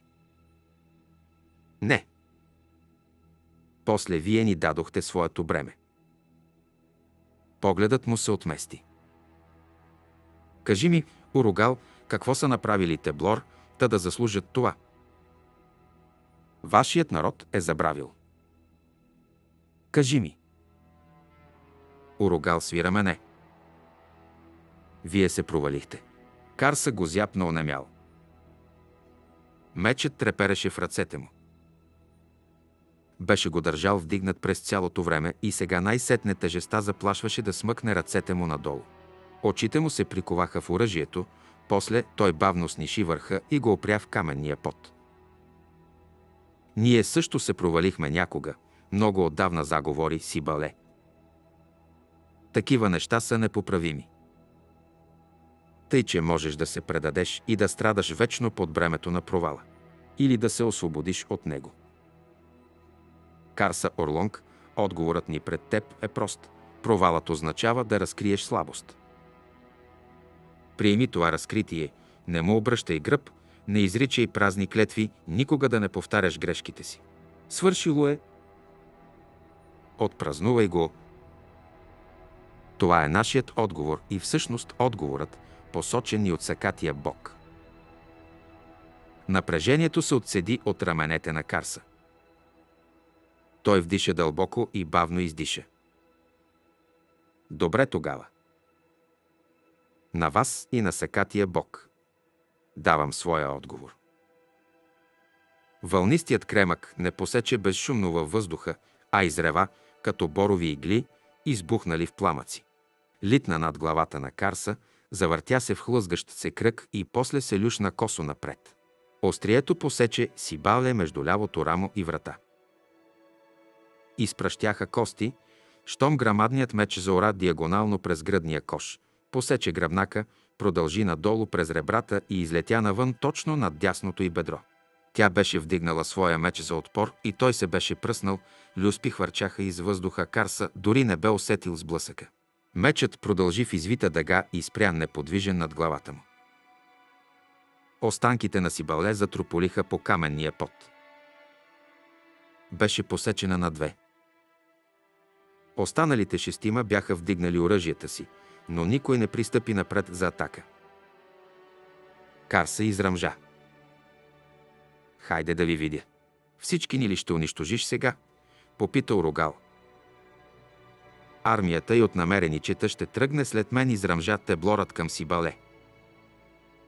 Ще оставите народа ми, ще напуснете онази поляна. Свършихте с нас, талан имас. Доведох ви тук. Освободих ви. Ако отново се появите пред очите ми, ще ви унищожа. Влезете ли отново в сънищата на племенните старейшини, ще ви подгоня. Милост няма да имам. Аз, Карса Орлонг, от урит на Теблор Теломент облака и така се заклевам. Пристъпи крачка напред и шестимата Талан има спотръпнаха. Вие ни използвахте. Използвахте мен. И за награда какво ми предложихте току-що? Искахме да. Предложихте ми нови вериги. Сега напуснете. Имате всичко, което искахте. Вън. Шестимата Телан има закрачиха към изхода на пещерата. Слънчевата светлина за миг се затули и вече ги нямаше. Карса свали меча. Погледна си Бъле. Неочаквано рече тя. Войнат и сумтя. Чувал съм, че сте трудни за убиване. Невъзможно е, Карса Орлонг. Ние устояваме. Тук ли ще ме оставиш? Няма ли забрава за вас? Някога, преди много време, тези хълмове бяха обкръжени от море. Едно такова море би ме освободило за забравата, за която спомена. Връщаш ме към съдба и наказание, от която съм се стремяла да избягам хилядолетия наред. Съвсем уместно, предполагам. А новият ти господар, този сакат Бог. Той ме изостави. Изглежда, има приемливи нива на несъвършенство и неприемливи нива на несъвършенство. Изгубила съм своята пригодност. Поредният бог, който изобщо не разбира какво значи да си бог изръмжа Карса и отида до турбата си. Какво ще направиш сега, Карса Орлонг? Отивам да си търся кон. А, джакски кон. Да, могат да се намерят такива на югозапад от тук, в Одана. Рядкост са. Може да ги търсиш дълго. Теблорът свира мене. Разхлаби връзките на турбата и се върна при купчината кокали и плът, останала от Сибале. Вдигна един къс от нея с главата, дясното рамо и ръката. Какво правиш? Другото трябва ли ти? Не. Какво? Карса натика главата, рамото и ръката и в турбата си и отново стегна връзките. Трябваше му колан и ножница за меча, но това по-късно. Пъхна ръцете си в ремъците на турбата, изправи си и вдигна кремъчния меч на дясното си рамо. Последен оглед. Магическите пламъци в огнището продължаваха да безнеят, макар че вече примигваха на често, сякаш поглъщаха последните останки от невидимото гориво. Помисли си дали да не разрита камъните, за да загаси огъня, но само свира мене и тръгна към изхода. Пред него изведнъж изникнаха две фигури и му затулиха светлината. Мечът на Кар се изсвистя, плоския му ръб изтътна към двамата и те изхвърчаха от издатината. Да ми се махате от пътя, изръмжа войнат и пристъпи на слънчевата светлина. Не погледна повече двамата натрапници, а пое по пътеката на югозапад. Трул Сенгари спъшка и отвори очи. Надигна глава и примижа от безбройните болешки в тила. Кремъчният меч го беше хвърлил надолу по стръмния каменен сипей. Макар че тежеста на удара бе поел окаяният онрак. Все пак гърдите го боляха и се боеше, че ребрата му са натъртени, ако не и пукнати. Талан има стромаво се изправяше на десетина крачки от него. Трул се изплю. Ако знаех, че вратата е залостена, щях първо да почукам. Това беше проклет теломен Тублакай. Тайст Едор видя как Онрак завъртя глава и се загледа към входа на пещерата. Какво има? Да не би да идва да ни довърши. Не отвърна Талан Имас. В пещерата. Задържала се енергия от лабиринта Телан. Какво от това? Онрак се закатери по свлачището към входа на пещерата. Трул и съска от бесилие, изправи се и той и тръгна подир него бавно, спираше на всеки няколко крачки, за да си поеме дъх. Щом влезе в пещерата, извика оплашено. Онрак стоеше в огъня и многоцветните пламъци го поглъщаха. И държеше в дясната си ръка останки на друг от расата му. Трул пристъпи навътре, подхлъзна се и падна върху килима от остри кремъчни люспи. От ребрата му изригна болка. Изруга и бавно се изправи. Въздухът бе нажежен като в ковачница. После залата изведнъж притъмня странният огън беше угаснал. Две ръце го стиснаха за раменете. Ренегатите се избягали, каза мрак. Но са близо. Хайде. Добре. Води, приятелю. Миг преди да излязат отново на слънчевата светлина, Трул Сенгар изведнъж се стъписа. Две ръце. Карса заобиколи брега на долината и продължи по нещо, което трябваше да мине за пътека. Безброй свлачища я бяха покрили на всеки десетина крачки, принуждаваха го да стъпва предпазливо по несигурния свличащ се чекъл, вдигаше след себе си облаци прах. Помисли отново и чак сега съобрази, че единият от двамата непознати, изпречили му се на изхода, беше Талан Имас. Нищо чудно, след като цялата долина с всичките й кариери, мини и гробници беше свято място за Имас. Стига да можеше да има нещо свято за безсмъртни същества като тях. А другият изобщо не беше човешко същество. Но въпреки това познато. А, като онези на кораба. Сивокожите, дето ги убих. Може би трябваше да се върне. Мечът му все още не беше пил истинска кръв в края на краищата. Освен собствената му, разбира се. Пътеката цепеше право нагоре. При мисълта, че трябва да повтори този прашлив и измамен път назад, се намръщи. Щеше да спести окървавяването на меча си за по-достойни противници. Тръгна нагоре. Беше ясно, че шестимата Талан Имас не бяха поели по същия път. За тяхно щастие. Изгубил беше търпение към безкрайните им думи, особено след като делата им крещяха по-силно, достатъчно силно, за да надмогнат жалките им оправдания. Стигна до ръба и се покатери на равния терен. Гледката, проснала се на югозапад, беше по-дива от всичко, което бе видял в седемте града. Никакви признаци на цивилизация, никакви знаци, че някой е стъпвал по тази земя. Високата степна трева се люлееше под горещия вятър, загърнала ниските обли хълмове, нижещи се до хоризонта. Ниски трънливи храсти и дървета изпълваха падините и проблясваха в зелено и сиво, щом вятърът разлюлееше листата им.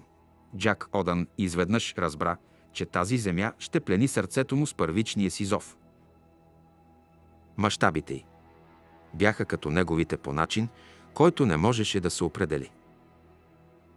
Теломент облака и са познавали това място, вървели са тук преди мене, истина беше, макар да не можеше да обясни откъде го знае. Той вдигна меча си. Байро Дълъм, така те назовавам. Гледай. Джак Одан. Така различен от нашите планински твърдини. Пред този вятър ти давам името ти, виж как тича да погали тревите, да се отърка в хълмове и дървета. Давам на тази земя твоето име, Байрот Дълъм. Топлият вятър запяса стон в назъбеното острие на меча. Очите му зърнаха бързо движение сред тревите на около хиляда крачки напред. Вълци с козина с цвета на мед, дългокраки и по-високи от всеки вълк, който бе виждал. Карса се усмихна. И тръгна през степта. Тревите стигаха малко под гърдите му, теренът беше твърд. Дребни твари непрестанно шумоляха на пътя му и веднъж стресна случайно озовала се пред него сърна дребна порода, не по-висока от коленете му, и съска като стрела в бяга си през зелените стръкове. Друга се оказа не толкова бърза, за да избегне покосяващия меч и вечерта Карса щеше да се нахрани добре. Ударът на меча му се оказа породен от нуждата, а не от гнева на битка. Зачуди се дали духовете са изпитали недоволство от такова позорно начало. С проникването си в камъка се бяха лишили от способността да общуват с него, макар че въображението му без усилие можеше да намери саркастичния коментар на Байрот, стига да го потърсеше. Сдържаната мъдрост на Делъм беше по-трудна, но не по-малко ценна. Слънцето пълзеше по безоблачното небе. Той продължаваше напред. Някъде поздрач видя стада бедерини на запад, а на 2000 крачки пред него, на билото на хълма, беше застанало стадо пъстри антилопи. Погледаха го, след което побягнаха и се скриха от поглед. Когато се изкачи на мястото, където бяха стояли, хоризонтът на запад се бе превърнал в огнен пожар, а там го чакаха. Тревата беше отъпкана в малък кръг. В центъра му клечеше тринок мангал, пълен с нажежени до оранжево парчета тор от бедерини, които не излъчваха дим. Зад него беше седнал джагът. Изгърбен и слаб, тачак мършев, облечен в дрипави парчета кожа, с дълга, провиснала на кичори сива коса над широкото сбръчкано чело и с очи с цвета на околната трева. Джагатът вдигна глава, щом Карса се приближи. Посрещна го с нещо между гримаса и усмивка и жълтите му бивни лъснаха. Лошо си е накълцал тази сърнешка кожа, тоблакай. Но ще я приема в замяна на този огън. Съгласен отвърна Карса и пусна трупа до мангала. Арамала се свърза с мен и за това дойдох да те срещна. Направил си и благородна услуга. Тоблакай. Карса остави турбата си и приклекна до мангала. Не съм се заклел във вярност на Талан Имас. Джагатът се пресегна и взе сърната. Малък нож блесна в ръката му и той започна да реже точно над копитата на животното. Израз на благодарност, след като воюва редом с тях срещу тираните. Както и аз, макар да извадих късмет, че се отървах с нещо повече от щупен гръбнак. Утре ще те заведа при една не толкова щастлива като Арамала или мен – Търся джакски кон, а не запознанство с приятелите ти сумтя Карса. Старият джагът се изкиска. Глупави думи, теломен, тоблакай, наистина. Бях забравил. Онази, при която ще те отведа, ще повика дивите коне и те ще дойдат. Рядко умение. Да. И само тя го притежава, защото общо взето тези коне се появиха тъкмо от нейната ръка. Отглежда ги, значи. Може да се каже кимна дружески джагът и започна да дере сърната. Малцината останали живи от моята раса с огромна охота биха приели тази кожа, въпреки щетите, които е нанесъл ужасният ти каменен меч. Сърните и раз са бързи и умни. Никога не използват една и съща пътека ха, Та те дори не оставят пътеки, тъй че не можеш да ги издебнеш. А и клопките не помагат. А щом ги подгониш, къде отиват? Ами, в стадата на бедерините, под самите зверове.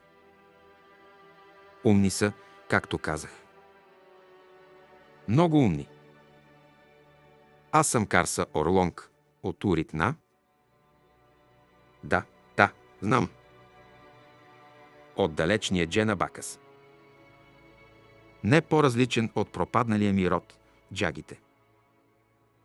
Забравил своята велика и знатна история.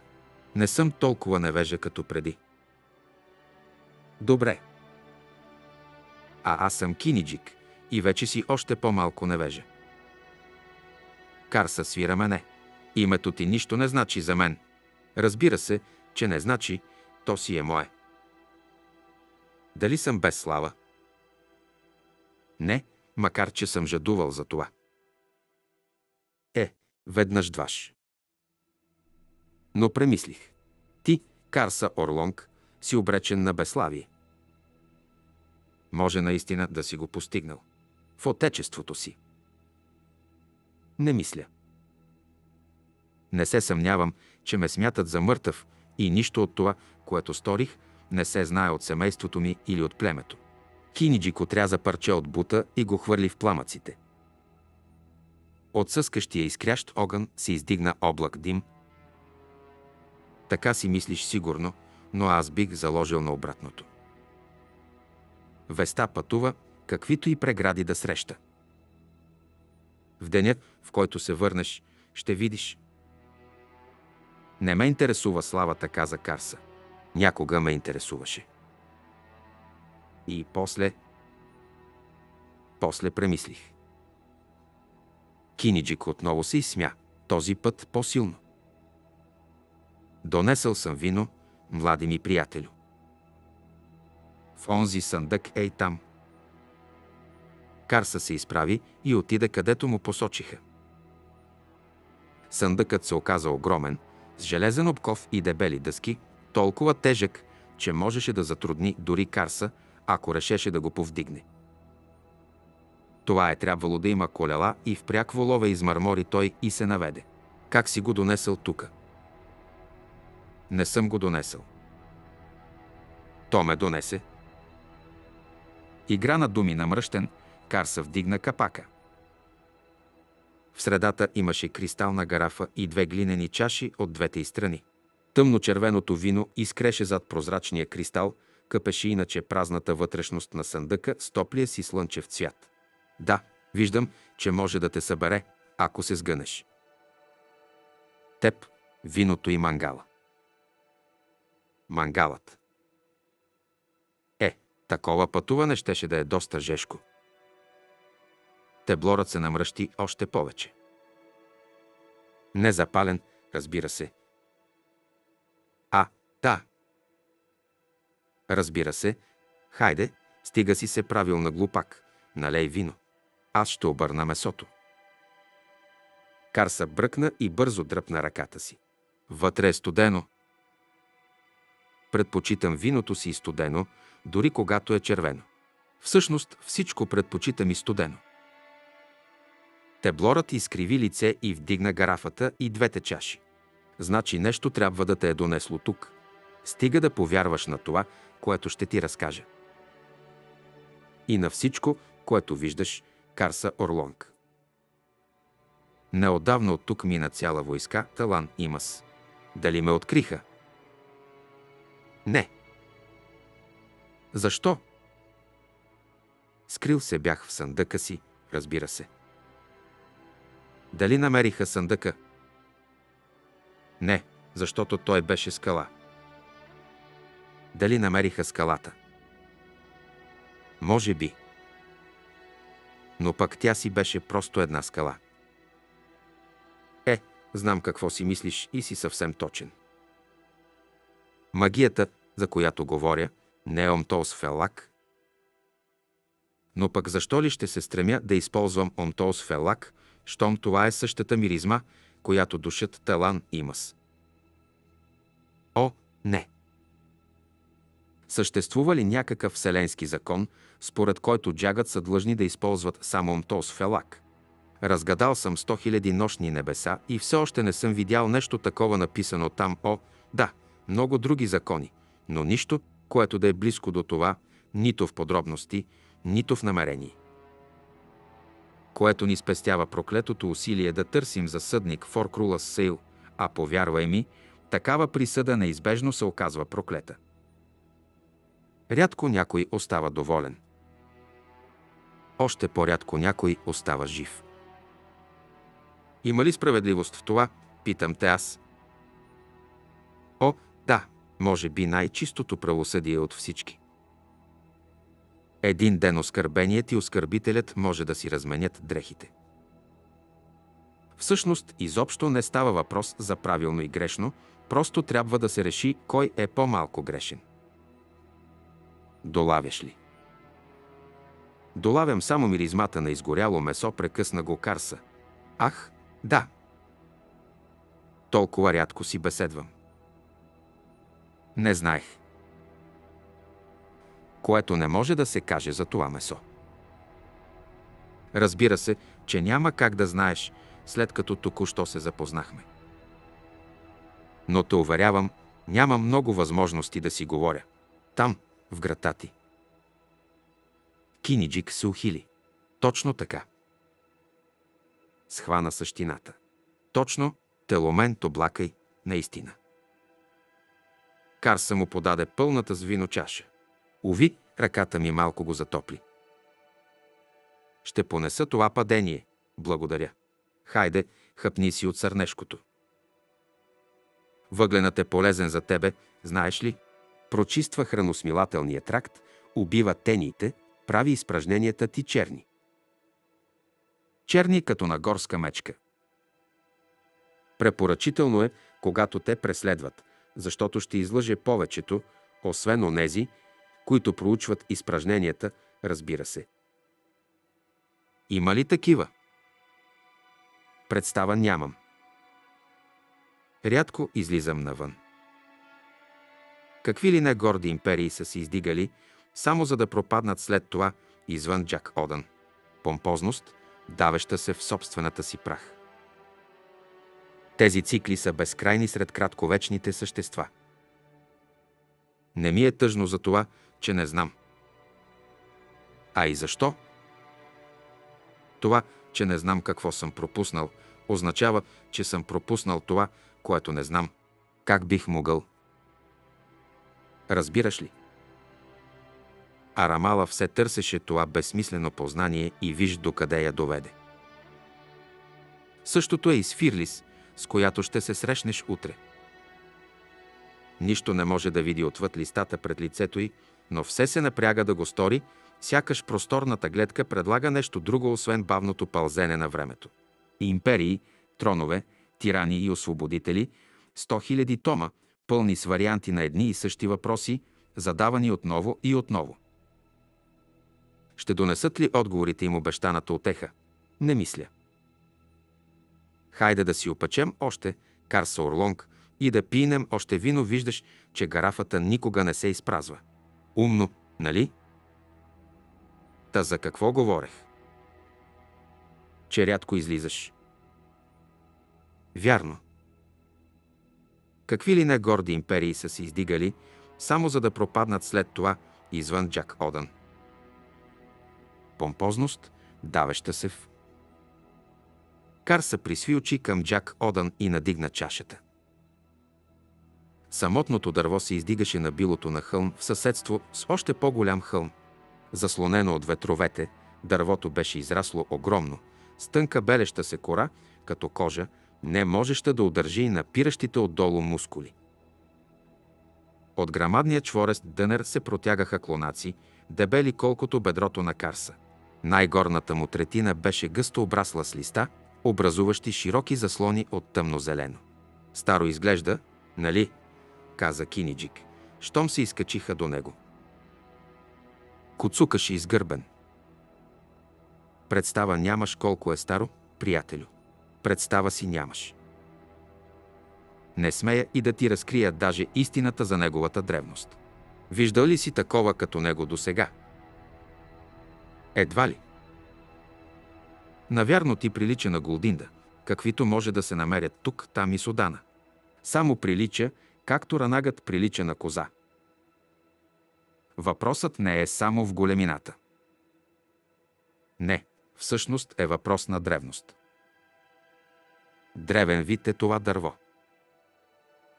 Фиданка е било, когато едно вътрешно море облъхваше с солените си въздишки тази земя. Десетки хиляди години ли, мислиш? Не. Стотици хиляди. Някога тези дървета господстваха над целия свят. Карса Орлонг. Целият свят знае времето им, а щом то отмине, те изчезват. Но това е останало. По-точно наблюдение не може и да се направи. А защо ли, питаш ти? Не питам. Знам, че все едно ще ми кажеш. Разбира се, че ще ти кажа, нали съм си услужлив аз, вродена черта. Причината за това, млади мой приятелю, скоро ще стане явна. Изкачиха последното възвишение и стъпиха на равното било, засенчено под гъстия зелен балдахин и на обрасло с трева. Дървото и всичките му клони, чак сега видя Карса, бяха обгърнати от пая жени, които по някакъв начин оставаха прозрачни, колкото и нагъсто да бяха изтъкани. Очертаваха ги само трепкащите отражения на светлината. А и зад това проблясващо було в него се взираше лице на джагът. Фирлис, ето го онзи, за когото ни разправя Арамала. Онзи, дето си търси добър кон. Тялото на жената джагът се виждаше тук, там и личеше, че дървото всъщност е израсло около нея. Малко зад дясната и ключица се показваше дебел дървен клон и се свързваше с дънера покрай главата й. Дали да му разкаже историята ти, Фирлис? Разбира се, трябва, ако не за друго, то поне заради нейната забележителност. Гласът ти не излезе от устата, а прозвуча, благозвучен и тих, в главата на Карса. Разбира се, че трябва киниджик. В нрава ти е да не оставяш нищо неказано. Карса се усмихна обичта, вложена в тона, притъпяваше иронията в думите. Изключително необикновена история.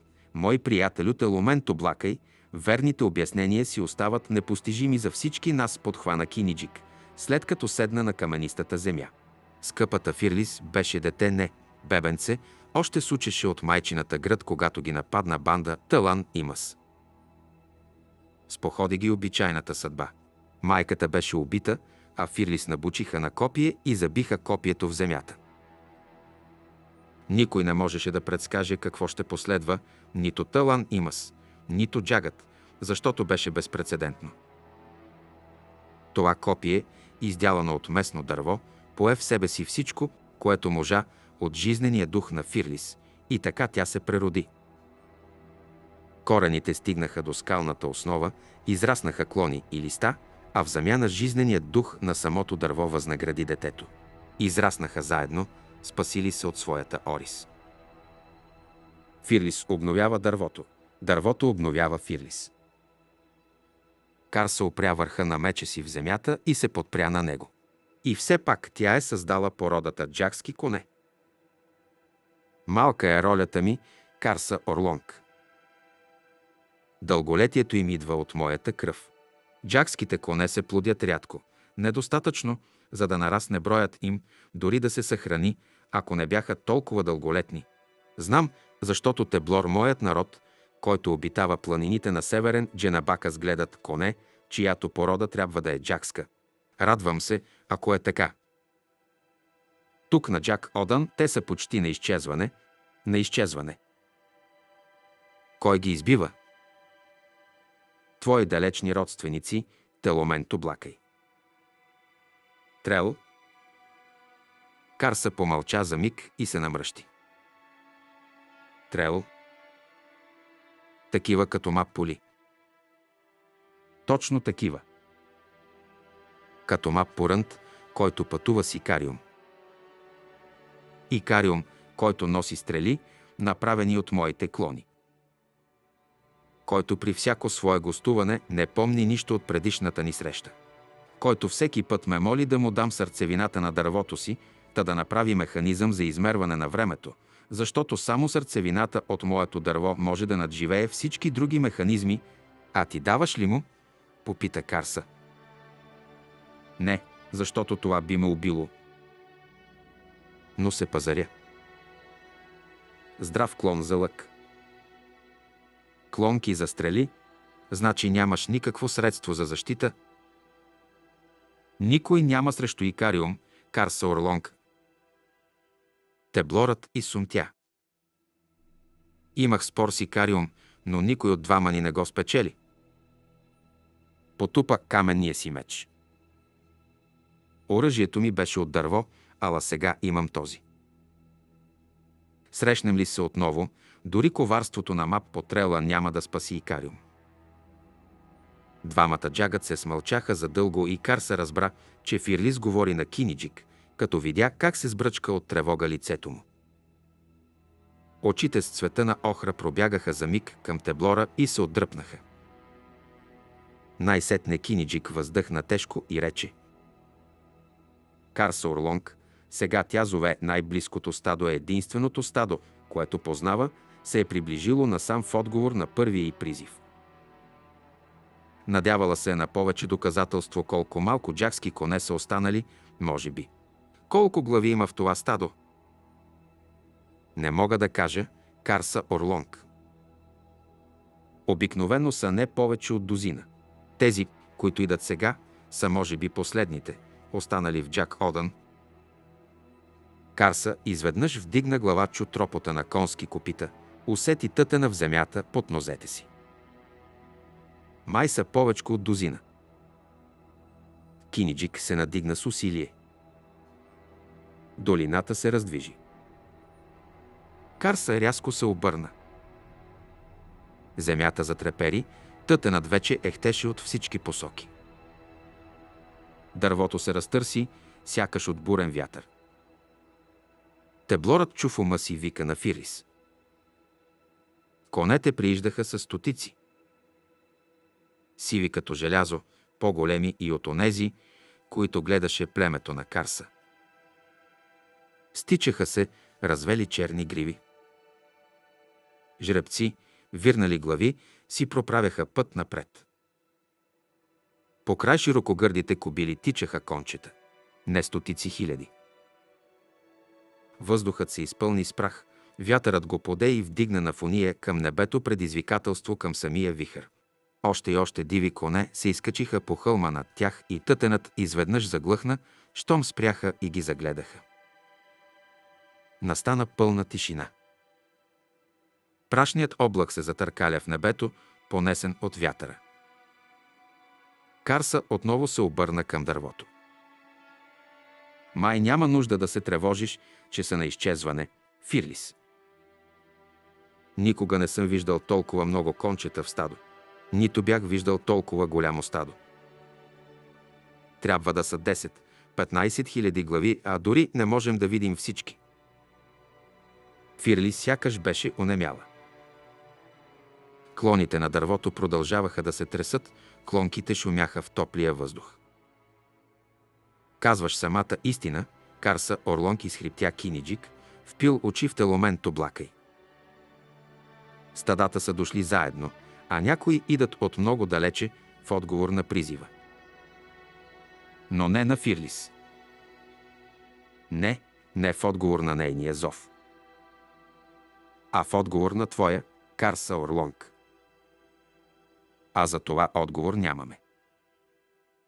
Но хайде, трябва да си избереш. Той кимна и се обърна да огледа конете. Карса Орлонг преди малко ти спомена за дървено оръжие. Какво беше дървото? Желязно. Единственият избор, който ми беше останал. В родината ми използваме кръвно дърво. И кръвно масло. Да. В в дървото. Кръвно масло, което цапа ръцете ти. Те го надушват, Карса Орлонг. Но аз нямам. Не по теб. В тебе. То тече в жилите ти, Карса Орлонг. Кръвното дърво не е съществувало в Джак Одан от десетки хиляди години. Ала тези коне го помнят. Е, трябва да си избереш. Кръвно дърво и кръвно масло, каза Киниджик. Това обяснение не е достатъчно, Фирлис. Така е. Но друго нямам. Карса ги остави да спорят, остави и мече си, забит в земята, и тръгна към чакащите коне. Жребците мятаха глави при приближаването му и теблорът се усмихна. Без да оголва зъбите си, знаеше, че гледат на него като на хищник и на себе си като на плячка. Макар, че лесно могат да ме убият. Толкова са много, че не бих имал никакъв шанс. Видя един жребец, който явно беше водачът, позна го по широкия празен кръг около него и по напереното му държане и го подмина, като мърмореше. Не ти, горделивецо. Нужен си на стадото повече, отколкото на мен. Зърна друг жребец, тък му навлизащ в зрялата възраст и бавно закрачи към него. Бавно и потъгъл, за да може конят да го вижда. бяла грива и опашка, а не черни. Дълги крайници, мускули, подскачащи под гладката кожа. Сиви очи. Карса спря на крачка от него. Бавно протегна дясната си ръка и пръстите му докоснаха муцуната над ноздрите. И започна да натиска. Жребецът се възпротиви, отстъпи леко назад. Той натисна главата още надолу, да види гъвкава ли е шията. Още надолу и вратът се изви, докато брадичката почти не опря в гръдните кости. А после отпусна, без да прекъсва допира, и жребецът бавно изправи шия. Наричам те Хавок, прошепна Карса в ухото му. Ръката му се плъзна надолу, пръстите се отпуснаха, дланта погали жребеца под брадичката, после Карса бавно заотстъпва и го изведе от стадото. Тогава жребецът водач изцвили и стадото се раздвижи отново. Навън и навън разпръсна се на все по-малки групи и копитата затътнаха сред високите треви. Конете възвиха по край двата хълма, на запад и на юг, и препуснаха обратно към недрата на Джак Одън. Хавок беше престанал да трепери. Вървеше кротко по стъпките на Карса нагоре по склона. Щом наближи върха, Киниджик заговори. Дори джагът не би могъл да окрути като теб джакски кон, Карса Орлонг. Теломент облака и да, вие, Теблор, сте точно това, а ти освен това си изключителен сред своята раса. Конните войни Теломент облакай. Не бях мислил, че такова нещо е възможно. Карса Орлонг, защо Теблор не са завладели целият джена Бъкъс? Карса го погледна през рамо. Един ден ще го направим, Киниджик. И ти ли си този, който ще ги поведе? Аз. Е, значи сме свидетели на раждането на едно безславие.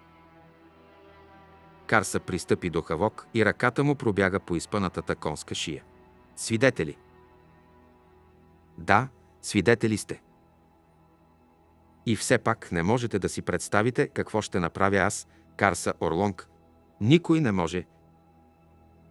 Киниджик седеше в сянката на дървото, побрало Фирлис, и те наникаше тихичко. Стъмваше се. Теломент облака и си беше отишъл с коня, който си беше избрал. Скочил бе на гърба му и бе препуснал, без да му трябва нито седло, нито юзда. Стадата се бяха пръснали и околността бе пуста като преди.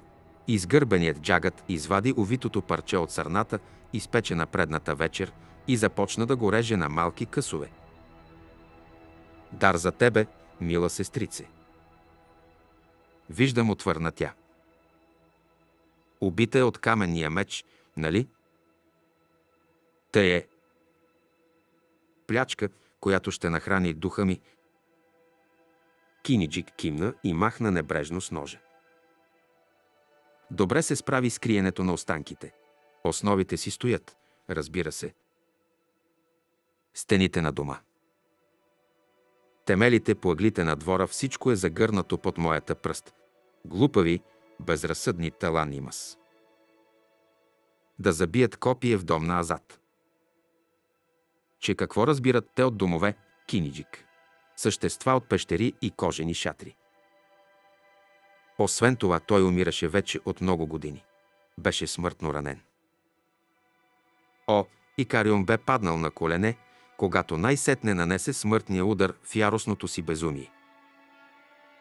И ако неговият спътник Тоблакай не се беше възползвал от онази възможност да го удари по главата, за да изпадне в несвяст, щеше да освободи баща си. Киниджик кимна и лапна една мръвка. Стана, пристъпи до дървото и протегна друга. Дръж, сестрице. Изгоряло е, Съмнявам се, че щеше да се справиш по-добре. Вярно. Хайде, бутни го няма да хапя. Ти не можеш да хапаш скъпа. Иронията е добра обаче. Бащата на Икариум не искаше да бъде спасен. И така думът умря и отслаби тъканта Ана. Достатъчно, за да се разкъса лабиринтът. Дай още, моля те, тати, ядеш повече от мен. Алчна кучка. Е, Карса Орлонг, ни изненада. Едва ли сме първите жертви на заблуждение спрямо този млад войн, братко? Вярно. И подозирам, че няма да сме последните, преживели такъв шок.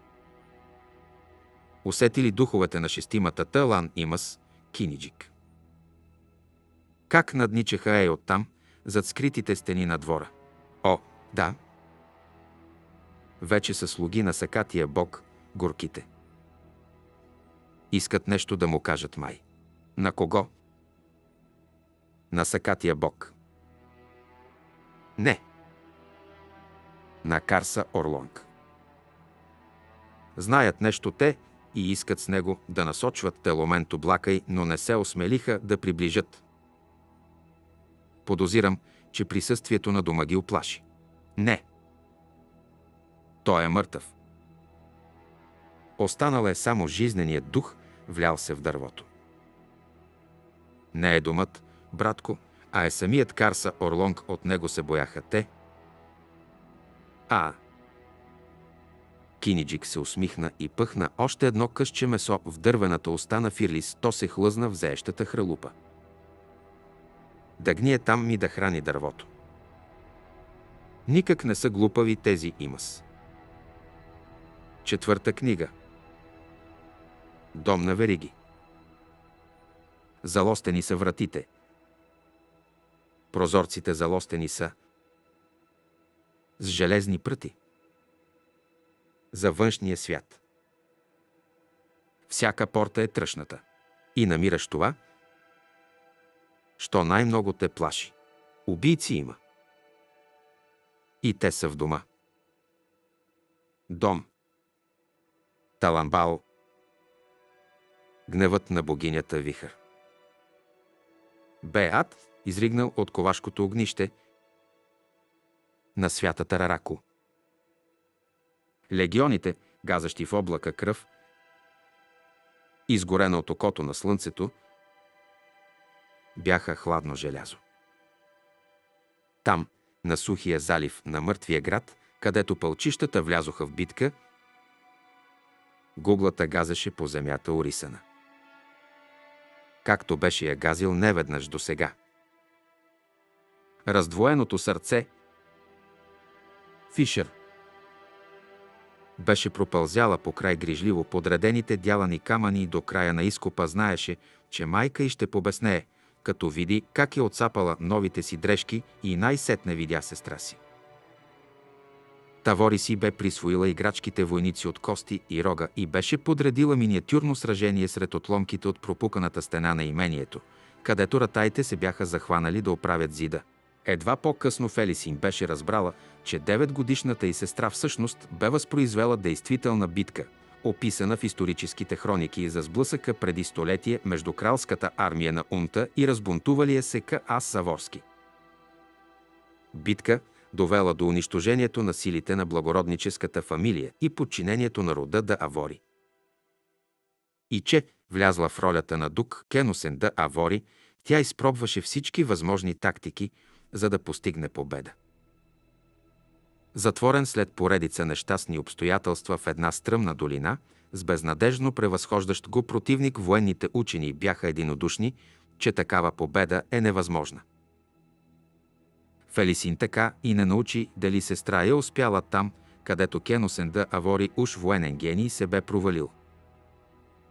Шпионирането й се беше превърнало в навик, възхитата й към мълчаливата, затворената Вори в мания.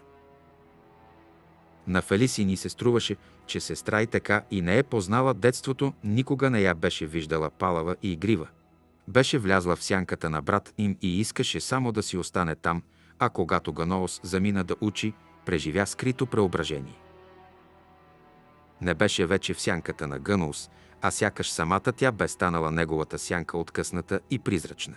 Подобни мисли не бяха минавали през главата и през всичките онези години. Манията и към Тавори си съществуваше, но източниците й бяха безформени, както става само при дете. Смисълът винаги идва по-късно, Ръката забърсва прахта и открива формите в камъка. В самия край на рухналия град, в южната му страна, земята бързо пропадаше в някогашни дебели солени наноси, изпъващи се напред през старото дъно на залива. Столетия наред жаркото слънце ги беше втвърдявало и ги беше превърнало в широки здрави рампи. Ша Ик стоеше в началото на най-голямата от тези древни рампи, породени от загиващото преди хилядолетия море, и се мъчеше да гледа на плоската падина пред себе си, като на бойно поле. На 4000 крачки по-навътре се издигаха като оголени зъби останките от коралови острови, над които бушуваше вихърът. Магическата буря бе оголила дебелата мантия пясък, която ги бе покривала доскоро. Това, което бе останало, не предлагаше много удобна височина за събиране и подготовка на легионите. Теренът щеше да е подвеждащ, бойният строй невъзможен. Островите се извиваха в огромна дъга през подстъпите от юг.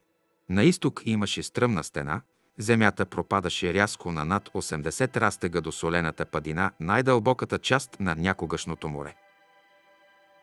Разломът беше като отрязан и се разширяваше в югоисточния си край от другата страна на рифовите острови и оформяше безкрайното сякаш корито на Южна Рарако. На запад се простираха дюни с дълбок и мек пясък, пълни с подмолни дубки и ями. Щеше да събере силите си точно от тази страна, разположени така, че да държат главните рампи. Конните стрелци на маток на фланговете, новата тежка пехота на Корболо дом, елитното ядро на неговите убийци на кучета в челото на всяка от рампите. Конните пиконосци и тежката конница щяха да останат назад, развърнати и чакащи мига, в който малазанците заотстъпват от стръмните подстъпи и се подаде сигналът за настъпление. Или така по него обясни Корболо Дом Ша Ик не беше съвсем сигурна в последователността, но на панецът, изглежда, се стремеше към първоначална отбранителна позиция. Гореше от нетърпение да докаже своята тежка пехота и ударни части срещу малазанския им еквивалент. След като Тавори идваше срещу тях в марш, най-целесъобразно беше поканата да се поднесе до горчивия и свършек тъкмо на тези рампи. Предимството беше изцяло на страната на армията на Апокалипсиса. Тавори отново се оказваше в ролята на дук Кеносен да Авори в падината и Билар. Внезапно смразена, въпреки горещината, Ик придърпа на металото от овче кожа. Хвърли поглед през рамо към маток и десетината телохранители, чакащи на разстояние, но достатъчно близо, за да стигнат до нея за два-три удара на сърцето. Нямаше представа защо мълчаливият главатар толкова се бои, че някой може да се опита да я убие, но нищо опасно нямаше в това да се съгласи с исканията му. След заминаването на Тоблакая и след като Леоман бе някъде на юг, Маток си бе присвоил ролята на защитник на особата й. Нищо лошо, макар тя да не смяташе, че Тавори ще се опита да изпрати убийци, богинята на вихара не можеше да бъде пронизана незабелязано. Дори ръка на нокът не можеше да мине неусетена през многопластовите прегради, какъвто и лабиринт да се опита да използва, защото самата преграда очертава лабиринт. Лабиринт, проснал се като невидима кожа над святата пустиня. Този присвоен фрагмент вече не е фрагмент, а нещо цяло и завършено. И мощта му расте. Докато някой ден, скоро, тя поиска своето място в драконовата колода. Както с дома на Вериги. Нов дом на вихара, захранен от пролятата кръв на една избита армия. А когато тя куленичи пред мен, тогава какво? Скъпата ми сестра, победена и свела глава, отцапана с прах и още по-тъмно червени петна, с избитите и легиони зад нея, пир за черните пеперуди и лешоядите, дали тогава ще си сваля бойния шлем. Тъкмо в този миг ли ще й открие лицето си. Ние поведохме тази война. Далече от бунтовниците, далече от императрицата и Малазанската империя. Далече дори от самата богиня на вихара. Ти и аз, Тавори, присвоихме Дрижна и книгата на Апокалипсиса заради своя личния апокалипсис родната кръв и нищо друго. И тогава светът, тавори тогава, когато ти се покаже и видя разпознаването в очите ти светът, твоят свят, ще се разтвори под тебе. И в този момент, скъпа сестро, ще разбереш. Какво е станало? Какво съм направила? И защо? А след това? Не знаеше. Простата екзекуция беше твърде лесно измъкване. Измама. Наказанието е за живите в края на краищата. Присъдата е да живееш, да залиташ под веригите на знанието. Присъда не просто да живееш, а да живееш с него. Това бе единственият отговор. За всичко. Чу зад себе си скърцащи по черепите бутуши и се обърна. Никаква радушна усмивка за тогова не е този път. Ла Орик. Радвам се, че благоволи да уважиш поканата ми напоследък, изглежда, си го загубил този навик. О, как се крие от мен, как крие тайните, които го тързаят, виж как не иска да срещне очите ми, усещам борба в него. Неща, които иска да ми каже, ала няма да каже нищо. С цялата мощ на богинята в ръцете си не мога да го притисна този потаен човек, не мога да изтръгна на сила истините му. Точно това ме притеснява, не е такъв, какъвто изглежда. Не е обикновен смъртен. Не бях добре избрана. Дори само този кратък път от стана до тук ме измори. Скърбя за саможертвата ти, Лаорик. За това ще мина на главното, без повече бавене. Хеборик е затворил обиталището си, нито излиза, нито приема посетители, и така е вече от седмици. В потрепването му нямаше нищо фалшиво. Затворил се е за всички ни, господарки. Ти последен си говорил с него. Надълго и широко, само двамата в шатрата му. Нима. Това ли е било последният път? Не беше очаквала тази реакция. Добре, значи до каквато и тайна да се е домогнал, няма нищо общо с призрачни ръце. Да. Беше ли отчаян по време на разговора ви? Господарке, Хеборик отдавна е отчаян. Защо? Очите му за миг пробягаха към нейните, по-широки някак от обичайното, и отново се извърнаха настрани. Той скърби за саможертвата ви, избрана. Тя примига. Ла Орик, не знаех, че сарказмът ми може толкова да те уязви. За разлика от вас, не се шегувах, господарке. Кебурик. Скърби за жертвите, които правя. Е, наистина е странно, след като той нямаше много високо мнение за мен преди прераждането ми. И коя точно загуба най-много го наскърбява? Не бих могъл да кажа. Боя се, че трябва да го попитате лично. Значи приятелството ви не е достигнало до точката на изповедите. Той не отвърна нищо.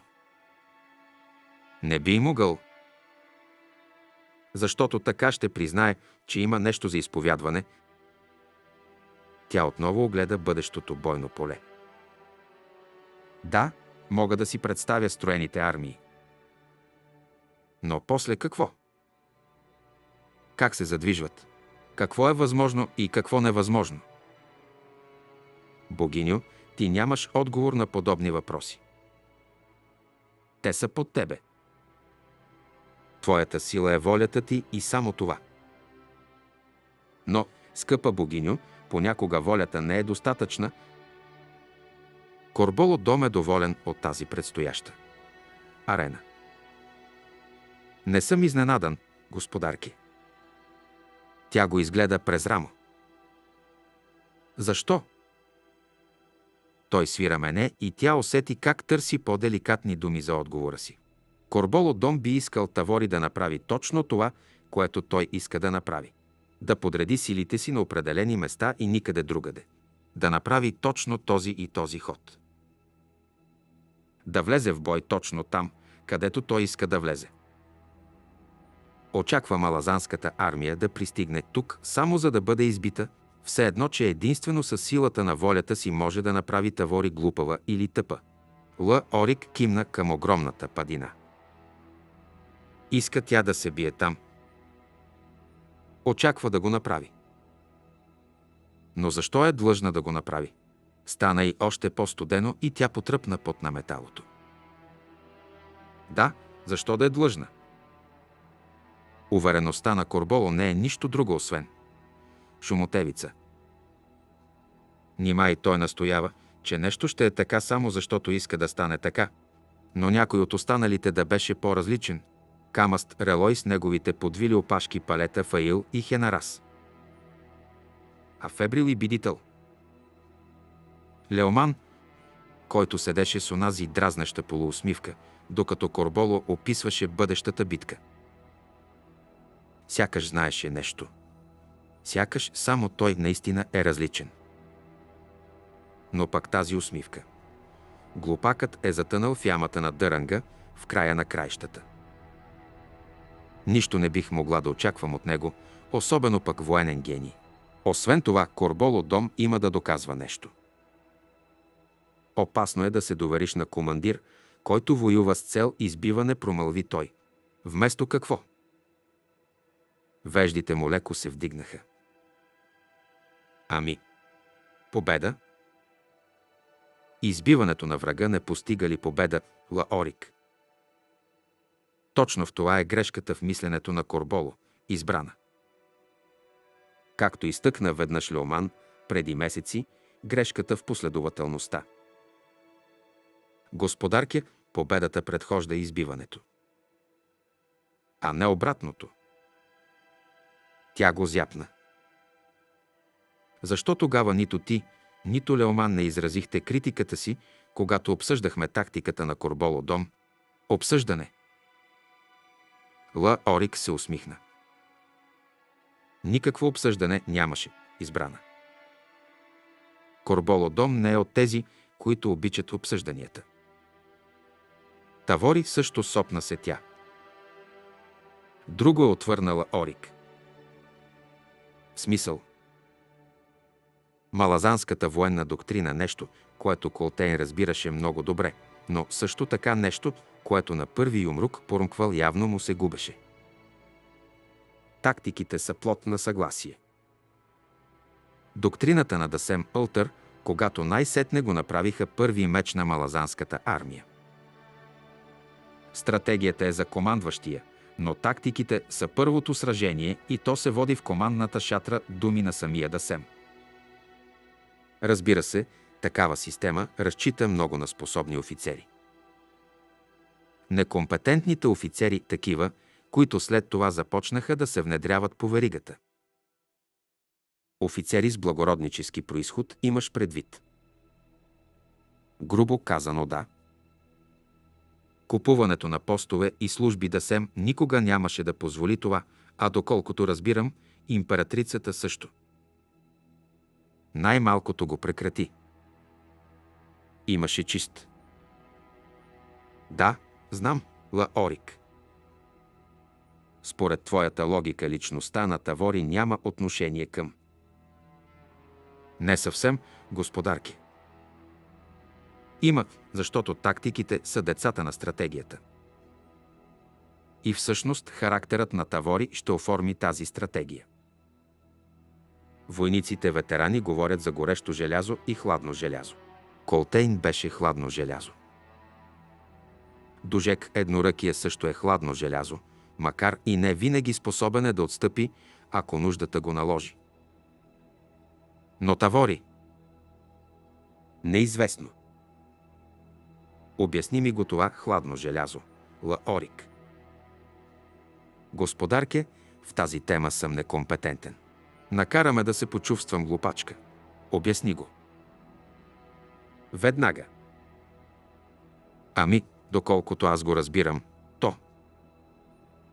Престани да усукваш. Той се окашля, обърна се и подвикна. Маток. Би ли дошъл за малко, моля те? Тя се намръщи на намека, скрит зад тази покана, но вътрешно отстъпи. Това е важно в края на краищата. Чувствам го. В сърцевината е на всичко, което ще последва. Ела при нас, маток. Той слезе от коня и се приближи. Ла Орик се обърна към него. Помолиха ме да обясня какво е хладно желязо, главатарио, и ми трябва помощ. Пустинният воин се озъби. Хладно желязо. Колтейн. Да се мълтър, ако легендите говорят истината. Дожек едноракия. Адмирал Нок. К. Аз Саворски от Пурпурната гвардия. Иниш Гарн, който предвождаше гралите. Хладно желязо, избрана. Кораво. Остро. Държат го пред теб и ти посягаш. Скръсти ръце. Посягаш. Л. Орик кимна. Точно това е. Посягаш. И те пронизват. Хладно желязо изръмжа маток. Душата на бойния главатар тя или кипи с огъня на живота, или е хладна като смъртта, избрана, корболо доме горещо желязо, като мен. Като вас. Ние сме като пламъците на слънцето, като зноя на пустинята, като дъха на самата богиня на вихара. Армията на Апокалипсиса е горещо желязо. Да, избрана. И за това трябва да се молим ковашкият огън в сърцето на Тавори да бушува с пламъка на маста. И тя да е горещо желязо. Защо? Защото тогава няма да загубим. Коленете на Ша Ик изведнъж умекнаха и тя почти се олюля. Ла Орик пристъпи да я подхване, на лицето му се изписа тревога. Господарки, нищо ми няма. Просто. Взря се отново в маток и видя преценяващия поглед в очите му миг, преди отново да си придаде равнодушие. А ако Тавори се окаже хладно желязо, главатарю, най-гибелният възможен сблъсък, избрана. Кое от двете ще се прекърши първо? Военната история показва, господарке, че в повечето случаи надвива хладното желязо, казала Орик. В съотношение 3 или 4 към 1. Но Колтейн. Не падна ли той пред Корболо дом? Видя как двамата се спогледаха за миг. Е! Избрана заговори Маток. Корболо, Дом и Колтейн се срещнаха в девет големи сражения, девет битки на кучешката верига. От тях Корболо излезе чист победител в една и само в една. При пропада. Пред стените на Ейран. И за това му бяха нужни Камаст Релой и силата на Майл, прелята през жреца Джистал Мали Крел. Главата й се въртеше, паника бушуваше в душата й. Знаеше, Чела Орик усеща как трепери. Ша Ик прошепна той до ухото й, ти познаваш Тавори, нали? Знаеше и тя е хладно желязо, нали? Тя кимна. Не разбираше как го знае, нито Маток, нито Ла Орик сякаш не можеха да го определят, а това и подсказваше, че знанието идва някак от вътрешностите й, там, където се тъй най-първичният инстинкт но го знаеше. Л. Орик вдигна глава. Маток. Върховен мак. Кой между нас е хладно желязо? Има ли такъв? Двама са върховен мак. И единият е способен и на двете. Тоблакай. А другият? Леоман от Флеус. Кораб билан стено Алас лежеше под пясъчната пелена. Пота се беше просмукала през телабата под него. Отпечатала беше тялото му с мокрото си петно и беше изтинала, тъй че сега не спираше да трепери. Той беше шестият син на свален вожд сред племената Пардио и почти целият му зрял живот беше преминал в скиталчество и спустите земи. Скитник, търговец и още по-лошо. Когато Леоман го беше намерил, трима гралски войни го бяха влачили зад конете си почти цяла сутрин. Цената на откупа се бе оказала смешно малка, тъй като кожата му беше обелена от горещите пясъци и бе останала само кръвясала плът. Но Леоман го бе отвел при знахарка, старица от някое племе, за което не беше и чувал до тогава, нито след това, а тя на свой ред го бе отвела до един скален извор, в който го натопи и го накара да лежи, плувнал в треска, докато вършеше ритуала на изцеряването и зовеше древните водни духове. И така се бе изцелил. Кораб така и не разбра причината за милостта на Леоман, а след като вече го познаваше по-добре от всички, които му се бяха заклели във вярност, беше достатъчно благоразумен, за да не пита. Това беше част от противоречивия му нрав, от незнайните му качества, които можеха да се разкрият само веднъж за цял живот. Но Кораб знаеше едно. За Леоман от Флейлс бе готов да даде живота си. Бяха лежали един до друг през целия ден, тихо и неподвижно, а сега, в късния следобед, видяха най-сетне първите предни ездачи появиха се в далечината и се разгърнаха предпазливо в низината от спечена сол и глина. Най-сетне кораб се размърда и изсъска. Уикци. И сети избоботи в отговор Леоман. Уния в сивата броня изглеждат. Различно. Мъжът до него изруга тихо. Хундрил от южния бряг на Ватар. Надявах се да не. Все пак тази древна броня изглежда тежка. Седемте знаят кои бащини гробници са плечкосали за тях. Хундрилите късно са яхнали коне и нищо чудно с тази броня, нали? Кораб примижа към огромния облак прах зад конните наблюдатели. Авангардът язди близо до съгледвачите. Аха, ще трябва да направим нещо по въпроса. Без повече думи, двамата войни се отдръпнаха от билото, спряха се за миг да заравнят пясъка, където бяха лежали, и тръгнаха към дарето, там бяха оставили конете си. Тази нощ, каза Леоман, хвана юздите и се метна на седлото. Кораб направи същото и кимна. Ша Ик щеше да разбере, че са нарушили заповедта разбира се. Защото богинята Вихър виждаше всички свои чеда. Но тази земя беше тяхната земя, нали? Не можеха да оставят нашествениците да напредват без съпротива. Не, пясъците щяха да пият кръвта им. Ла Орик спря до пътеката, водеща към поляната на Тоблакай. Огледа се небрежно, после с жест разбули предпазливо магията и тя изчезна също толкова бързо, колкото се появи. Доволен, той тръгна по пътеката. Навярно я беше заблудил, но не и богинята. Все по-силно усещаше ревностното и внимание, насочено към него, магическите пипала, протягащи се, за да го намерят, да проследят движенията му. И все по-трудно му беше да избегне проникващото им докосване, особено след като идваха от много източници. Фебрил ставаше все по-изнервен, както и Кама Стрелой докато параноята на бедител нямаше нужда от подхранване. И не би трябвало и тези знаци на усилващо се безпокойство бяха достатъчни, за да убедят Орик, че каквито и планове да съществуват, скоро ще намерят решението си. По един или друг начин. Не бе очаквал, че Ша Ик е толкова неподготвена.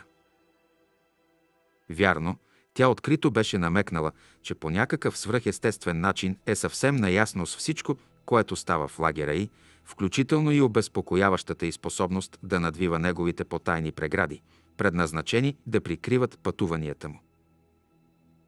Все пак това бе знание, което, стига да го притежаваше или дори да подозираше, трябваше отдавна да предизвика гибелна реакция.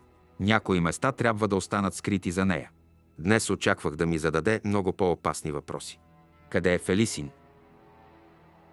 Но пък може би не ме попита, защото вече го знае с мразяваща мисъл, показваща не само колко знае, но и намекваща какво представлява самата Ша Ик. Това, че знае какво причини бидител на Фелисин. И не я интересува, тъмнината като че ли винаги се спускаше най-жадно в гората с вкаменените дървета. Следите, които бе оставил по прашната пътека, показваха, за негово облегчение, че все още само той е вървял тук през последните дни. Не, че на богинята й трябваха следи. Но в поляната над облака имаше нещо странно, намекващо за вложена сила, сякаш поляната по някакъв начин бе претърпяла освещаване. И ако това наистина се беше случило, то тя може би съществуваше като сляпо петно в окото на богинята на вихара. Но всичко това не обясняваше защо Ша Ик не попита за Фелисин. Ах, Лаорик, слепиеци ти! Ша Ик е обсебена от тавори. С всеки ден, през който армиите се приближават една към друга, тази обсебеност расте. Както и нейното съмнение, а може би и нейният страх. Тя е малазанка, в края на краищата, прав се оказах в това. А в това се крие друга тайна, заровена най-дълбоко. Тя познава Тавори и това знание бе насочвало всяко нейно действие след прерождението. Новият ти призив към армията на Апокалипсиса, буквално пред стените на свещения град. Оттеглянето в сърцето на Рарако. Богове, дали това не беше бягство от ужас? Непоносима мисъл. Поляната се появи пред него, с кръга от дървета, с хладните им нечовешки очи, взрени в малката опърпана шатра. И младата жена присвита край каменното огнище на няколко крачки от нея. Тя не вдигна очи, когато той се приближи, но каза. Ла Орик, чудех се как може човек да отличи култа на убийците на бидител от този на Корболо дом. Много е препълнено в стана напоследък, радвам се, че се крия тук и на свой ред те съжалявам. Говори ли най-после с нея? Той въздъхна, седна срещу нея, смъкна турбата от раменете си и извади храна. Говорих. И. Грижите около предстоящия сблъсък сея. Смазали. Майка ми не попита за мен, прекъсна го с лека усмивка Фелисин. Да. Не попита, прошепнала Орик. Знае, значи и е преценила също като мен. Бидител скоро ще разкрие заговорниците. В края на краищата те се нуждаят от него или да се включи, или да стои на страна. Тази истина не се е променила. И нощта наближава, нощта на измяната. Ето защо майка има нужда от него да изиграе ролята си. Не съм сигурен в това. Фелисин почнала Орик и замълча, но тя беше разбрала и ужасната й усмивка се разшири. Тогава богинята на вихара е отнела любовта от душата й. Е, добре, тя беше под обсада толкова дълго, в края на краищата. Все едно, тя не е истинската ми майка, това беше само титла, която прие, защото я забавляваше. Не е вярно, Фелисин. Ша Ик видя бедата ти. Аз бях първата, която я видя когато се върна преродена. Случайно съвпадение, това, че трябваше да изляза да бера хен бара него ден. Преди това Ша Ик изобщо не ме забелязваше, че защо да го прави. Бях едно от хилядите сирачета все пак. Но след това тя се прероди. И също така се върна към живота, може би. Фелисин се засмя. О, Лаорик, все за това копнееш, нали? Знаех го още тогава, както ти би трябвало да го знаеш сега Ша Ик преродената и Ша Ик старата не са една и съща жена. Това едва ли е важно, момиче. Богинята на вихара я избра, защото Ша Ик старата умря или беше убита. Не си видял истината като мен в лицата на Леоман и Тоблакай. Аз обаче видях тяхната несигурност. Не знаеха дали заблудата им ще успее. И това, че тя успя, повече или по-малко, беше такава изненада за мен, каквато и за тях. Богинята на вихара я избра по необходимост – Лорик. Както казах, Фелисин, това не е важно. За тебе, може би. Не, не разбираш. Аз видях старата ша ик отблизо веднъж. Погледът ти се плъзна покрай мен и този поглед не виждаше никого и в този миг, колкото и да бях дете, разбрах истината за нея. За нея и за нейната богиня. Ла Орик отпуши стомната, извадена след храната, и я поднесе към устните си, за да накваси изведнъж пресъхналата си уста. И каква беше тази истина? Прошепна, отбягвайки да срещне очите й и отпи дълбоко от несмесеното с вода вино. О, че всички ние до един не сме нищо друго, освен роби. Ние сме сечивата, които тя използва, за да постигне желанията си. Извън това животът ни нищо не означава за богинята. Но уша и к преродената мисля, че видях. Нещо различно. Видя с крайчеца на окото си как свира мене. Но богинята е твърде силна, продължи тя. Волята е твърде абсолютна. Отровата на безразличието. А аз добре познавам този вкус, Лаорик. Питай който и да било сирак, колкото и да е пораснал, и всички ще ти кажат същото. Всички сме сукали от същата горчива град. Знаеше, че сълзите са бликнали от очите му, че се стичат на вадички по бузите му, но не можеше да ги спре. И вече всички се разкрихме, Лаорик. Всички ние тук. Всички сме сираци. Помисли над това. Бидител, който изгуби храма си, целия си култ. Същото е и с Хеборик.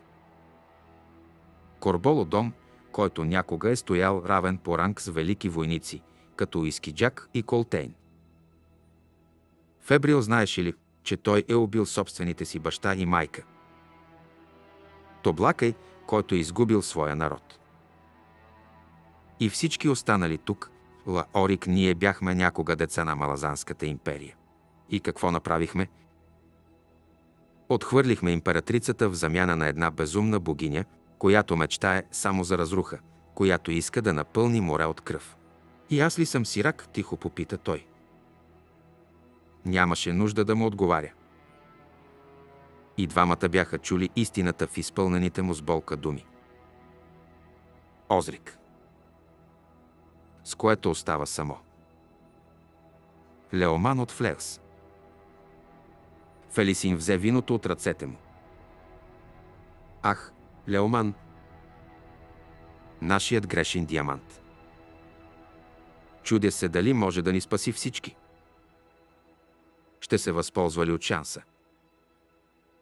Сред нас само той остава. Неокован. Богинята несъмнено го иска, но това ще ни е на празно, разбираш го, нали? Той кимна и отри очите си.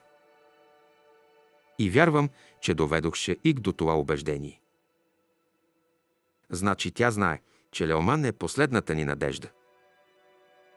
Той хрипливо въздъхна. Така мисля. Замълчаха. Нощта се беше спуснала и огънят беше замрял на пепел, само звездната светлина огряваше поляната. И сякаш очите от камък бавно бяха погълнали огъня, блеснали полумесеци, вторачени в тях двамата. Алчен, лъснал от жажда поглед. Ла Орик рязко извърна глава, погледна призрачните лица, после и двамата войни облакай, потрепери и отново се отпусна. Фелисин се засмя тихо. Да, измъчват човека, нали? Ла Орик и сумтя. Има някаква загадка тук, в творенията на Тоблакай. Тези лица са на Талан Имас. И въпреки това, смяташе ги за свои богове. Да, Леоман ми го каза веднъж под влиянието на Дърънг. После ме предупреди да не казвам нищо на Тоблакай. Засмя се отново, този път по-силно. Сякаш точно това си мислех.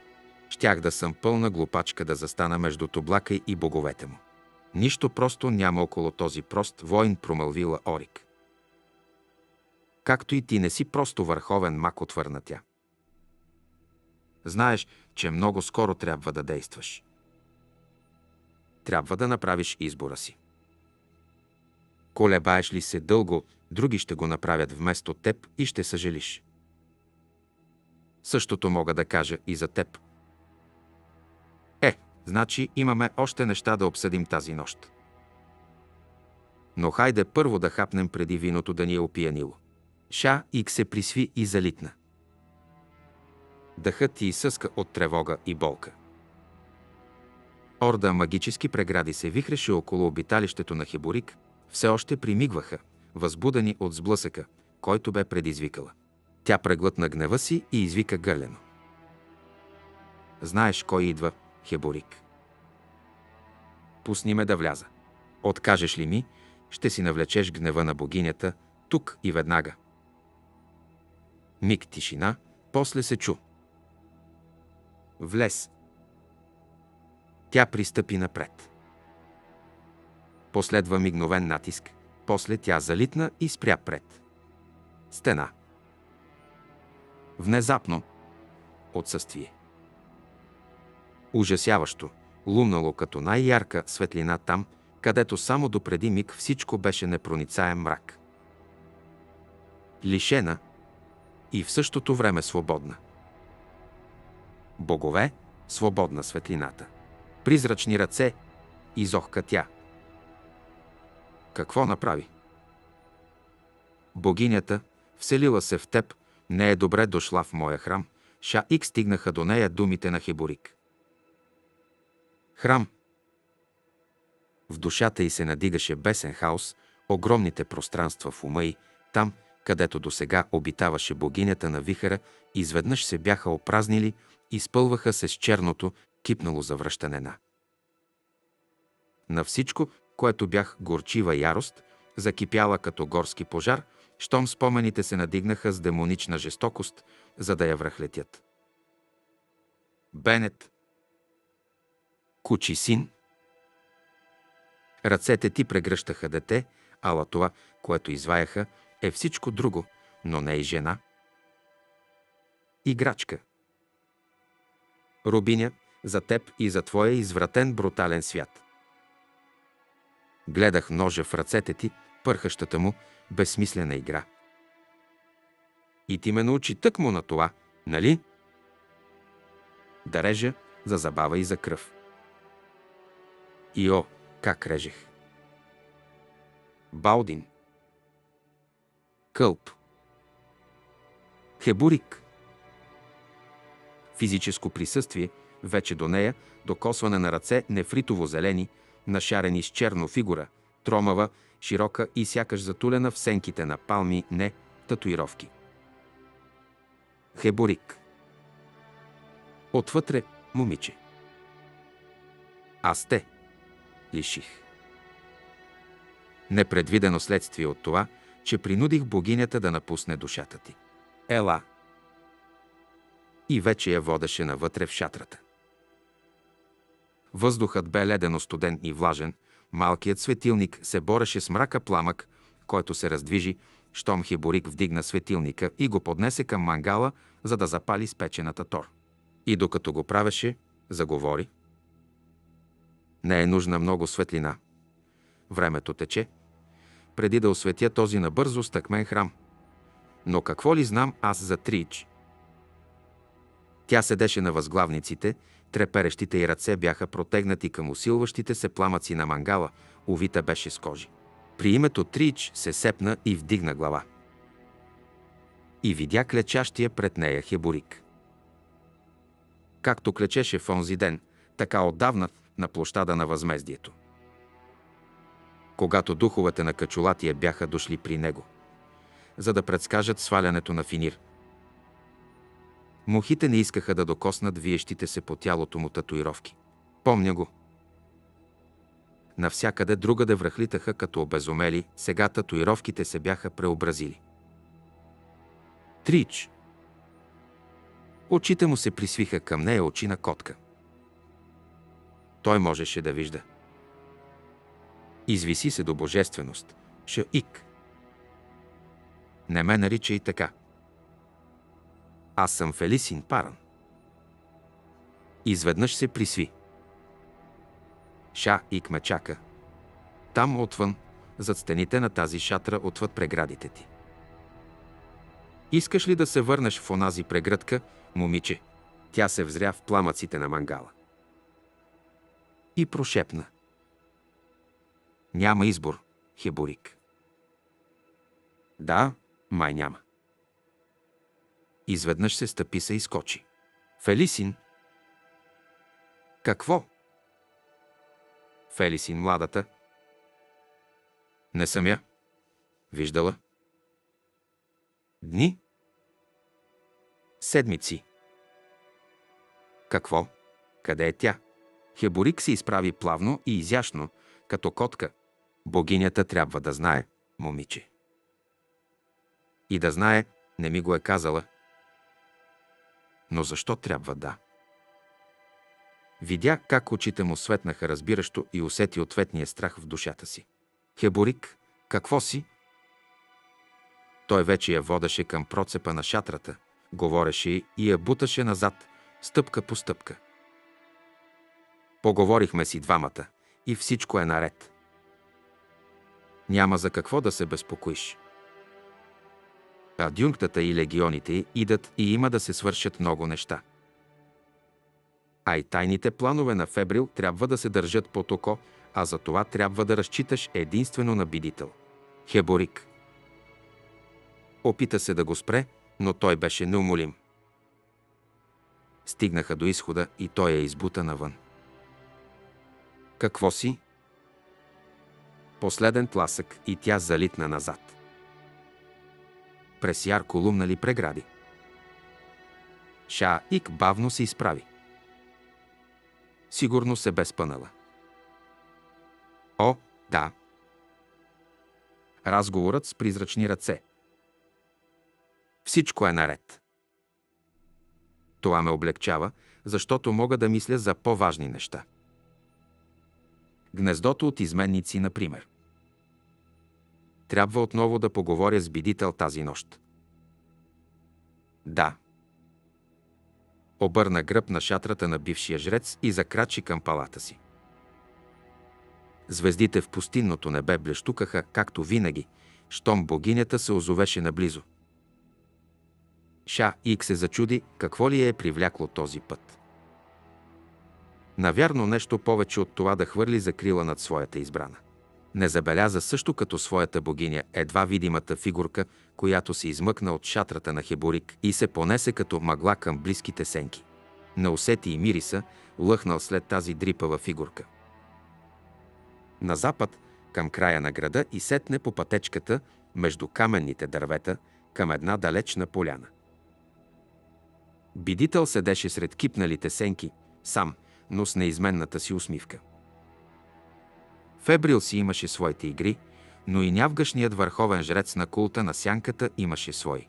Та нали и предателите можеха да бъдат предадени с внезапното завъртане на ножа в ръката. Пясъците отново щяха да се загърнат, както правеха винаги, щом въздухът задиша тежко и почне ги напластява на тънки, многоцветни пелени. Безбройни можеха да са тези пластове и това Фебрил и неговите са заклятници скоро щяха да разберат и щяха да съжаляват горчиво. Стремяха се да си присвоят лабиринта. Дълго време беше отнело на бидител, докато разбули тази истина, тази скрита дълбоко мотивация, защото бе останала в мълчанието между изречените думи. Това не беше проста, обикновена борба за власт. Не. Беше узурпация. Подробност, която сама по себе си нашепваше за още по-дълбоки тайни. Искаха лабиринта, но защо? Все още нямаше отговор на този въпрос. Но щеше да го намери и то скоро. Знаеше, че в това избраната разчита на него и нямаше да я провали. Колкото до това, което очаква от мен, да, ще го доставя. Но има други въпроси, простиращи се далеч извън Ша-Ик, богинята и лабиринта, над който иска да властва. Самият пантеон е изложен на риск. Отдавна отлаганата ми мъст срещу онези чуждоземни претенденти за трона на сянка – Слуша се много-много напрегнато и успя да ги чуе. Идеха. Все по-близо и по-близо. Потръпна от страх и сенките за миг се разпръснаха и се върнаха, щом отново се отпусна. Рашан и Минас. Минас и Тир. Тир и Рашан. Трите деца на древните лабиринти. Галайн, Еморлан и Тирлан – трябва ли да се изненадвам, че отново са във война? Та нима ние самите не наследяваме омразите на своите бащи и майки. Но призракът на страха си остана. Не ги беше призовавал в края на краищата.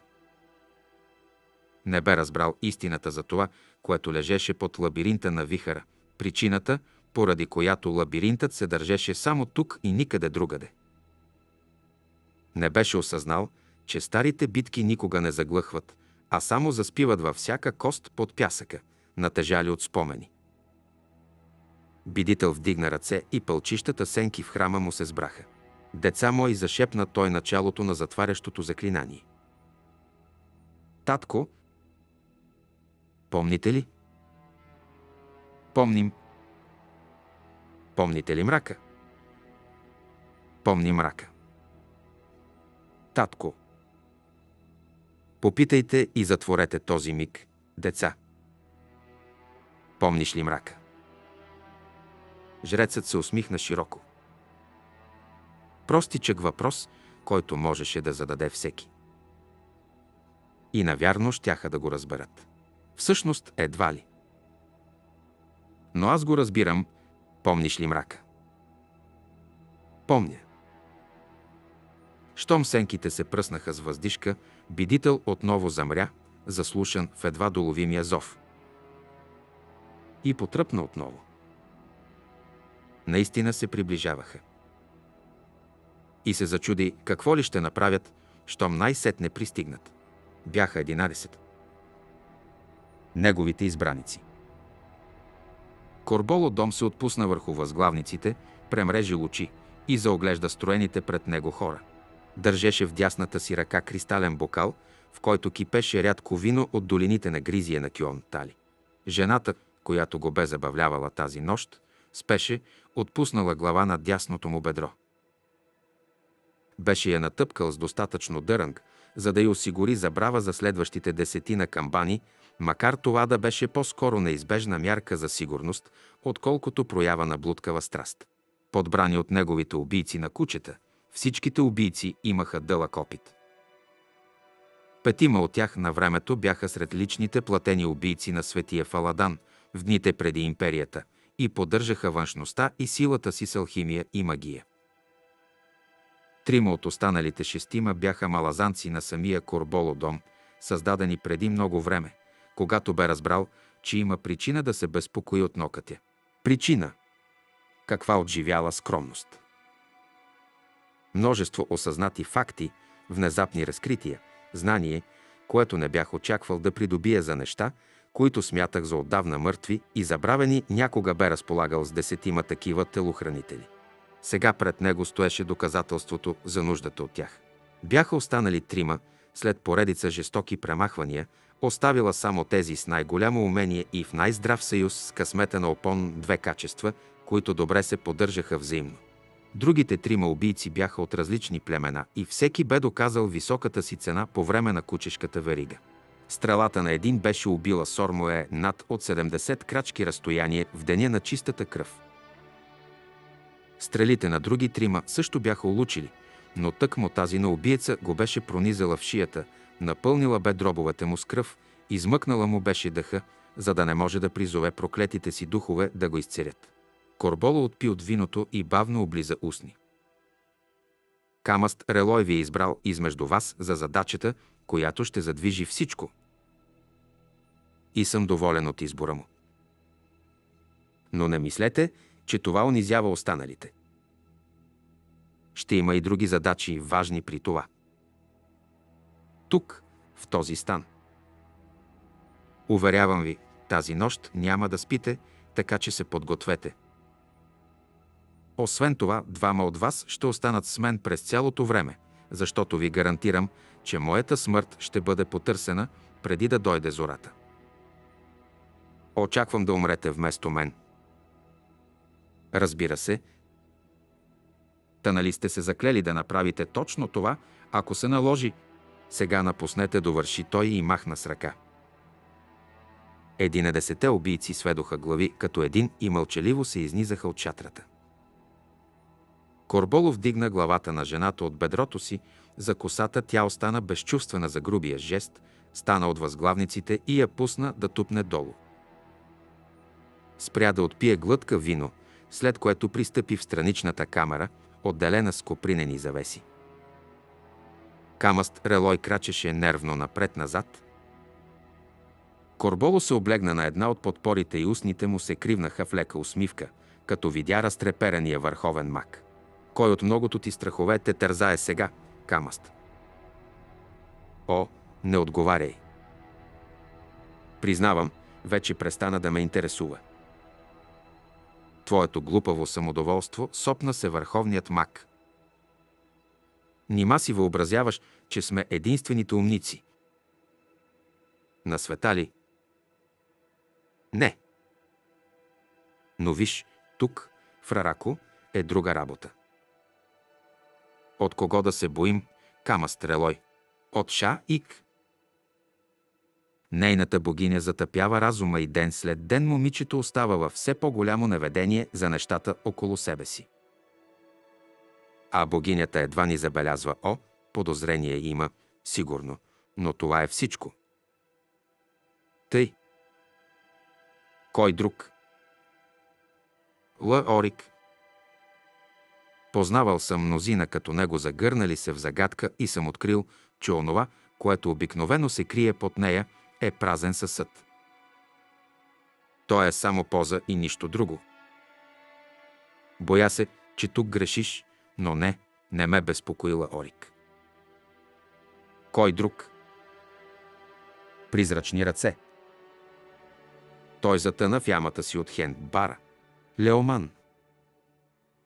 Няма го тук, а за връщането му си имам планове. Тоблакаят. Мисля, че го видяхме за последно. Кой друг остана? Ами, никой, освен бидител. Но Фебрил твърди, че почти го е хванал, въпросът е само да се разбере какво наистина иска този кучи син. Нещо мръсно и отвратително, несъмнено. Бидител е роб на пороците си. Предложи му 10 000 момиченца сирачета и ще ти целува ръцете.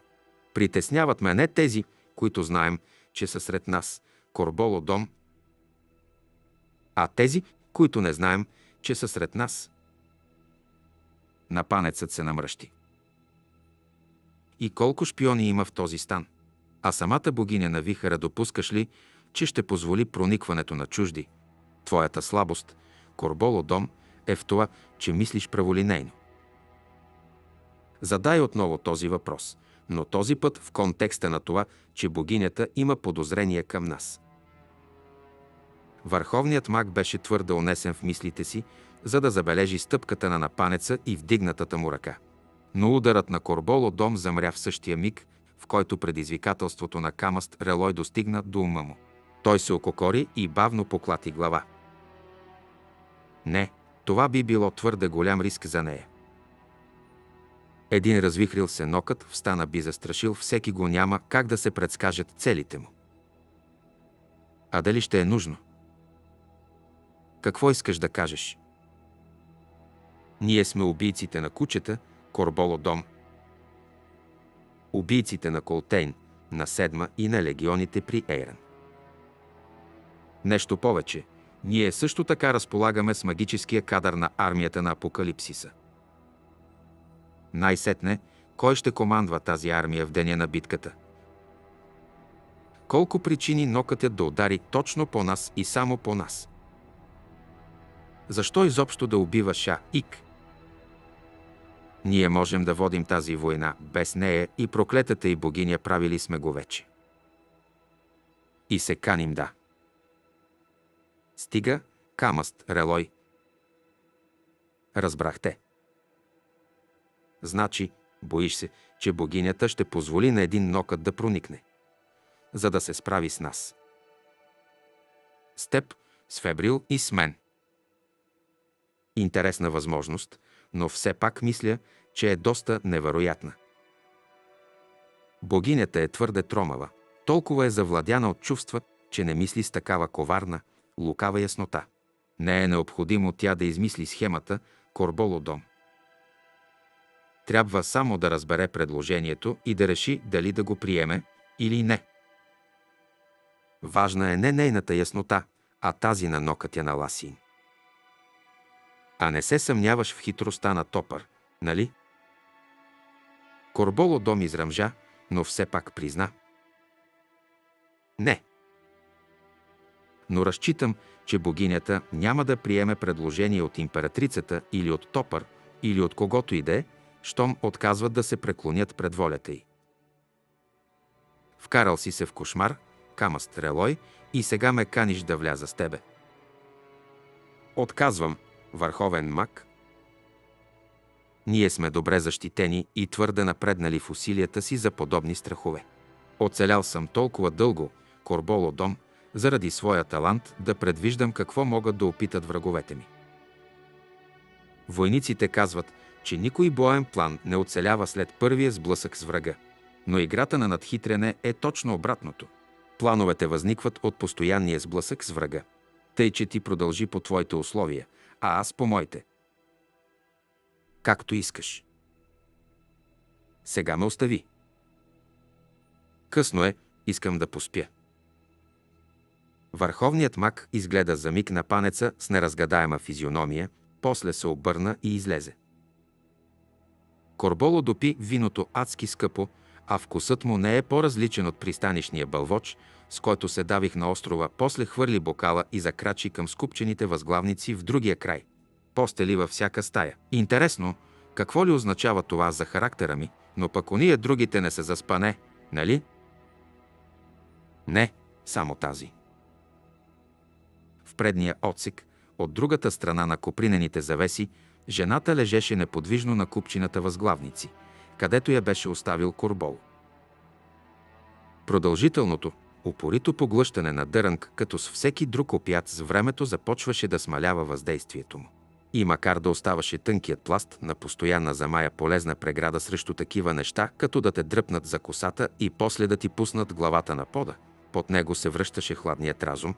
Предимство също така бяха ритуалите, които и беше наложил господарят ти, ритуали, премахващи слабостта на удоволствието. Вече не можеше да има никаква загуба на контрол, защото умът ти вече не се бореше с чувствата, тъй като чувства тя нямаше.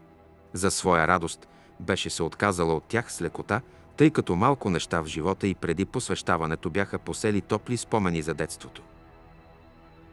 Тъй, че беше напълно пригодна за задачата си да издава подходящите звуци на наслада, за да прикрие безразличието си към странните предпочитания на Корболо дом.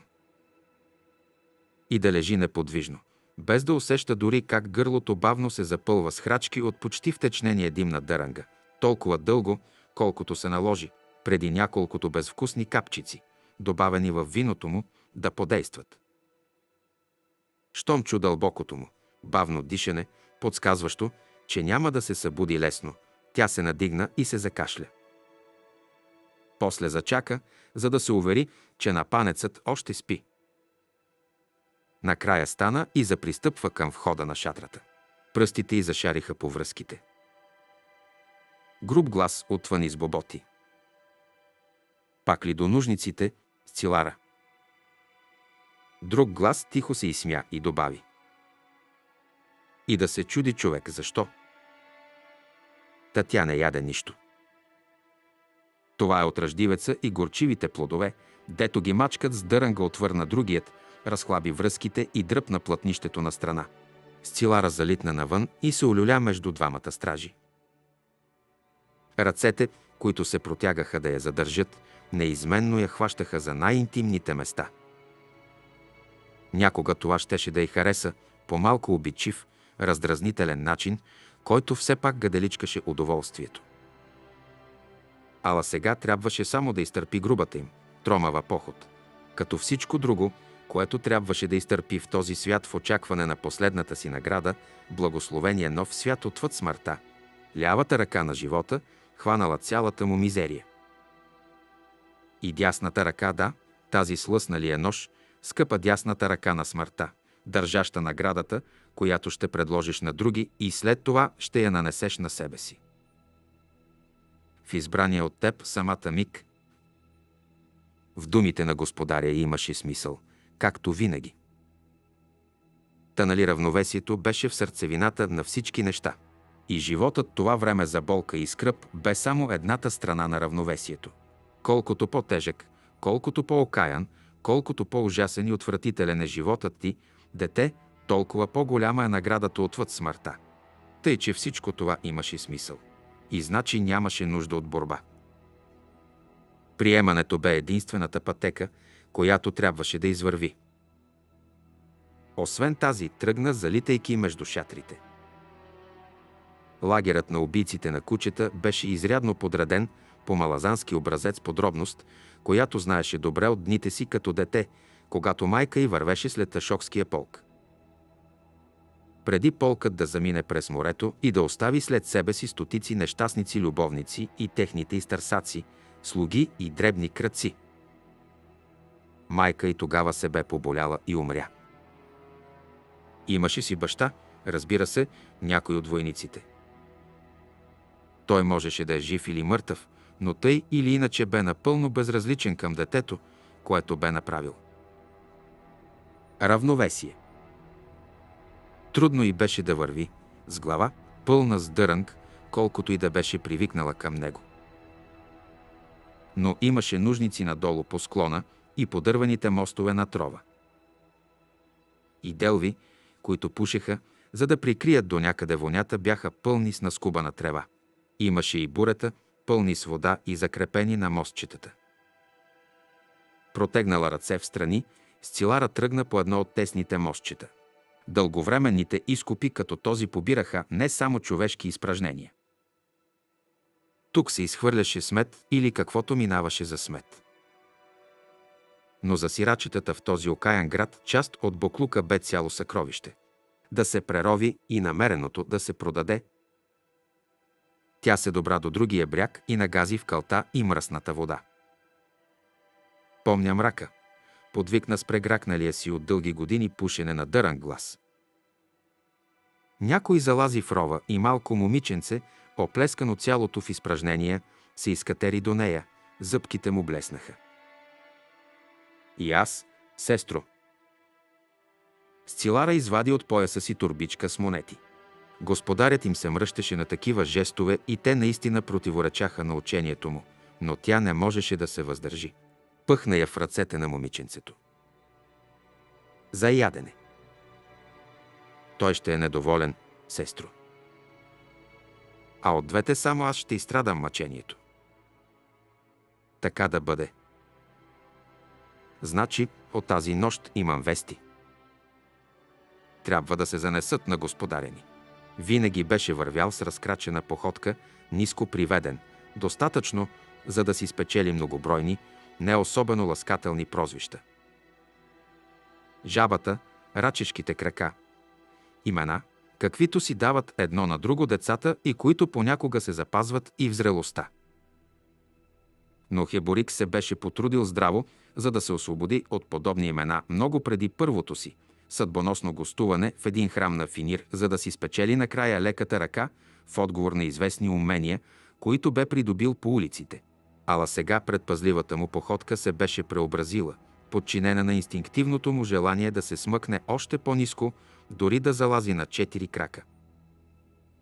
Ако го беше помислил, щеше да заключи с горчивина, че се движи не толкова като котка, колкото като маймуна, като онези едри маймуни, каквито се намираха в джунглите на Далхон. Неприятно за окото, може би, но все пак ефикасно. Забави ход, щом наближи поляната над облака й. Смътна миризма на пушек, приглушена светлина на огън, мърморещи гласове. Хеборик се плъзна между вкаменените дървета и се спотаи близо до двамата край огъня. Твърде дълго беше затънал в безкрайните си сякаш усилия да сътвори своя храм. Много дълго бе пренебрегвал света извън стените му. С горчив гняв осъзна, че в характера му са настъпили много, макар едва доловими промени, съпътстващи физическите дарове, които бе получил. Престанал беше да е грижовен. И това, разбра той, докато гледаше двете фигури на поляната, бе позволило едно ужасно престъпление. Изцерила се е добре, но не достатъчно добре, че да прикрие истината за случилото се. Дали да се разкрие? Не. Никой от тях не е направил и една стъпка, за да уличи бидител, иначе нямаше да се крият тук. Значи ще се опитат да ме разобедят за това, което трябва да се направи. Но аз предупредих бидител. Предупредих го, а той досмеша го. Е, смешното скоро ще свърши, бавно се отдръпна назад. И тогава, дълбоко в сенките, се поколеба. По този въпрос нямаше сблъсък между новите и старите му инстинкти. И новите, и старите искаха кръв. И то тази нощ. Веднага. Но нещо от стария хеборик се налагаше. Нов беше в ролята си на дестраянт. Нещо повече, самият Трич беше новодушъл бог. И макар Хеборик да не вярваше, че бидител заема някакъв пост вече не вселението на Сянка, храмът му все пак бе посветен на някого. Едно нападение щеше да привлече източниците им на сила и не можеше да се предскаже колко бързо и неконтролируемо щеше да ескалира този сблъсък. По-добре да си бях останал просто старият хеборик. С ръце от татарал, свързани с неизмеримата мощ на незнайно същество. Тогава щях да го разкъсам, даде си сметка, че не може да направи нищо. Не и тази нощ поне. Трябваше да изчака, да потърси възможност, миг, в който да се разсеят. Но за да постигне това, трябваше да остане скрит, невидим бидитал не можеше да открие новото му извисяване. Не можеше да разбере, че е станал дестраянт на Трич, новия бог на войната. Гневът внезапно се върна и той се помъчи да го изтласка. След малко дъхът му се успокои. Обърна се и заситни обратно по пътеката. Трябваше да помисли повече. Да мисли разумно. Проклет да си, Трич. Превръщал си се в тигър. Дари ме с хитрината си, с умението на ловеца. Щом се приближи до началото на пътеката, спря, чул смътен звук. Песен. Приглушена, детинска, идваща от руините на някаква скромна сграда. Безразлични към тъмнината, очите му доловиха движение и се спряха на това петно, докато фигурата не се очерта. Момиченце в дрипи. Носеше пръчка, стискаше я в двете си ръце. Десетина мъртви елизана висяха за опашките си от колана й. Пред очите му момичето подскочи и размаха пръчката.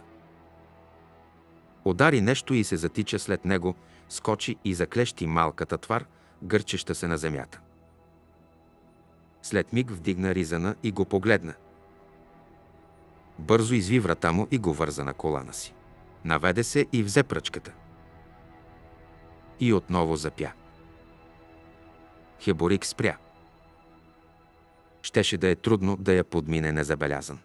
Но не и невъзможно. Ненужна предпазливост, може би. Все пак се задържа в сенките, докато детето пристъпваше напред, придвижваше се само когато момиченцето извърнеше гръб, без нито за миг да откъсва очите си от него. Скоро след това го подмина. Утрото настъпваше и станът щеше да загъмжи, пробуден. Хеборик закрачи още по-бързо, най-сетне се добра до шатрата си и се шмугна вътре. Освен момичето не беше видял никого. Когато прецени, че вече се е скрил, момиченцето бавно се обърна. Песента му заглъхна, то се взря в сумрака и прошепна. Смешни човече, помниш ли мрака? Една шеста камбана преди разсъмване Леоман с неговите 200 пустинни войни удари Малазанския лагер.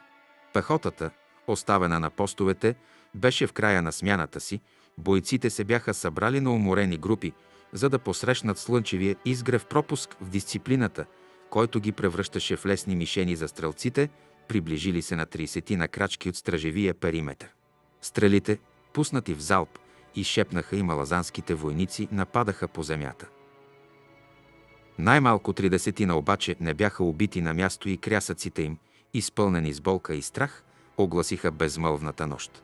Стрелците вече бяха оставили лъковете и тичаха напред с ножовете кетра, за да довършат ранените стражи, ала не бяха пробягали и 10 крачки, когато Леоман и конните му войни препуснаха около тях и удариха здраво през пробива. И в лагера. Кораб Билан Тено Алас яздеше до командира си с оръжието с дългата дръжка, наполовина меч, наполовина бойна брадва в дясната ръка. Леоман беше в центъра на дъгата на атакуващите, която предпазваше втората вълна конници, от която долиташе силно бръмчене. Кораб знаеше какво означава то, командирът му беше изобретил своя отговор на моранските муниции с две глинени топки, пълни с масло и свързани с тънка верига. Паляха ги като светилници, завъртаха ги и ги хвърляха като ласа.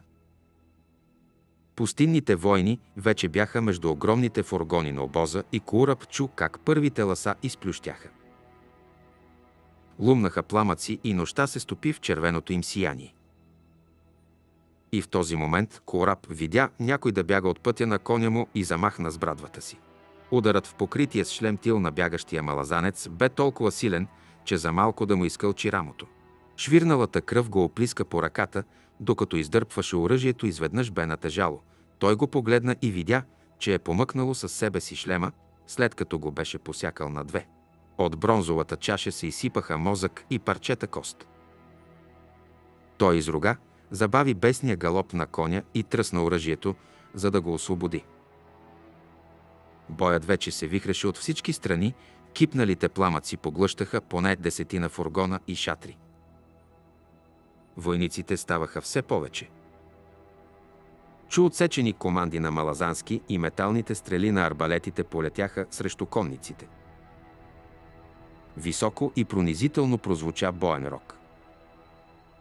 Кораб изрога свирепо и обърна коня си.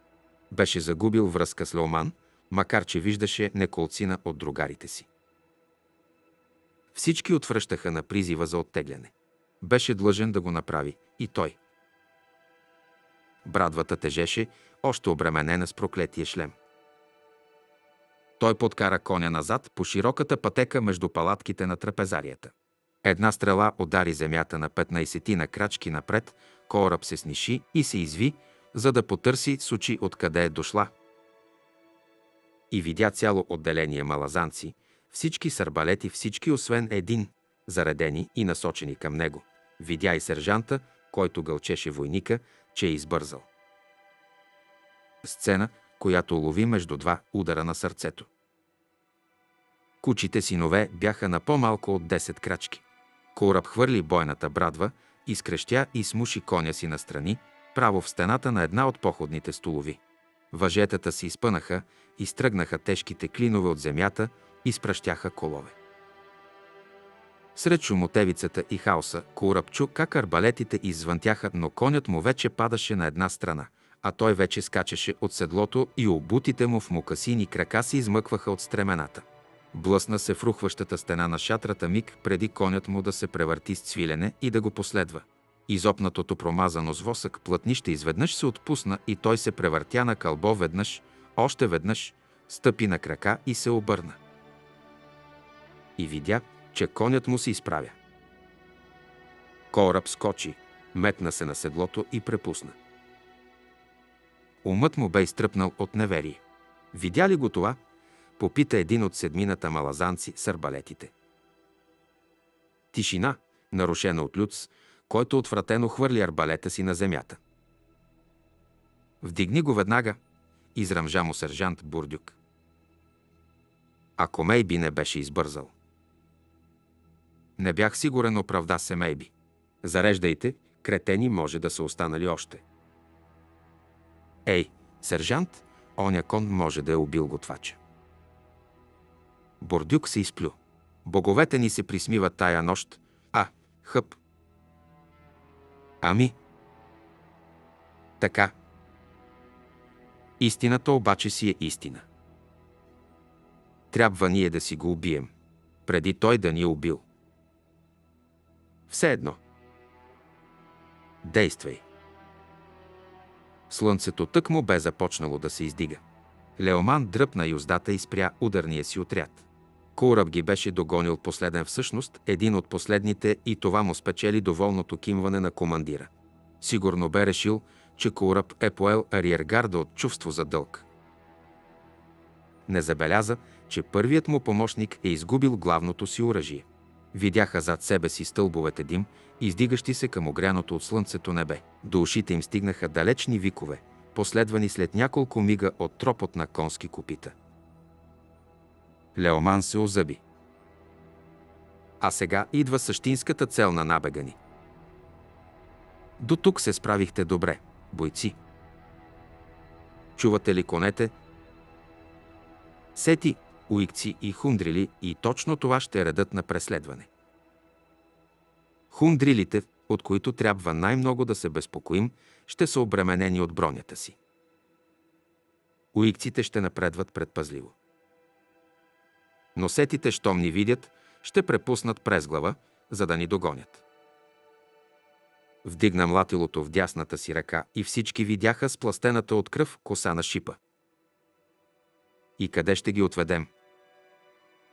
Към смъртта, отвърнаха му с рев. Изгряващото слънце бе превърнало далечната стена от вихрещ се пясък в златна цвят, който галеше старешките сълзящи очи на Фебрил.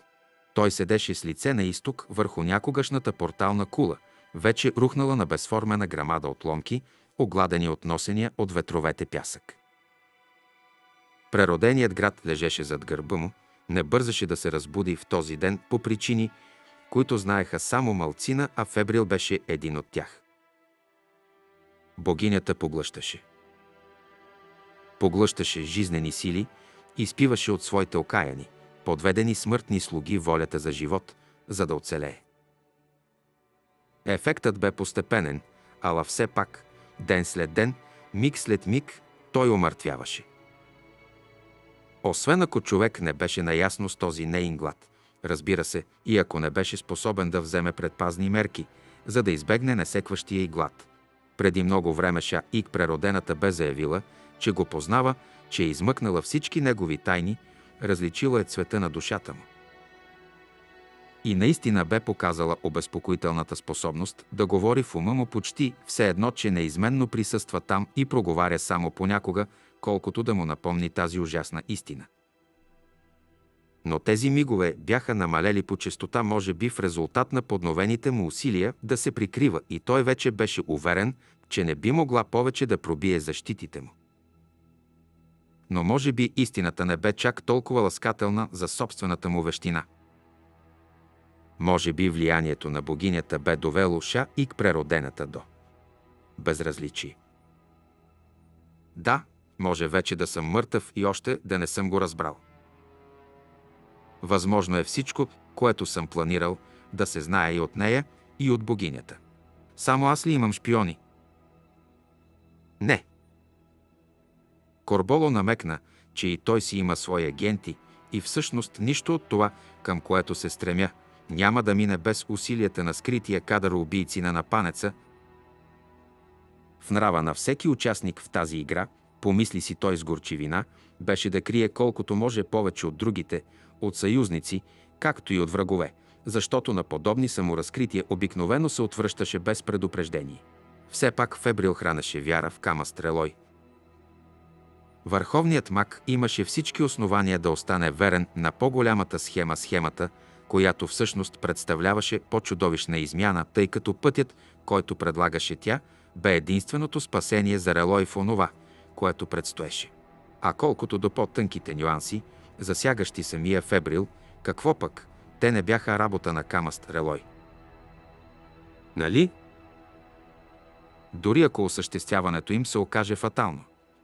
За всички, освен за мен, всички се мислеха за твърде умни и това беше слабост, която трябваше да се използва на всяка цена. А аз самият. Скъпи ми Фебрил, ти смяташ ли се за умен? Той се усмихна на далечната пясъчна стена. Да си умен не беше съществено, стига настойчиво да пазиш нещата прости. Сложността привличаше грешката, както курвата за минаващия войник. Изкушенията на ума, които никога не се оказваха толкова недвусмислени, колкото си очаквал. Но аз ще избегна този капан. Няма да допусна гибелни грешки, както стана с бидител, защото те водят до осложнения, макар че неговите грешки ще го доведат в ръцете ми, тъй че май не бива да се оплаквам много. Слънчевата светлина се разгъва над мрака. Сепнат, той се обърна. Избрана. Дълбокото дишане, старче, ще успокои разтоптяното ти сърце. Мога да изчакам малко търпелива съм. Стоеше почти до него, разбира се, не беше видял никаква сянка, защото слънцето беше пред него. Но как бе успяла да дойде толкова безшумно? От колко време стоеше тук? Избрана, дошла сте да поздравите зората с мен. Това ли правиш, когато идваш тук в началото на всеки ден? Чудех се. Навиците ми са скромни, господарки. И още как. Леко притъпяване на сетивата, което да повлияе на качеството простота. Все едно, че като възприеме простите навици на плата и костите, умът ти на свой ред ще постигне същото съвършенство. Той не отвърна нищо, макар че сърцето му забумка забързано в гърдите му. Ша Ик въздъхна. Съвършенство ли казах? Тогава може би трябва да ти кажа нещо, за да помогна в стремежи ти. Моля, едва промълви той. Стената на вихара е буквално непроницаема, освен за разсеяната слънчева светлина. Поради това се боя, че трябва да те поправя, Фебрил. Обърнал си се на североисток. Уви. Тя посочи. Слънцето всъщност е и там, върховен мак. Не се вълнува и толкова ти поне беше последователен. А, има и още един въпрос, който, мисля, трябва да бъде изяснен. Малцина биха оспорили, че моята богиня е погълната от гняв и поради това тя също поглъща. Но това, което ти навярно виждаш като загуба на мнозина, за да се засити един единствен глад, всъщност е достойно за съвсем друга аналогия. Да, тя не точно се засищат с енергиите на своите следовници, колкото им осигурява определен фокус. Всъщност не много по-различно от стената на вихара ей там, която макар да изглежда, че разсейва светлината на слънцето, всъщност я пленява. Опитва ли си се да преминеш през тази стена, Фебрил? Особено при вечер, когато дневната горещина е поета почти изцяло ще те изгори до кокалите, върховен мак, моментално. Тъй, че разбираш как нещо може да изглежда по един начин, а всъщност да е съвсем друго, нали? Изгорен на въглен ужасен образ, нали? Човек трябва да е роден в пустинята или да владее могъща магия, за да надвие това. Или много дълбоки сенки. Да се живее простичко, с закъснение разбра Фебрил, не биваше да се приравнява с гледането простичко, защото първото бе благородно и похвално, докато второто беше най-гибелна слабост. Неволна грешка и той, уви, я беше направил. И вече беше много късно. А колкото до промяна в плановете, о, и за това също бе твърде късно. Странно, раждащият се нов ден бе загубил блясъка си. Разправят, че осиновеното дете на капитана, което по това време го знаели с нещастното име Гръб, отказвало да се качва в фургон по време на похода. Че изминало пеш целия път, докато в първата седмица, под най-жаркото слънце в годината, здрави и читави войници залитали и падали. Навярно това е измислица, защото според всички записки по това време детето е било не повече от 5 годишно. А самият капитан, по чието дневници голяма част от това пътуване и сблъсъкът, с който е завършило то, са описани в най-големи подробности, споменава твърде малко за гръб, обременен в много по-голяма степен от тежестите на командването. Поради това, за бъдещия първи меч от периода на късната империя се знаят съвсем оскъдни подробности, освен легендарното и може би измисленото. Житията на тримата Морагал, рояци мухи и оси бръмчаха в горещия стаен въздух в пролома, а вонята вече бе станала непоносима. Юмрук гамът откачи каишката и смъкна очукания железен шлем от главата си. Плъстената подложка беше подгизнала от пот и черепът го сърбеше, но мухите налитаха и той не я свали. Продължи да оглежда южния край на пролома, докато адюнктата бавно подкара коня си през касапницата долу. 300 сети и над 100 коня лежаха мъртви, повечето поразени от стрели, в клисурата с стръмни брегове, в която ги бяха подмамили. Беше станало бързо, включително залавянето и отвеждането на оцелелите животни. По-малко от камбана време бе изтекло от нападението на конниците и ако Темъл не бе заповядал на своите уикци да се върнат за прикритие на ядрото на армията. Е, щяхме да ги загубим и тях. Впрочем, тъкмо тези уикци бяха предотвратили нов набег срещу обоза, само присъствието им се оказа достатъчно, за да предизвика бързо оттегляне на врага, без да се пролее нито капка кръв. Бойният главатар, командващ пустинните конници, се бе оказал достатъчно предпазлив и не бе позволил въвличането на силата му във все по-отдалечени схватки. Много по-добре беше да разчита на грешки в преценката. Сетите, незачислени като флангова конница в авангарда, бяха нарушили заповедите и заради това бяха загинали. А кучият син очаква само да направим още такива глупави грешки – настръхна от нещо в сцената долу. Адюнктата яздеше сама през касапницата, изправила гръб и без да обръща внимание на боязливите стъпки на коня си. Не в мухите е опасността, а в усите. Едно ухапване и конят ще побеснее. Може да се вдигне на задните си крака, да я хвърли и тя да си щупи врата или да заподскача надолу през клисурата и после да се опита да драсне по някой от стръмните склонове, както са направили някои от конете на сетите. Но конят просто си пробираше пътя през мъртвите тела, а облаците оси само се вдигаха от пътя му и отново кацаха върху плячката си, щом кон и ездач ги подминеха. Старият войник до юмрука закашля и се изплю и щом гамът го погледна, изломоти нещо за извинение. Не е нужно. Капитане. Гледката е ужасна, а и сме много близо. Не е това, сър. Само.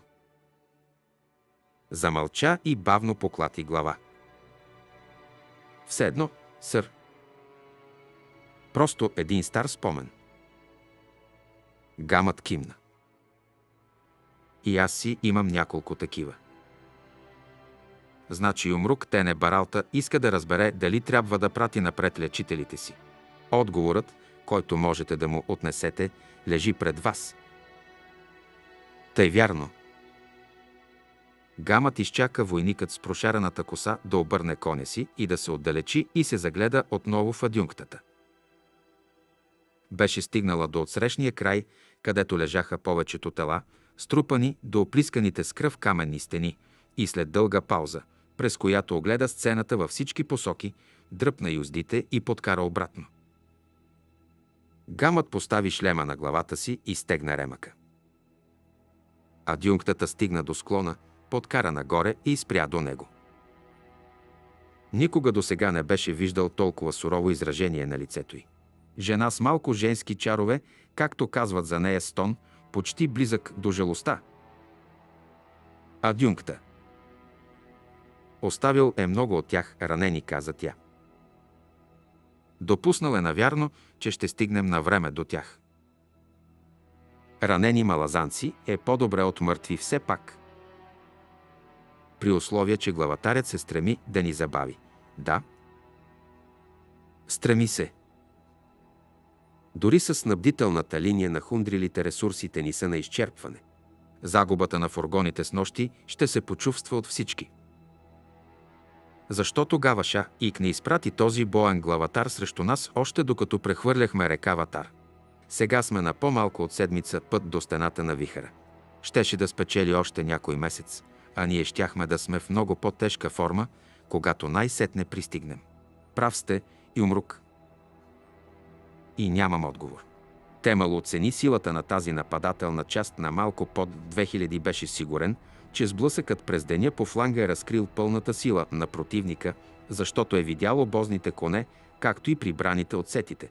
Тъй, че честа е доста голяма. Гамът се позамисли над това и сумтя.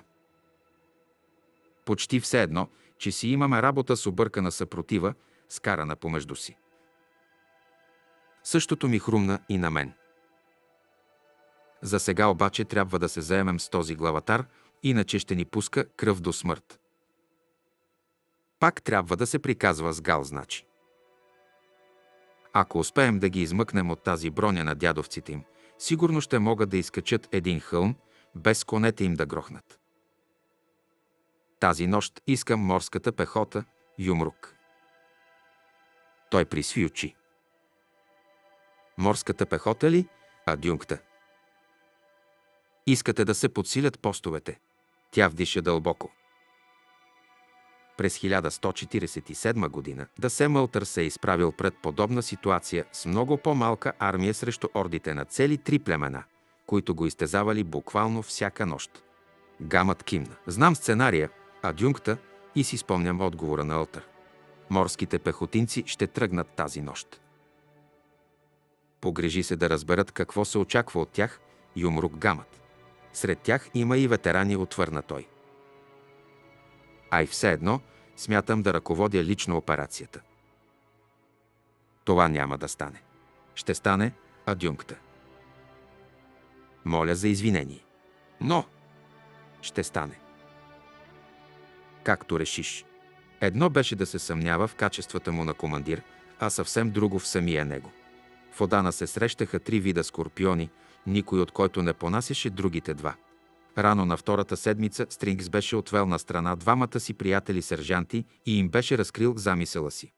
Геслер и Бордюк се оказаха сговорчиви, особено на предложението му да си разделят печалбите по-равно.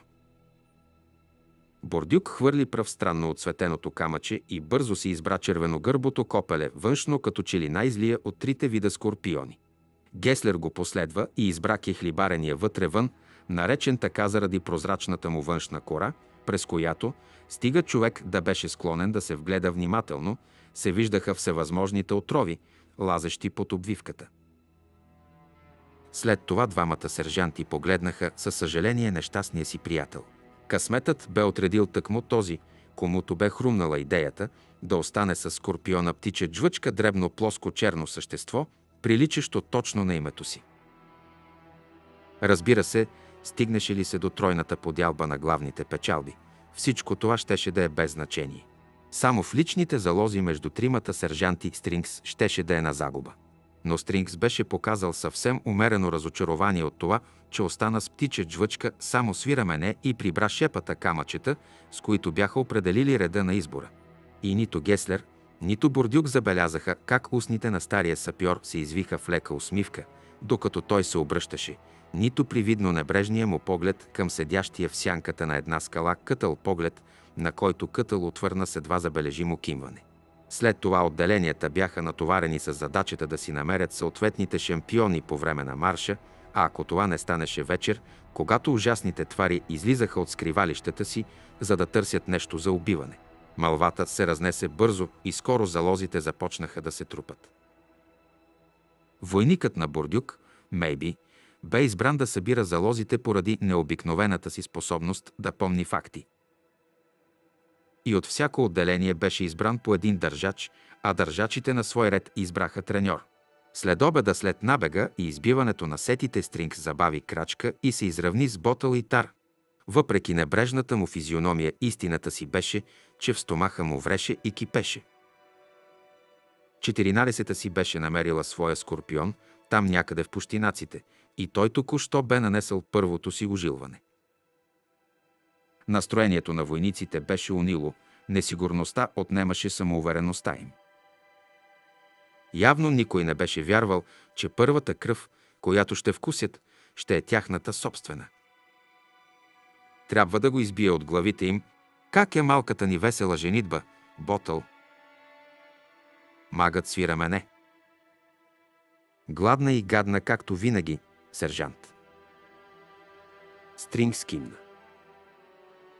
А как върви тренировката, ефрейтор? Тар се намръщи изпод ръба на шлема. Добре, предполагам. Стига да измисля каква точно тренировка и трябва. Веднага се захващам. Добре. Положението звучи идеално. Пуснете слуха.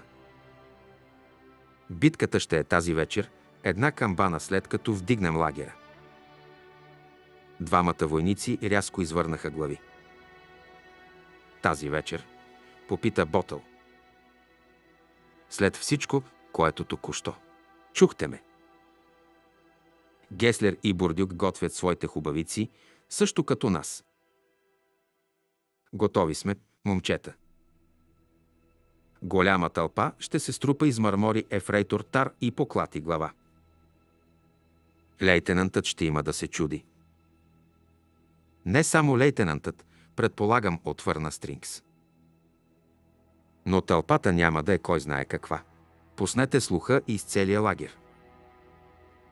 Веселата ще я нанижат из мармори, ботъл с тъжна физиономия. А аз я хранех всяка вечер. Големи, сочни пеперутки.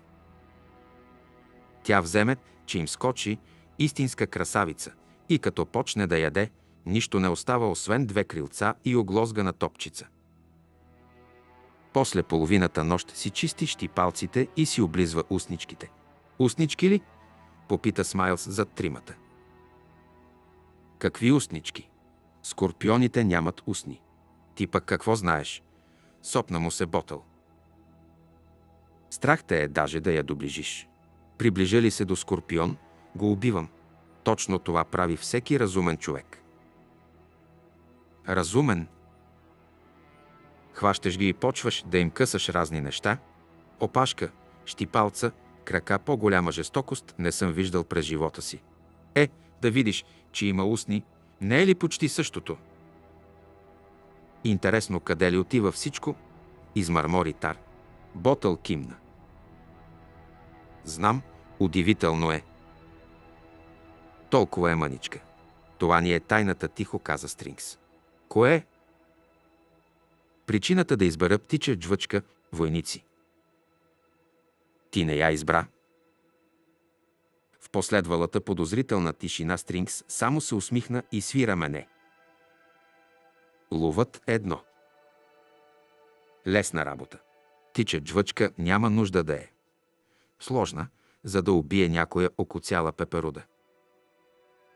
Работата е, когато се наложи да се бият. Да пазят територия или малките си. Тогава идва изненадата. Мислиш си, че ще загуби тази нощ, а, Ботъл? Мислиш, че сърцето ти ще се разбие. Отпусни, Монко. Стрингс винаги мисли за нежните ти чувства. Зарежи го това, Стрингс. Сержант отвърна Ботъл. Всички знаем кой си.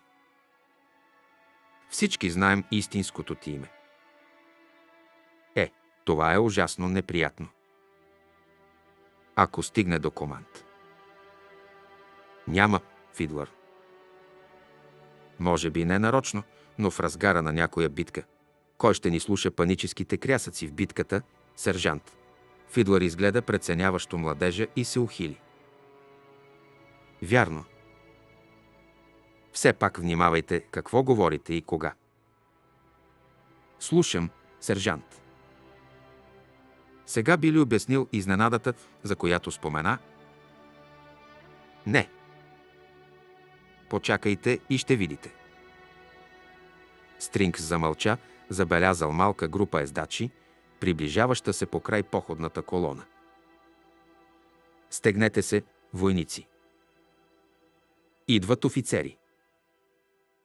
Юмрук гамът изглеждаше уморен и състарен, забеляза сержантът. Да те засмучат отново в армията, след като си минал в пенсия, не беше никак добре, защото първото нещо, което изоставяше един стар войник, беше нервът на службата и беше трудно, ако не и невъзможно да се върне. Точно това отдръпване придаваше особен характер на войнишкото пенсиониране и всеки предпазлив войник обикновено го избягваше. Едно беше да изоставиш определен стил на живот, а съвсем друго да зарежеш гибелния риск на войнишкото ежедневие. Фидлър загледа стръпка на безпокойство приближаващия юмрук. Двамата, които придружаваха гамът, бяха капитан Кенеп и лейтенантът, последният с толкова мрачно, че почти комично изражение. Офицерската му маска, с която се опитва да изглежда по-стар и с това по-професионален, но по-скоро прилича на човек с запек. Някой трябва да му го каже. Тримата подкараха бавно до отделението на Фидлър до някъде изнервящо за сержанта, въпреки че им кимна. Забеляза, че очите на Кенеп са спрели на кътъл. Но пръв заговори Ранал. Сержант Стрингс. Да, сър. Двамата скътъл. Моля, излезте в страни от колоната за личен разговор. След това извиси глас към крачещото пред тях отделение. Сержант Геслер и ефрейтор Сторми, бегом към нас. Четирима ще са достатъчни да предадат правилно указанията на другите отделения и сбоботи и умрукът. Слушам, сър, отзова се Ранал, който тък му се канеше да повика Бурдюк. Щом четиримата се строиха, Юмрук гамът се окашля и започна. Ясно е, че всички сте ветерани. И както ме уведоми капитан Кенеп, минавали сте и преди през тези земи, не, няма нужда от повече подробности. Но разчитам на вас точно заради този опит. Адюнктата желая морските пехотинци да отвърнат тази нощ на пустинните нападатели. И замълча. Дълго никой не проговори думите на Юмрука, улягаха в умовете на четиримата бойци. Най-сетне заговори Кенеп. Да, отговорът на Дасем преди толкова години. Имаме късмет, че тази вечер се каните да пуснете системата «Предай нататък». Достатъчно е да продължи, след като тристранната битка свърши. Наведе се от седлото и попита Фидлър. Вие имате птичета джвъчка, нали, сержант?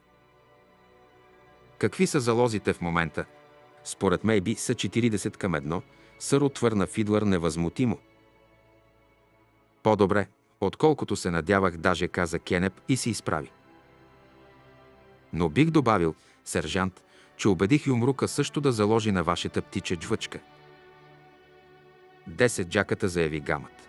И в това разчитам на опита на капитана. И на вашия сержант. Стрингс. Ще се постараем, сър. Геслер се обърна към Сторми. Надушваш ли нещо, капрал? Грамадният фалариец с кремъчния меч на гърба се наваси. Няма скорпиони край морето, да му се не види. Да, сержант, май надушвам нещо. Свиква и посъветва го кътъл. Ранал изглеждаше объркан, но благоразумно си замълча. За сега. Използвайте, предай нататък, продължи указанията Кенеп. И запомнете. Погрежете се и най-намръщените отделения да се ухилят. Слушам, капитане. Фидлър се замисли дали да не промени мнението си за Кенеп. Още нещо добави капитанът. Тази нощ операцията ще се командва от Юмрук Гамът. Съответно, искам вашите две отделения и това на Бордюк да удвоите дежурствата. О, ташаците на гуглата под камък да видиш дано. Разбрано, капитане. Лагерът на 14-та армия изглеждаше малко странно привидно разхвърлян в безпорядък и ако можеше да се види от високо, щеше да прилича на дълго възлесто въже. След вечерята всички дейности напълно замряха, освен крачещите с неохота войници за първата постова смяна. На едно определено място в участъка на морската пехота от 9-та рота на 8 легион се беше заформило малко по-особено войнишко събиране, неголям кръг, обкръжаващ малък вътрешен пръстен от къми, забити в земята с остриетата навътре, на разстояние два пръста едно от друго. Вътрешният кръг беше празен, с огладен и почистен от камъчетата пясък.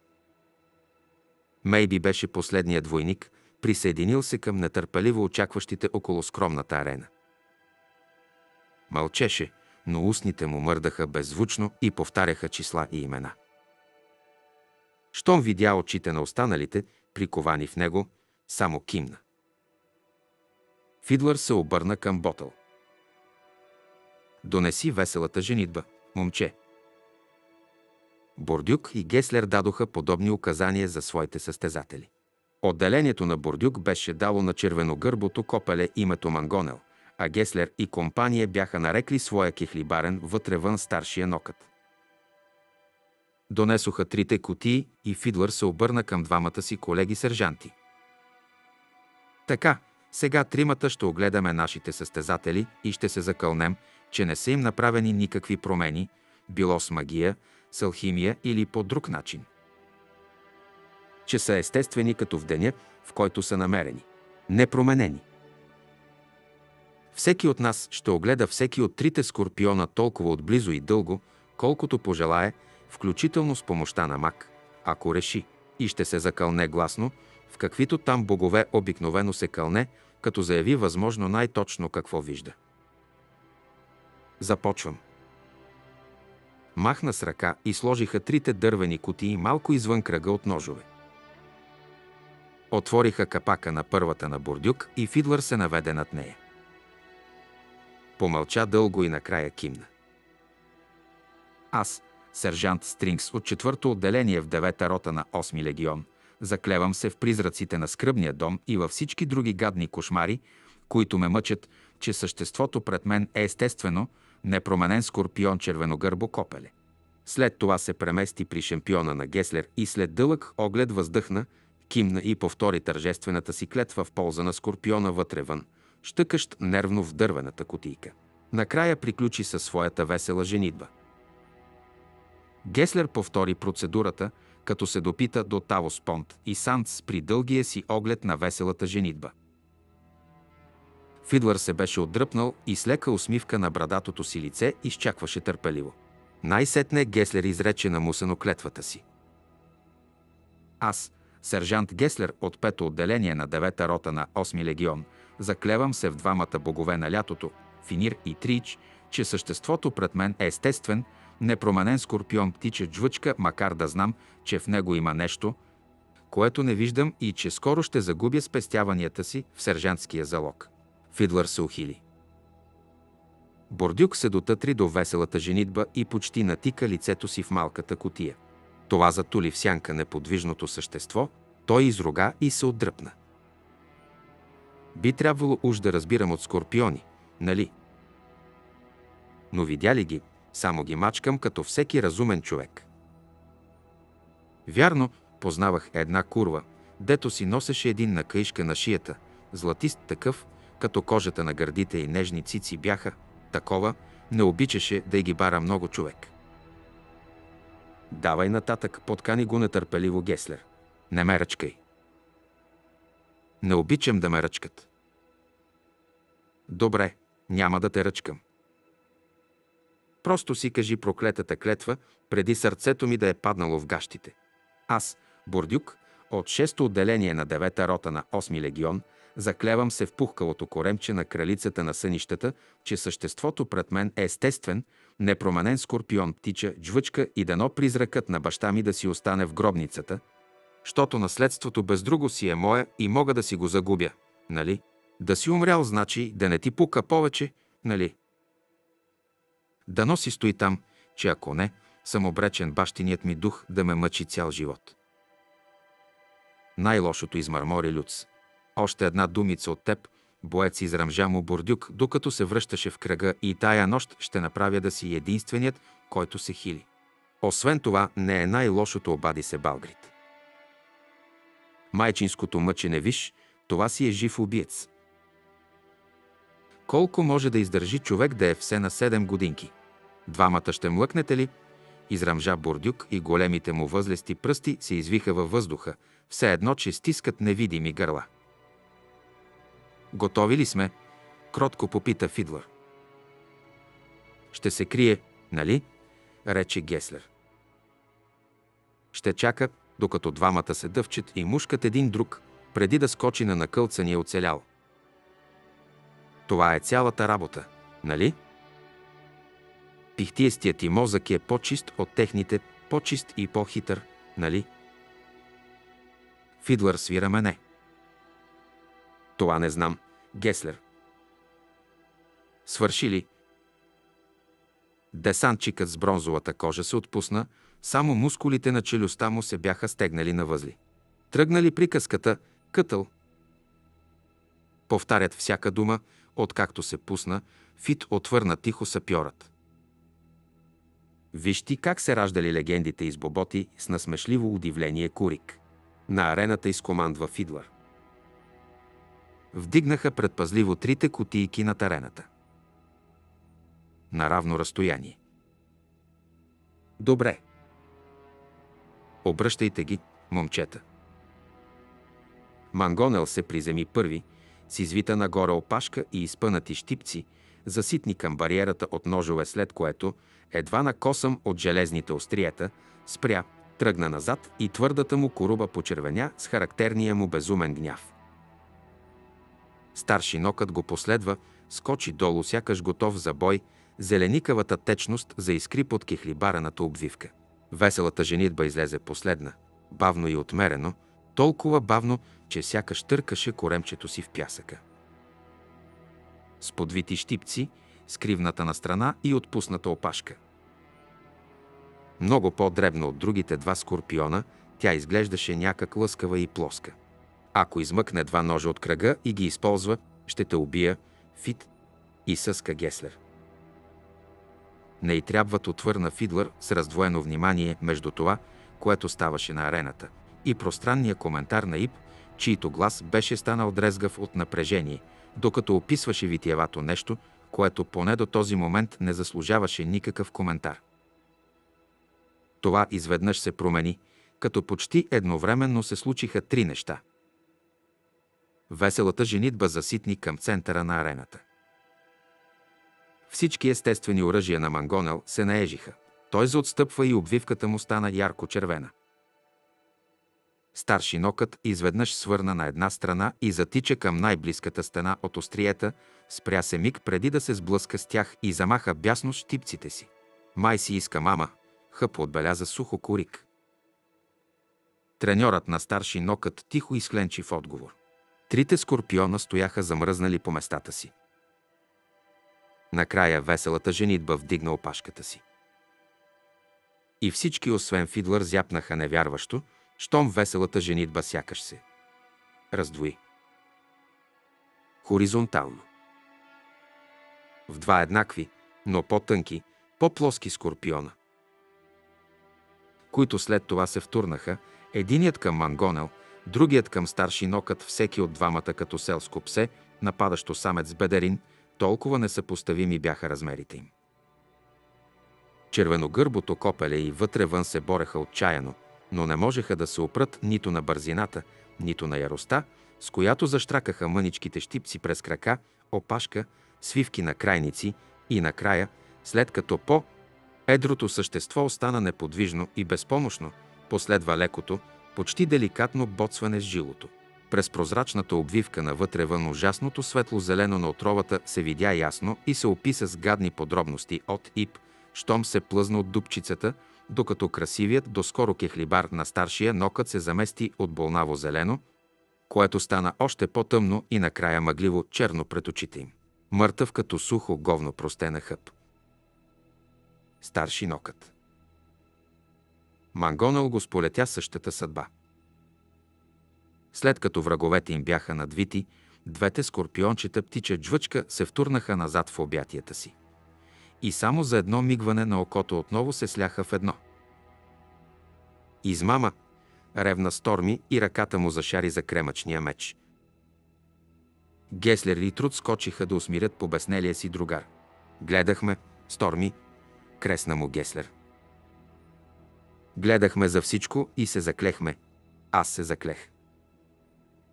В Финир и в Трич се заклех, проклет да си, как да можехме да разберем, че весела женитба е нещо повече от тъпо име.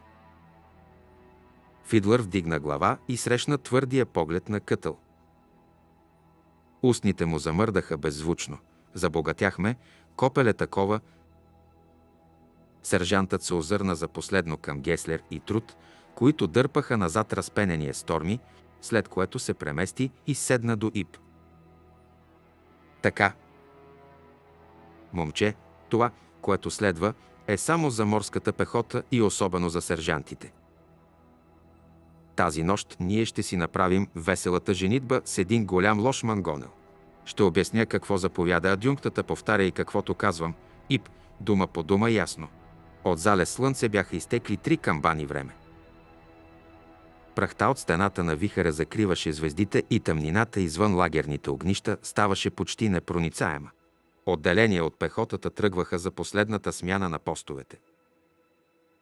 В лагера на хундрилите войните сваляха тежките си брони и се готвеха за лягане. По край външните окопи на войнишкото походно селище патрулираха конните войни на Уик и Сети. Фидлър се върна от ротните фургони при огъня на четвърто отделение с турбата с личните си вещи. Сложи я на земята и я развърза. Кътъл се беше проснал наблизо и гледаше как сержантът изважда увити в кожа предмети с различна големина. След няколко мига беше подредил пред себе си десетина и започна да ги развива. Лъсна гладко дърво и черно желязо. Другите от отделението бяха заети с последна проверка на оръжието и снаряжението си и мълчаха. Напрежението сред малката войнишка група бавно се усилваше. От доста време не бях виждал такъв измармори кътъл. Виждал съм имитации, някои почти толкова добри като оригиналите. Останали са няколко и сумтя Фидлър. Опасността е фотката, защото ако е много силен, проклетото нещо избухва в ръцете ти при изстрела. Тоя модел го измислихме двамата с хедж, после намерихме една бижутерка от Мейр в град Малас представа нямам какво правеше там. Бижутерка ли? Не е ли била оръжейничка? Да. Той започна да сглобява тежки арбалет. И дърворезбар, за запиралата и пробките, те трябва да се сменят след всеки 20 на изстрела. Понеже се изтъркват. Аха. Или се пръскат.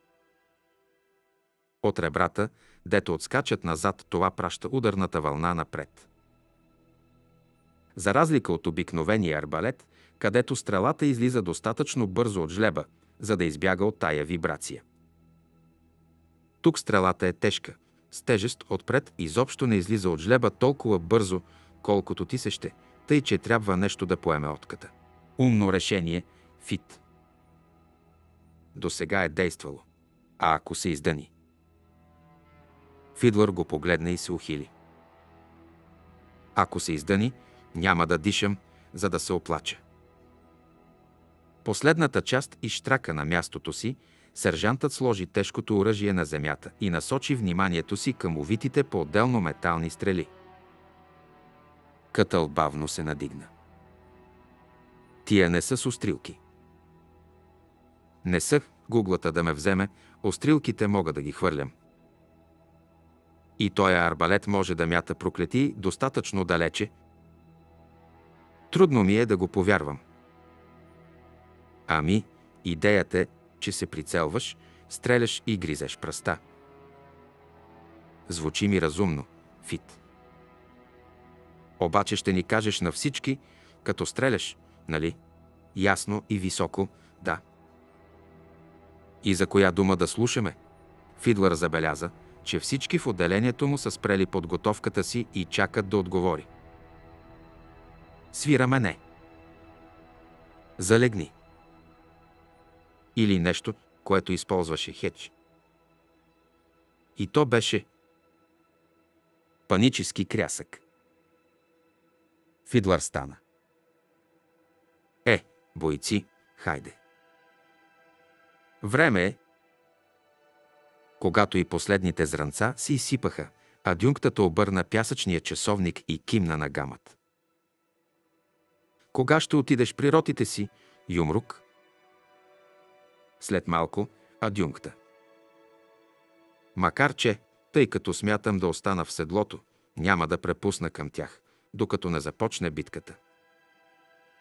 Тя се понамръщи, но не отвърна нищо, а се обърна към двамата уикски младежи, застанала при входа на шатрата. Изпълнихте ли си ритуалите? Момчето, Нил, свира мене. Говорихме с духовете, както ни заповядахте. Говорихте. Само това. По-рано, може би, щяхме да успеем да ги подчиним.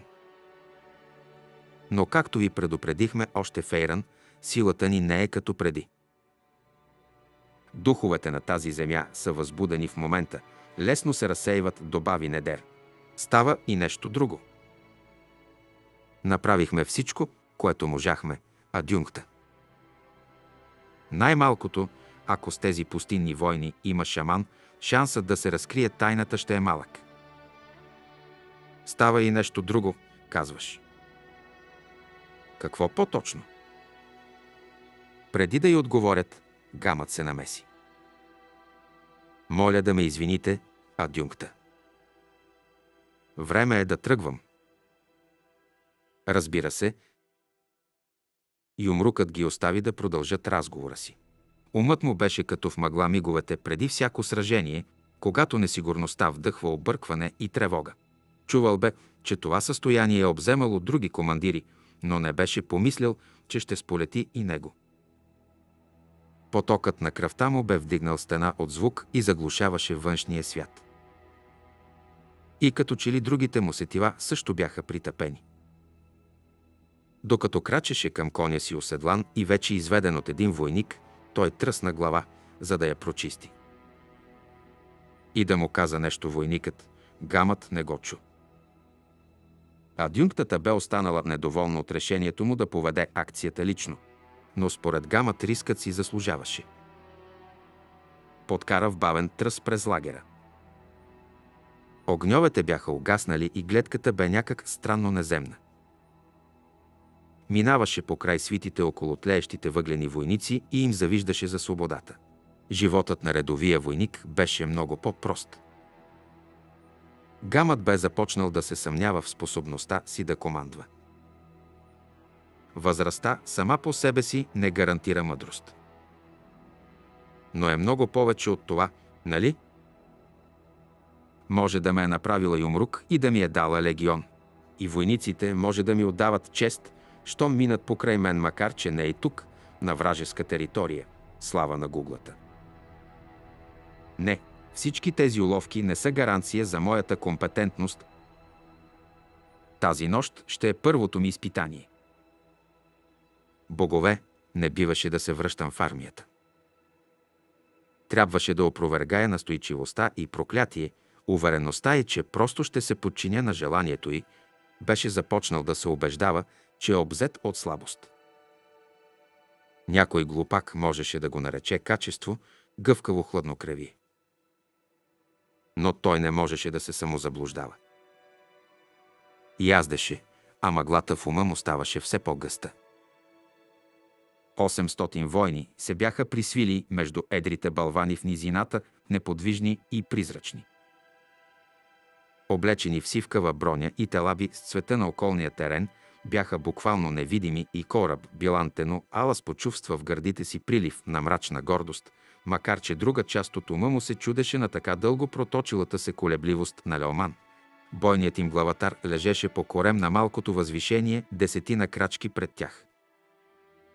От доста време не беше помръдвал. Въпреки студа под бронята на кораб се стичаха вадички пот и той отново намести в дясната си ръка дръжката на непривичния тълвар. Винаги бе предпочитал подобните набрадви оръжия, нещо с дълга дръжка, което да може да стисне с две ръце, ако се наложи.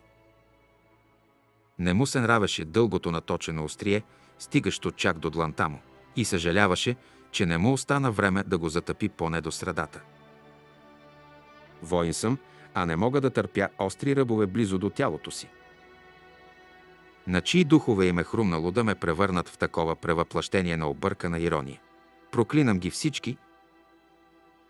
Не можа да изтърпи повече и изпълзя нагоре до Леоман от Флеас. Отвъд билото се простираше друго поле, хълмисто и обрасло странливи храсти. Зад него беше лагерът на малазанската армия.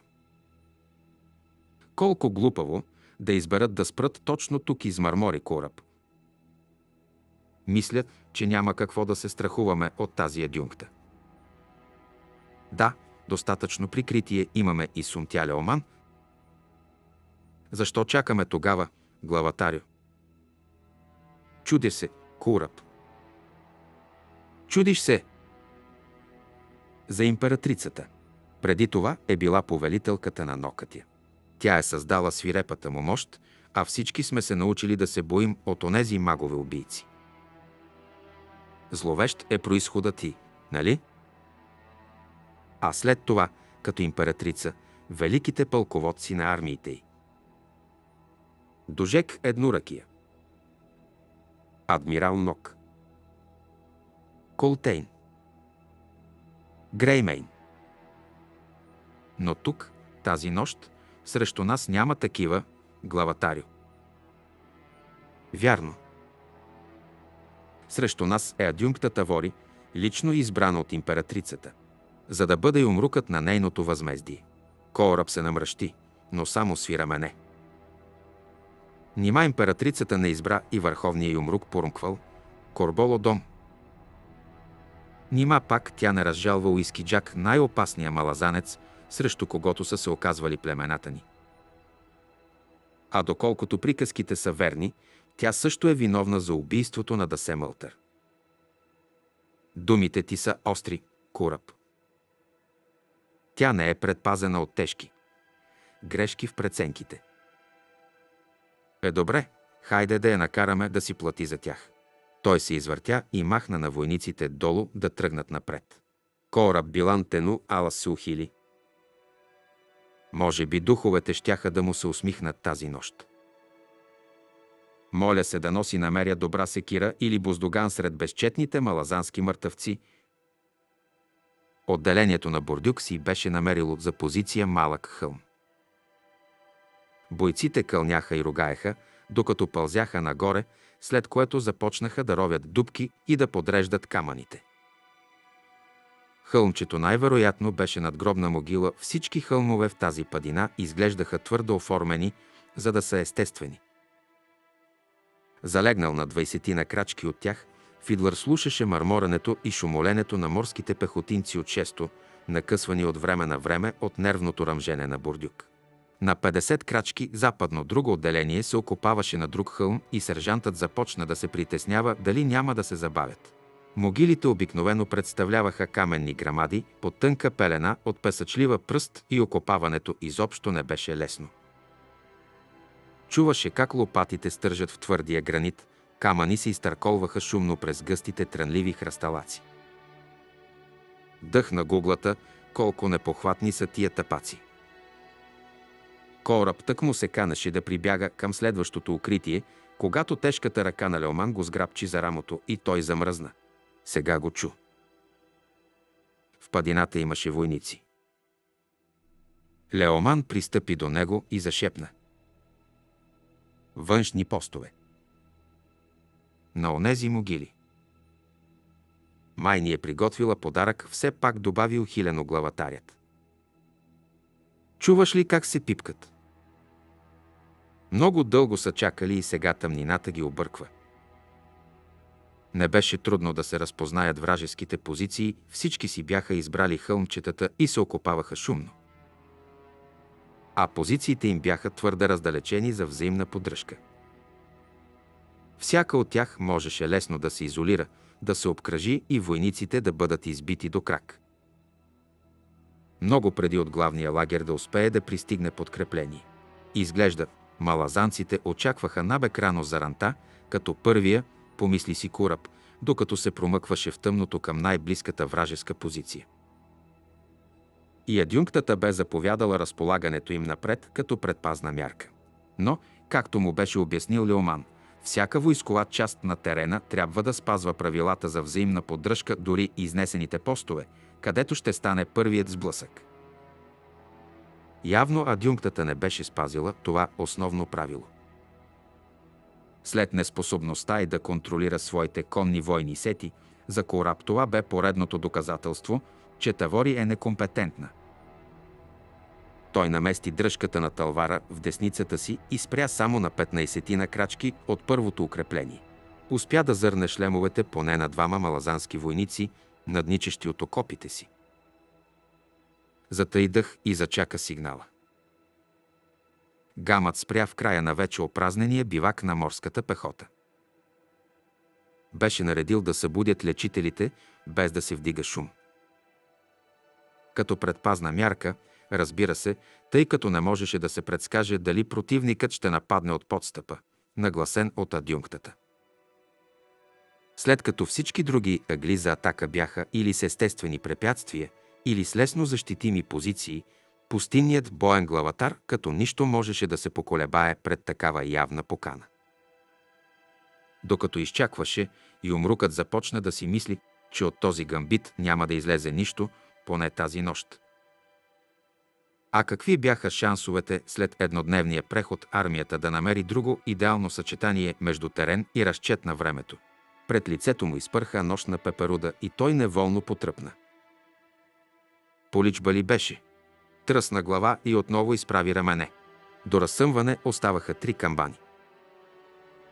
Но връщане не можеше да има, така че бойците от морската пехота щяха да се сменят по фургоните, за да отдъхват в утрешния марш.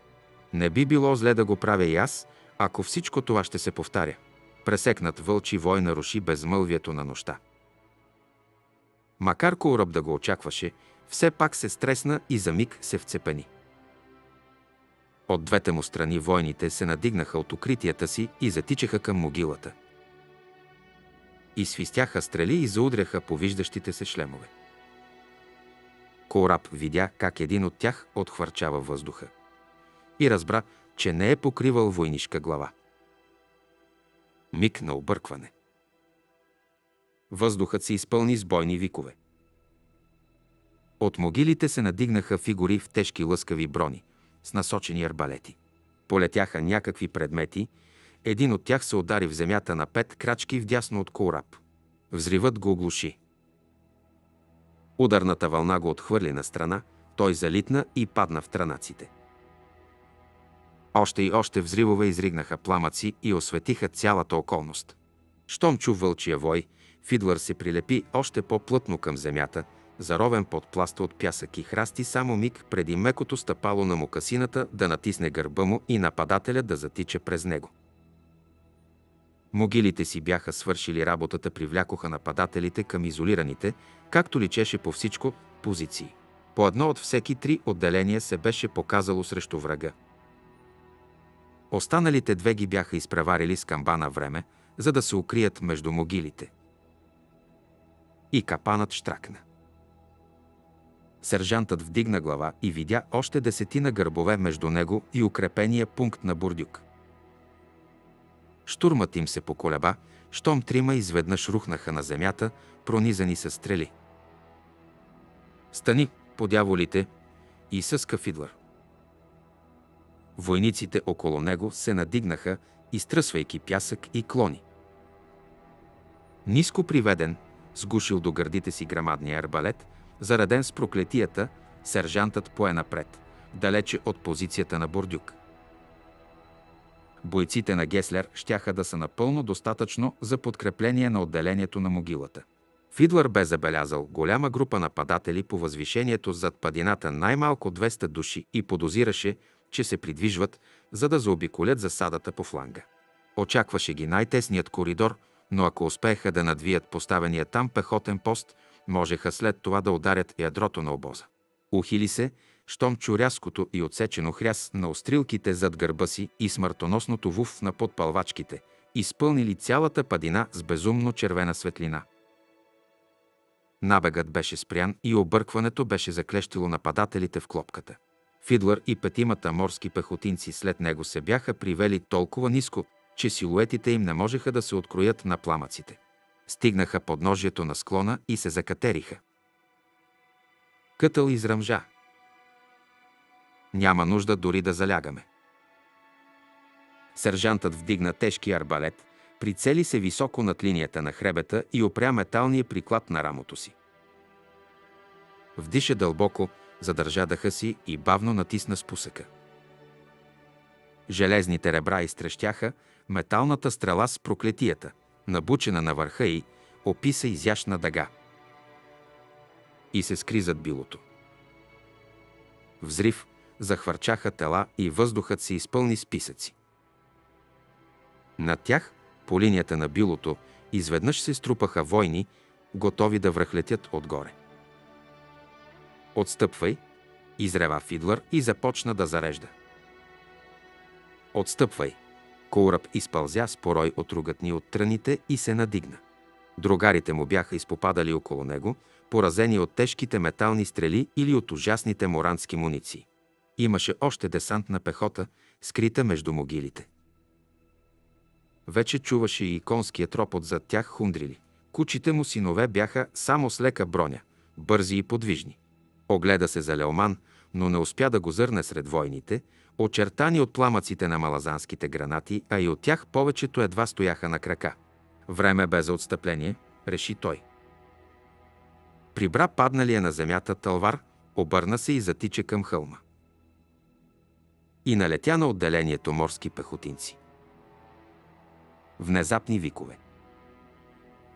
Грамаден войник в униформата на Сети натресе обшития си с кожа щит в лицето му. Пустинният воин залитна, от носа и устата му швирна кръв и той замахна дивашки. Тежкото острие на талвара издрънча в нещо и се прекърши точно над дръжката. Кора прухна на земята. Друг войник пристъпи край него и пусна нещо в скута му. Нов взрив разтърси нощта някъде горе към хребета този път, по-силен от всичко, което бе чул досега. Зашеметен, Кураб се надигна, примига да махне сълзите от очите си и видя изтъркалялата се между краката му глинена топка. От нея се надигна пушек с къща, пенеща се киселина, само капка, която се плъзна напред. Кораб изрева, превъртя се. И напипа захвърлен шлем. Сграбчи го с две ръце, превъртя се обратно към гранатата и я захлупи с бронзовата шапка, след което затвори очи. Докато отделението се оттегляше склонът зад тях се бе превърнал в мешавица от разкъсани тела от втората проклетия на Фидлър, а изгорените сълзи на хундрилите налитаха по фланга на останалите нападатели, кътъл сграбчи сержанта за рамото и го обърна. Копелето, дето го събори Корик, те първа ще се изненада Фит. Фидлър се вторачи в току-що надигналата се малко над тях фигура. Пусна в скута му димяща острилка, добави кътъл. Двамата сапьори спряха и загледаха. 4. Войнат направи ужасяващото откритие и се превъртя на страна. 3. След това отново се превъртя към острилката. 2. Натресе някакъв шлем върху нея. Едно. Взривът изхвърли нещастника във въздуха на цял човешки бой височина над огнения стълб. Но той успя да задържи шлема, превъртя се, зарита дивашки във въздуха и рухна сред облак прах и пушилка. Е, това вече. Но Кътъл не успя да продължи двамата сапьори, само зяпнаха невярващо, когато войнат се изправи, огледа се, грабна някаква захвърлена пика и драсна нагоре по склона. Гамът заби пети в хълбоците на коня и се понесе надолу към падината. срещу позицията, от която бяха настъпили хундрилите. Три групи пустинни войни бяха успели да избегнат огъня на арбалетите и мунициите и да атакуват един от укрепените пунктове. Бяха изтласкали нагоре по могилата и двете скрити отделения и умрукът видя как бойците му влачат ранените си другари назад към окопите. По-малко от 10 бойци от всичките три отделения продължаваха да се бият, задържаха отчаяно връхлитащите скрясъци нападатели. Гамът измъкна меча си и препусна право към обсадената позиция. Видя как двама морски пехотинци паднаха пред връхлитащите пустинни войни. И могилата беше завзета. Маглата, обвила сетивата му, се удвои, той замаха безцелно и уздите в шепата си, смутен и объркан от рева и виковете. Юмрук. Той вдигна мече си. Конят продължаваше в галоп напред, сякаш по своя воля, право към могилата. Юмрук гамът. Дръпнете се оттам. Твърде много викове. Крясъци на умиращи. Пламъците, пламъците загасват. Мракът се спуска. Войниците ми загиват. Навсякъде. Всичко се провали, целият проклет план се провали. Към него тичаха десетина нападатели. И друго движение, там, вдясно. Друго отделение десантчици приближаваха бързо, сякаш бяха тръгнали на помощ към превзети укрепен пункт, но бяха свърнали в посока към него. Не разбирам. Не насам обратно. Вървете натам при войниците ми. Видя как нещо голямо излетя от ръката на един от морските пехотинци и падна между нападащите го пустинни войни. Юмрук. Две пики и свистяха към него. И нощта се взриви. Конят се надигна под него и го изхвърли от седлото. Главата на животното се изметна невъзможно нагоре, продължи да се извива назад и тупна между бедрата на гамът, миг преди той самият да се изтърколи през задницата му и краката му да се изхлузят от стремената. На земята, сред кръвта по песъчливата пръст. Примига, отвори очи и видя, че лежи в подгизнала такал, сред тела и части от тела, в дъното на кратер. Шлема му го нямаше. Мече в ръката му също. Бях. Бях на кон. Нещо се хързулна по брега на ямата и го блъсна в ребрата. Той се опита да залази нагоре, но го свлякоха обратно.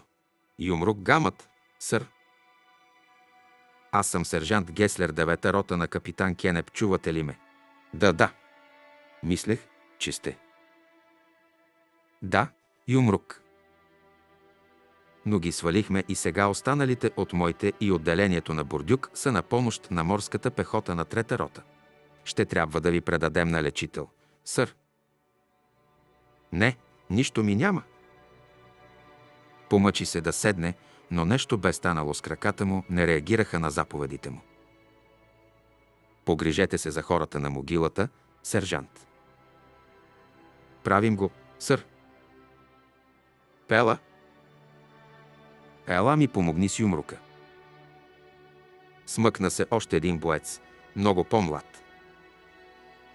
Твърде млад е за всичко това. Ще помоля адюнктата да го върне у дома. При майка му и баща му, да. Не трябва да загине. Не трябва да загинеш. Сър. Само конят му между него и взрива, каза Геслер. Изумял е, пела. Хайде, хвани го под мишницата. Изумял. Не, умът ми е ясен. Вече съвсем ясен. Най-сетне. Твърде млади са за всичко това. Тази война е на Ласин, тя да си я води. Тавори и тя беше дете. Но императрицата уби това дете. Уби го. Трябва да кажа на адюнктата. Фидлър се смъкна изтощен до загасналото вече огнище. Сложи арбалета на земята и отри пота и мръсотията от очите си. Кътъл се отпусна до него. Корик още го боли главата, измърмори сапьорът, но май нищо не му е щупено. Освен шлема му. Да, освен шлема. Единственият скраб за отделението тая нощ, като оставим на страна изгубените стрели. А оня кучи син дори не го убихме. Много гаден си станал, кътъл. Аха, май остарявам вече. До този извод стигнах и аз. Следващия път просто ръга из три зъбеца. Все пак шашнат съм, че остана жив. Гонитбата, предприета от хундрилите, ги беше отвела далече отвъд хълма и онова, което бе започнало като набег срещу малазанската армия, се превърна в племенна война. До разсъмване оставаха две камбани. Пехотата беше тръгнала през низината да събира ранени и стрели и да съблече доспехите от мъртвите малазанци, за да не остане нищо, което врагът да може да използва. Мрачният край на всяка битка, последната милост под покрова на нощта.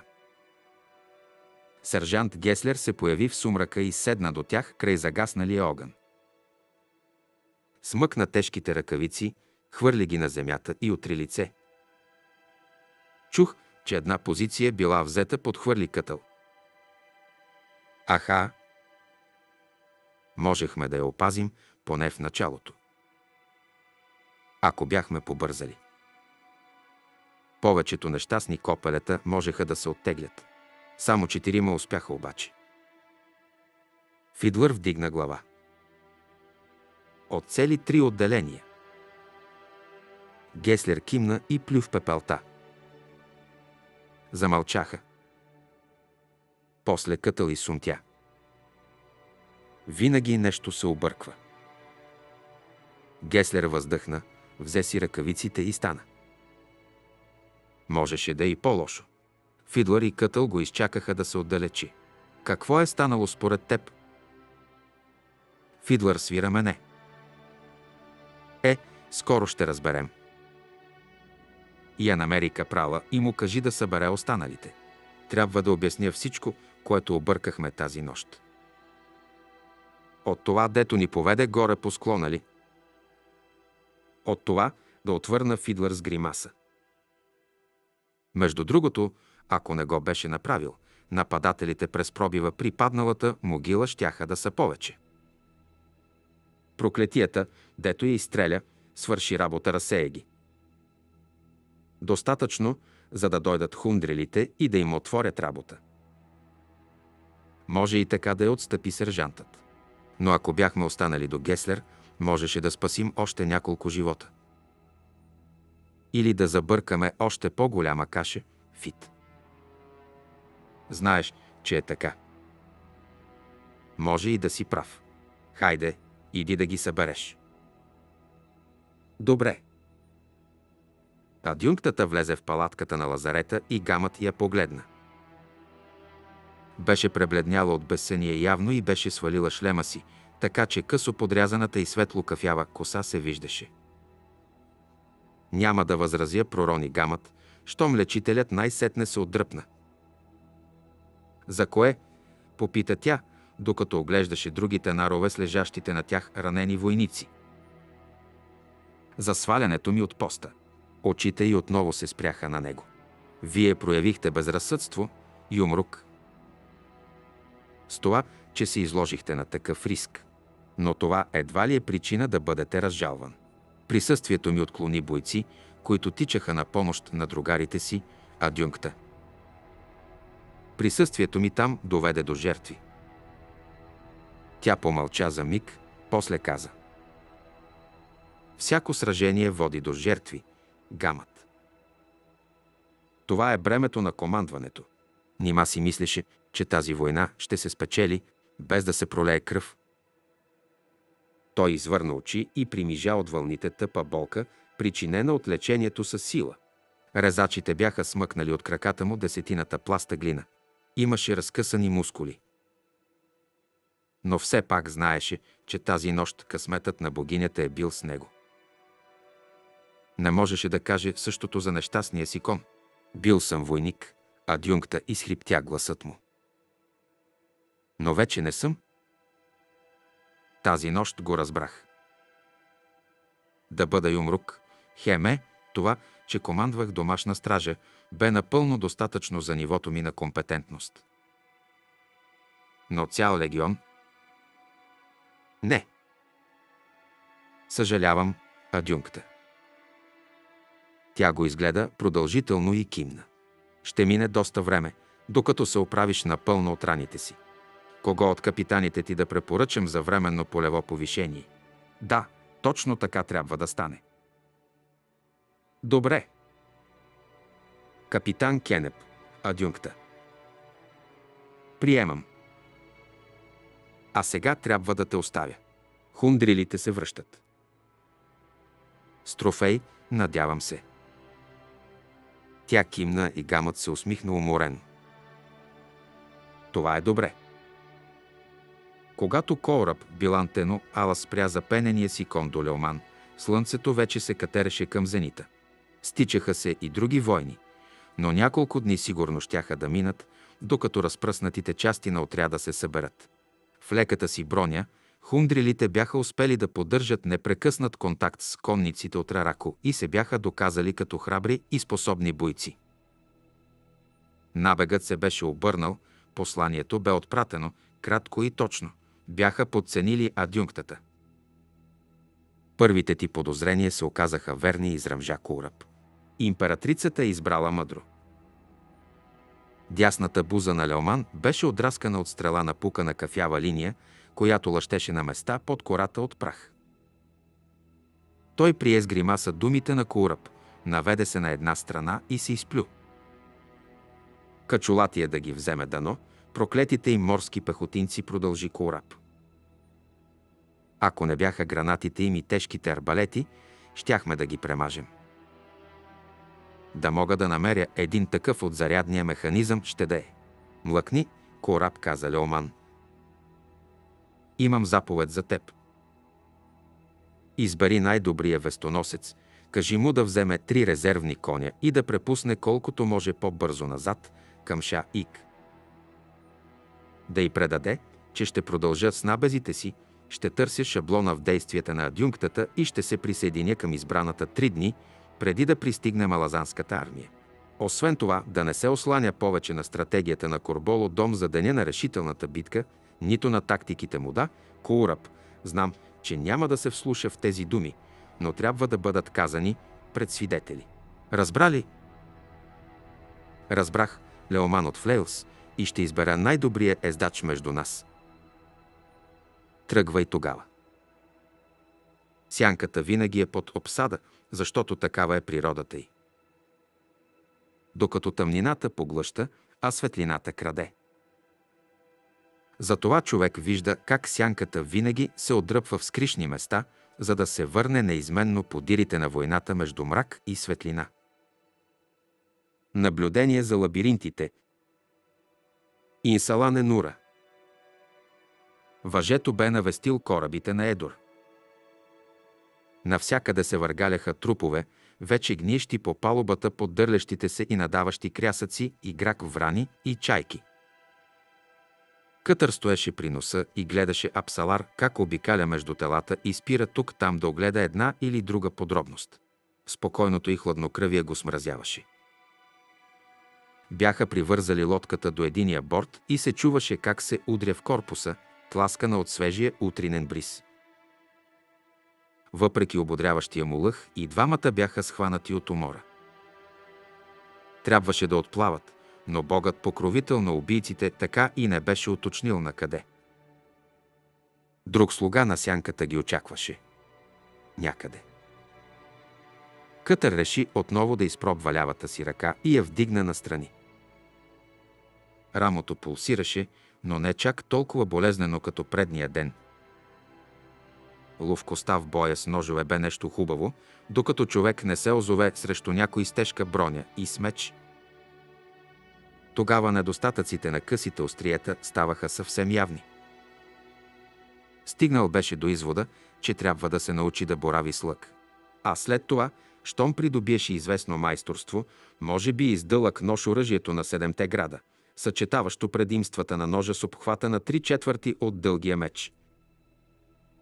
По някаква причина мисълта да използва дълъг меч не му допадаше. Може би защото беше войнишко оръжие, което служеше най-добре в съчетание щит нещо, което щеше да го лиши от лявата ръка, предвид уменията му. Кътър погледна с въздишка към палубата, надви погнусата си и зашари с очи по труповете под птичето гъмжило. И видя лък. Тетивата му беше прерязана, а стрелите лежаха пръснати от колчана, все още вързан на бедрото на мъртвия едур. Кътър пристъпи и се наведе. Лъкът се оказа по-тежък, отколкото изглеждаше, извит с дръжка от рок. Дължината му беше някъде между дълъг лък и къс конен лък, може би просто къс лък за тези едур. Неизвит стигаше до раменете му.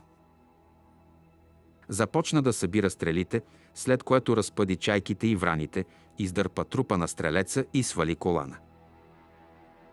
До него намери кесия с намазани с восък жили, пера, няколко топчици борова смола, тънък железен нож и три върха за стрели. Избра една от тетивите и се изправи. Напъха увързания с кожа край в жлеба при основата на лъка, сетне подпря оръжието с дясното стъпало и натисна да закачи и другия. Лъкът се оказа по-здрав, отколкото очакваше. Кътър го вдигна, огледа го още веднъж преценяващо и го изпъна. Дъхът му излезе със съсък между зъбите, докато се мъчеше да задържи тетивата.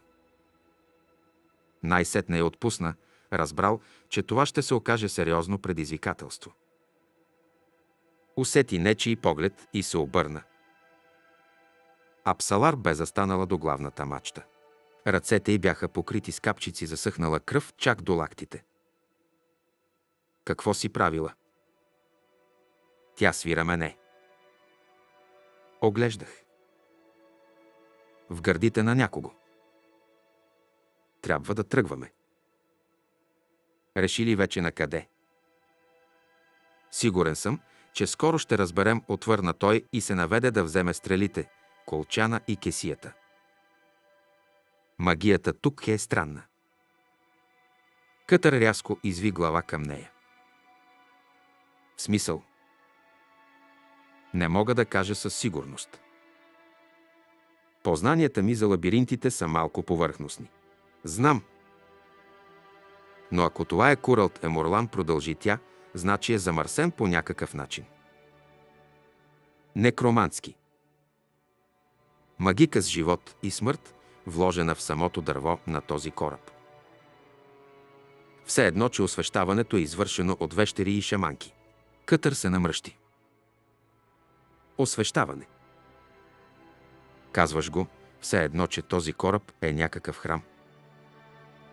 Бил е. И е. Проливането на кръв изобщо не го е осквернило, точно това имах предвид. Изглежда, че и лабиринтите могат да затънат във варварство. В смисъл, владеещите ги могат да повлияят на естеството им. Покойният ми Чичо щеше да намери тази мисъл за възхитителна. Значи не оскверняване, а опетняване. Тя се огледа замислено. Рашан. Минас. Тир. Кътър схвана мисълта й. Смяташ, че всички достъпни за човешките същества магически селения всъщност са опетнявания на древни лабиринти. Тя вдигна ръце. Дори кръвта изгнива. Кътър се намръщи още повече. Не беше много сигурен какво точно има предвид, а и не беше склонен много да пита. По-лесно и по-безопасно му се стори просто да изсумти и да закрачи към парапета. Няма да е зле да се възползваме от вятъра. Стига да си приключила тук. В отговор тя пристъпи към борда и се прехвърли през парапета, спусна се в лодката и зае мястото си на кърмата. Кътър се обърна, за да огледа за последен път. И замръзна.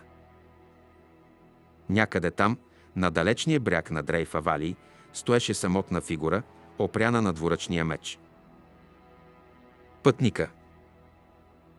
Около него имаше други, наклякали или седнали на пясъка. Шестима малазански войници. Между дърветата зад тях стояха тайст андии, среброкоси и призрачни. Видението се вряза в ума му с толкова хладен допир, че го усети като огън. Той потръпна, с усилие откъсна поглед от брега и бързо се спусна при Апсалар. Намести греблата в скобите и избута лодката от черния корпус на кораба. Мисля, че се канят да завладеят този дромон на Едор, каза Апсалар. А пазенето на трона?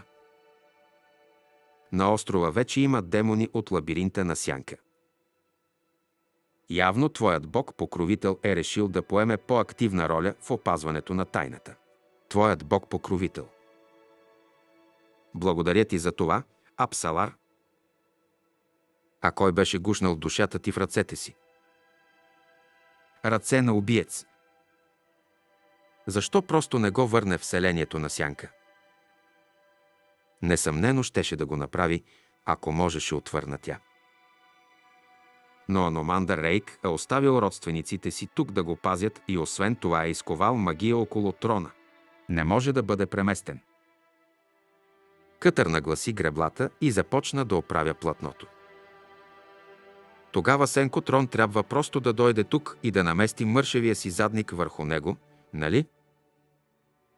Усмивката и никак не му хареса за да не може никой да оспори властта му или ролята му на крал на върховен дом Сянка.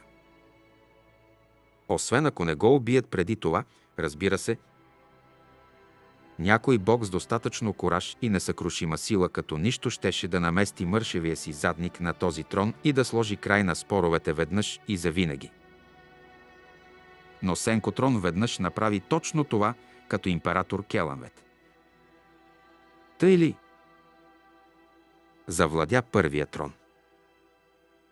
Трона на Талан Имас. Охо! За щастие продължи Апсалар, като Сенко Трон, до сега не е проявявал особен интерес да се възползва от ролята си на император на Талан Имас. Че защо да си прави труда? По този начин той анулира възможността някой друг да намери и заеме въпросния трон – като същевременно обстоятелството, че не го използва самият той, пречи не всеки друг да забележи, че го притежава. Богове, започнах да говоря като круппе. Все едно де. По-скоро изглежда хитрост, отколкото проява на страх. Апсалар го изгледа замислено. Не бях помисляла за това. Прав си, разбира се, в края на краищата разкриването на мощ привлича съсредоточаване на противосила. Изглежда, Сенко Трон се е възползвал добре от пребиваването си в скръбния дом. Повече от Котильон, може би. Да, тактиката на Азад, нали? Отричането обезоръжава. Падне ли му възможност, той сигурно ще се насъди на всеки трон, който му се мерне пред очите, след което, при цялата власт, която е придобил, няма да направи с нея нищо. Нищичко. Очите й бавно се разшириха и той се намръщи. След което сърцето му заби силно. Не. Само се пошегувах. Това не е просто амбициозно. Той не би могъл да го изтръгне от но ако все пак го направи. Всички тези игри на боговете биха се съкратили.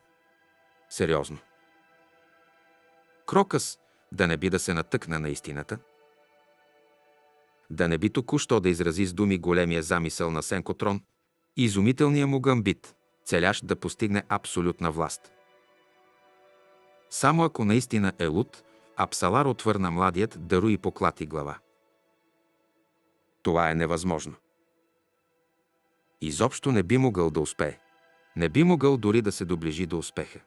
Платното си изпъна и лодката се понесе напред. Танцора и императора ги е нямало цели две години.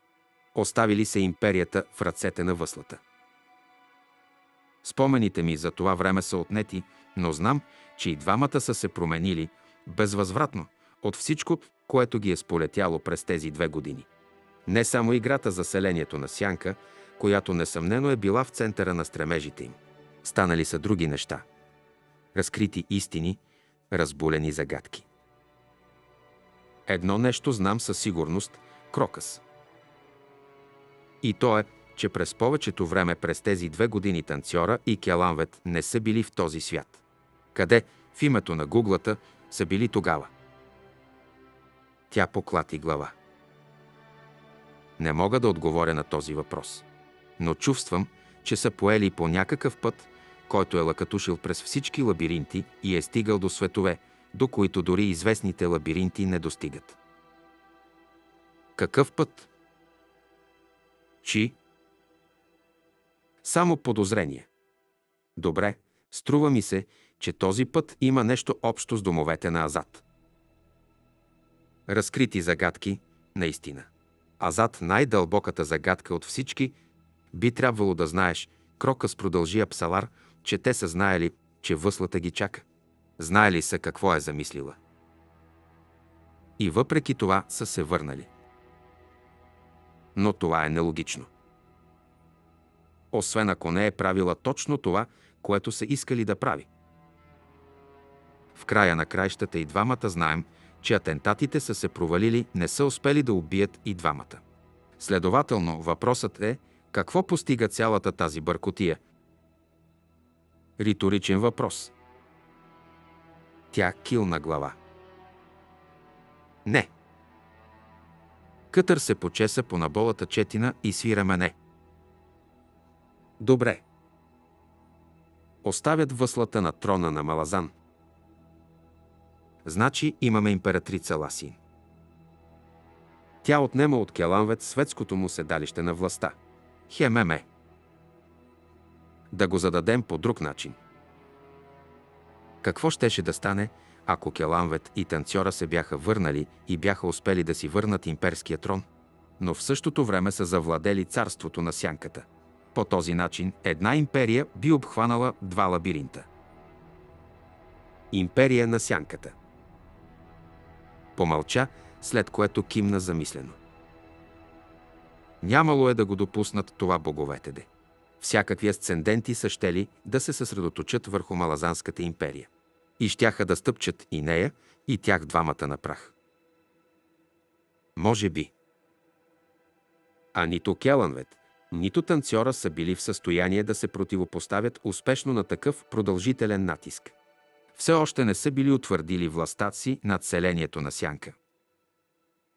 Точно така.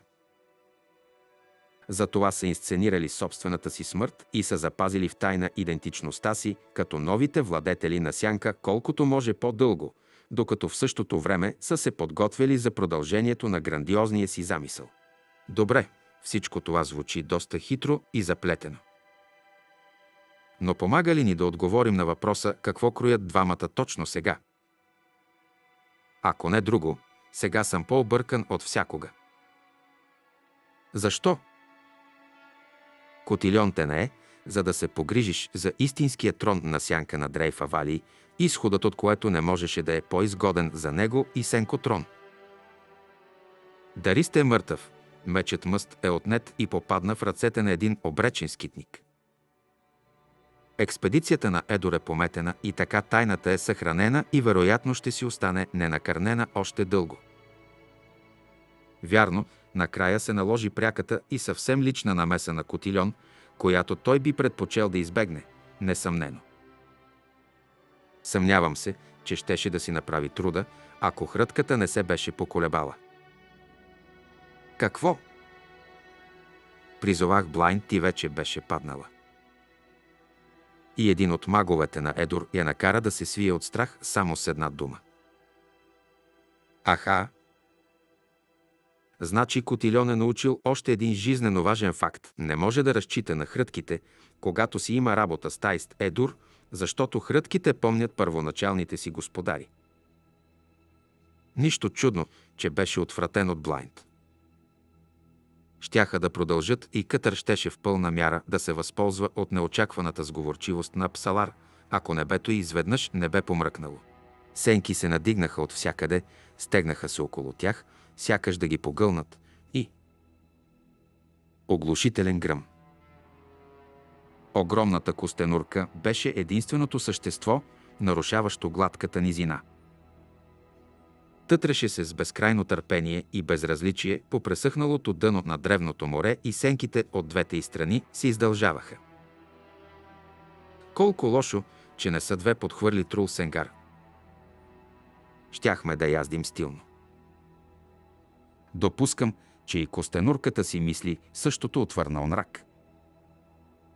Поради което и това дълго пътуване. Истински благородна авантюра, която ме кара да изпитвам известно съчувствие. Родствениците ти липсват, Трул Сенгар, нали? Твърде обща формулировка. Аха, необходимостта от продължение на рода. Едва ли. Потребностите ми нямат нищо общо с раждането на изтърсаци с моята коса, нито суши като моите, боговете да не дават дано. Той почука по прашната коруба на костенурката. Като това създание тук, няма време да мисли за яйца, които дори не може да измъти. Само едно желание, откъснато от времето от онези неприятни последствия, които неизбежно ще дойдат, макар и за да засегнат само девойката Костенурка, на която нашият упорит приятел тук се кани да налети. Те не си налитат, Трул Сенгар. Всъщност актът при тях е доста тромаво усилие. Не са ли всички такива? Собствените ми спомени. Стига, онрак. Мислиш ли, че държа да слушам за мъжките ти подвизи по тънката част? Трябва да знаеш, че все още не съм лягал с жена. Тъй, че освен рехаво въображение в ума ми няма нищо. Спести ми подробностите, моля те. Тълан има с бавно извърна глава. Да не би обичаят на вашия народ да диктува въздържане от подобни дейности преди брака. Да. А при Имас не беше ли така? Е, и при нас беше така. Но обичаят се нарушаваше при всяка възможност. Все едно, както обясних по-рано, имах си жена – която си изоставил, защото си заобичал друга. Изоставил ли Трул Сенгар? Не. Загубих я. А и тази загуба не беше единствена. Загубите никога не са единствени. От думите ти съдя, че си доста млад. Тайст Едор свира мене. Сигурно особено в твоята компания. Тогава да оставим това същество зад себе си, та да не ти напомня за младостта ти. Трул Сенгар го изгледа и се ухили. Добра идея. Забързаха и след няколко крачки задминаха костенурката. След малко Трул Сенгар се обърна и извика. Онрак спря и също погледна назад. Костенурката обръщаше дебелите и крака описваха широк кръг. Какво прави? Най-сетне ни видя отвърнал мрак. Бяга от нас. Е, никаква забава и игри тая нощ. Горкото животно. След време ще реши, че е безопасно да продължи по пътя си Трул Сенгар бяхме само временно препятствие за него. Унизяващо напомняне значи. Както кажеш. Денят беше безоблачен и горещината, вдигаща се от старото морско дъно, се къдреше на вълни във въздуха. На няколко хиляди крачки напред се ширваше тревистата степ на Одана. Покритата с печена сол земя не задържаше следи от преминаване, но онрак засичаше смътни белези, оставени от шестимата ренегати, талан има стук дръскотина, там в длъбнатина от нечия пета. Един от шестимата беше влачил крак, а друг бе прилагал повече тежест на едната страна, отколкото на другата. Всички несъмнено бяха тежко пострадали. Ритуалът, въпреки отмяната на самата клетва, бе оставил от тях утаечна сила, но имаше и още нещо – някакъв смътен намек за хаос от непознати лабиринти или навярно от познати, но изкривени до неузнаваемост. Онрак подозираше, че сред шестимата има и хвърляч на кости. Ола ретил, килава онас, монокочъм, хентосаум, тем бенасто, улпан нодост, тенак нилбае, ай естос, апсинтолай. Гадателите на кости, шаманите на Логрос, Талан имас. Кои от тях са загубени? Килава, разбира се, но това се знае. Хентусъл и Монок учен бяха в Лува. Олар Етил търси другите армии на Талан Имас, защото призивът бе чут от всички. Бенасто и Улпан остават с Логрос. Ай Есто се загуби тук, в Джак Одан, в последната война. Нищо не знам за съдбата на Апсин Тулай. Остава Тенак Илбае, когато Логрос пратиха при Крон да помогне във войните на Ледерон.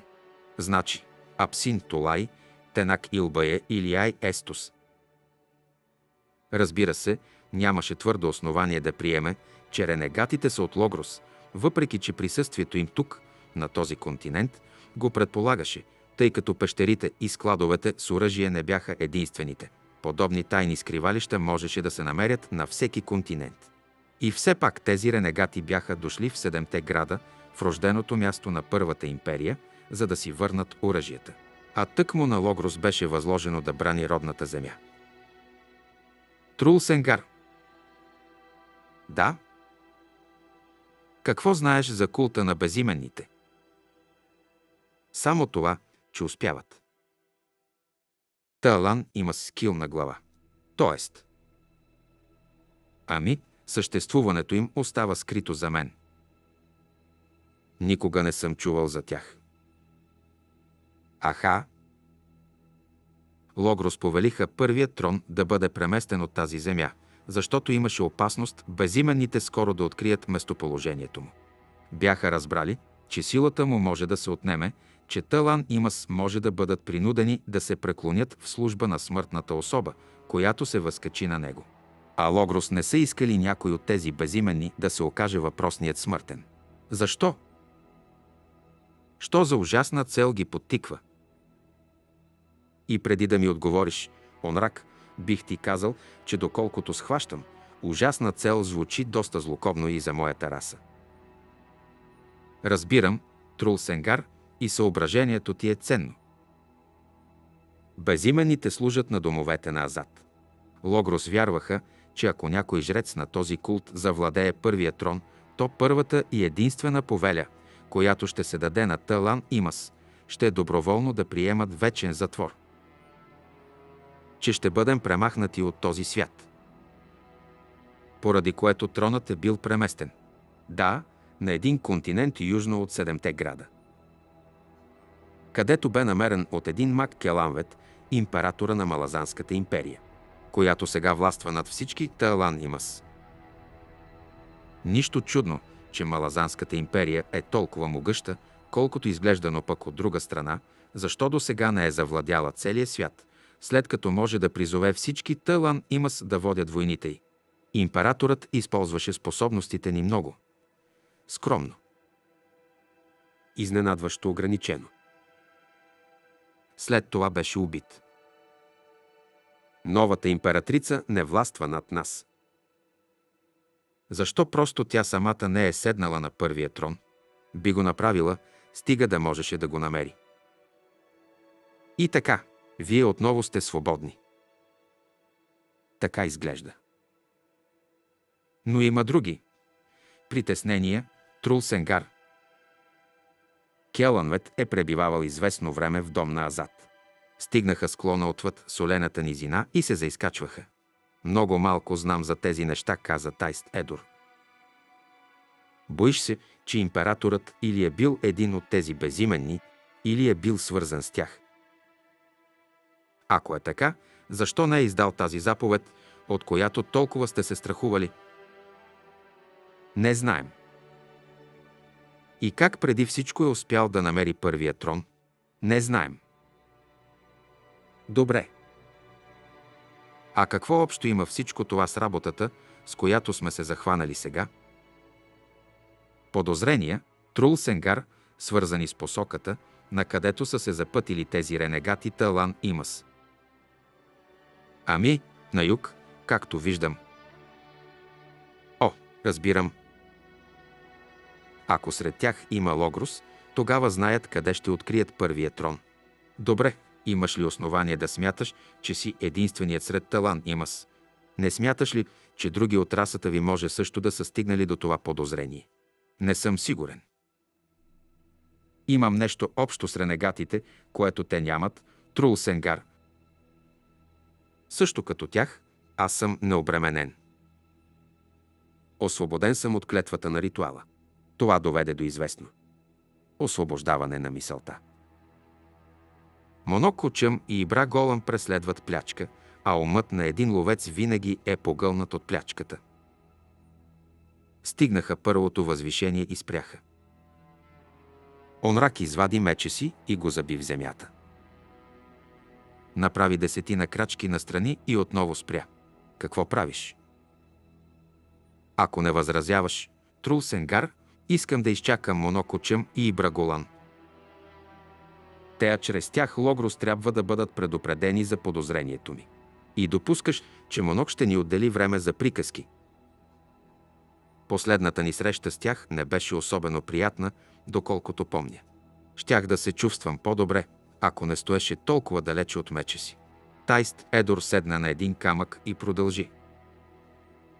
И какво беше онова, дето го направи в пещерата, където действаше ритуалът? Той посочи новата лява ръка на онрак, както и кръпките по разнебитеното му доскоро тяло. Очевидно е. Тая ръка е по-къса от твоята. Забележимо. Нещо ми подсказва, че не е трябвало да правиш. Каквото си направил. Прав си. Или щеше да си прав, ако все още бях обвързан с клетвата. Разбирам. А дали монокочем ще прояви същата невъзмутимост, щом види какво си направил? Едва ли. Не се ли закле, че ще служиш на мен, онрак? Талан Имас вдигна глава. Заклех се. А ако не искам да излагаш себе си и мен, впрочем на такъв риск? Въпросът ти е уместен, Трул Сенгар. Не бях го обмислял. Да те запитам обаче следното. Тези ренегати служат на същия господар като твоя род. В случай, че накарат някой твой ближен да заеме първия трон, налагайки по този начин властта си над всички Талан Имас, смяташ ли, че ще той ще е толкова сдържан с използването на тези армии като император Келанвет? Тайст Едор помълча, след което въздъхна. Добре. Но все пак ме караш да се чудя. Щом като първият трон е толкова уязвим, защо не сте поставили на него някой по ваш избор? Над първия трон може да властва само смъртен. На кой смъртен можем да поверим такава отговорност? Ние дори не избрахме Келанвет, той се наложи сам. Нещо повече. Въпросът може скоро да се окаже несъществен за нас. Таалан и Мас са призовани всички, които са чули призива, все едно дали са обвързани с клетвата или не. В една далечна земя се е появил нов, смъртен гадател на кости. И вие искате той да вземе първия трон. Не. Искаме онзи, който ни призова да ни освободи. Всички. От клетвата – не. От съществуване – Трул Сенгар. Онрак поклати глава. Или за това ще го помолят обвързаните, както очаквам, ако вече не са помолили. Странно, но самият аз като че ли вече не споделям това чувство. И никой друг, който се е освободил от клетвата, не го споделя. В такъв случай струва ми се, че този нов смъртен гадател на кости е в голяма опасност. Поради което и добре пазен. А ти можеш ли да устоиш на неговия призив? Свободен съм. Да избера. Тайст Едор килна глава. Излиза, че ти вече си свободен, онрак. Може би не по начина, по който този хвърляч на кости би ти предложил, но все пак. Да. Но альтернативата, която представлявам аз, е недостъпна за все още обвързаните от клетвата. Да се надяваме тогава, че Моноко Чъм няма да е прекалено злопаметен. Ще видим. Онрак бавно се обърна. От тревите се завихри прах два стълба, в които бавно се въплатиха гадателят на кости, Моноко и водачът на клана Ибраголан. Голан вдигна мече си и закрачи право към Онрак.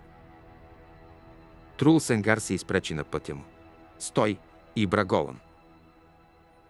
Онрак има информация, която ще искате да чуете. Ясновидец Сумонок учем ти особено, така че спри водача на клана. Първо изслушайте, а после решете дали Онрак заслужава наказание. Ибра Голан спря, отстъпи крачка назад и отпусна меча. Онрак се взря в монокучъм. Макар духовните вериги, които ги бяха свързвали някога, да се бяха скъсали, враждебността на шамана му бе осезаема. Онрак знаеше, че списъкът на престъпленията, на дръзките му деяния бе станал дълъг, а последното, кражбата на телесни части от друг Тайлан Имас, беше най-голямата мерзост, най-ужасното извращение на силите на Телан до сега.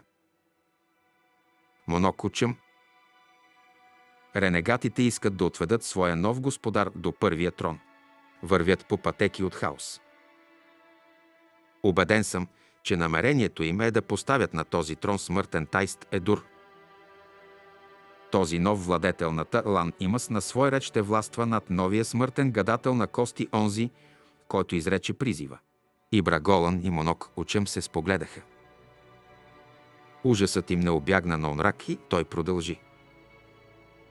Съобщете на Логрос, че аз, Онрак и този, към когото съм обвързан тайст, Едур Трул Сенгар споделяме вашата смъртна тревога. Искаме да действаме в съюз с вас.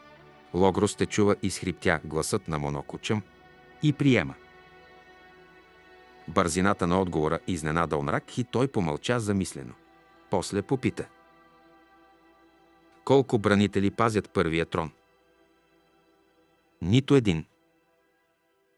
Трул Сенгар се вцепени. Нито един.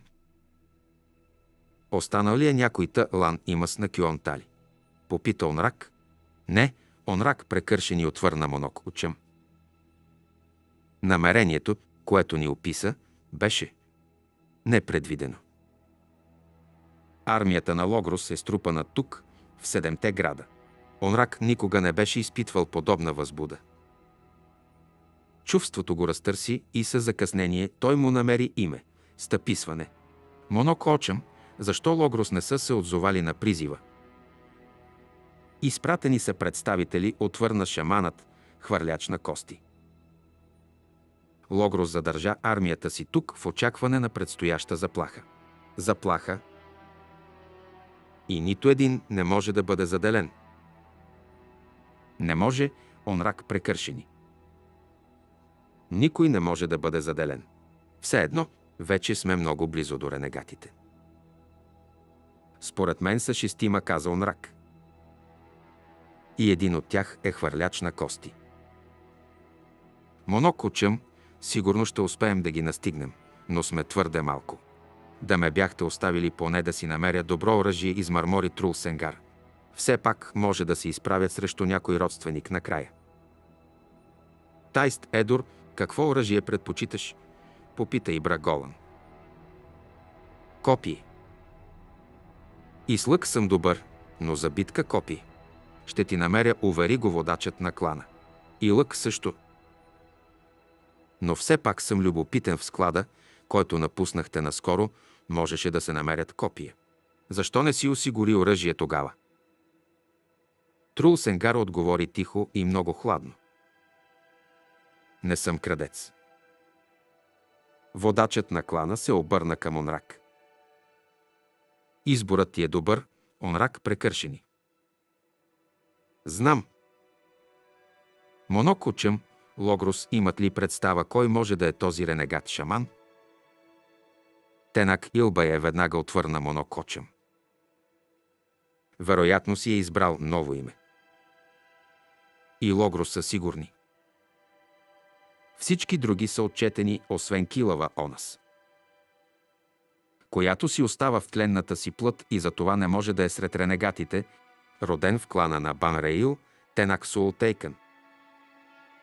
Преди да го изберат за шаман на клана, беше известен като Харан Але, роден в лятото на голямата смърт сред Карибу. Беше верен шаман. Докато не се провали срещу Форкрул Ассаил във войната на Ледерон, прекъсна Гомонок Учъм. Както се провалихме и ние изхриптял мрак. В смисъл. В какво се провалихме? В това, че избрахме да гледаме на поражението като на предателство. Но с тази наша сурова присъда над своите паднали ближни извършихме предателство. Тенак Илбая се постара да изпълни задачата си. Поражението му не беше по негов избор. Кажи ми, кога изобщо сме триумфирали в сблъсък с Форкрула Сейл, така че Тенак Илбая беше обречен от самото начало. И все пак прие това, което му бе повелено.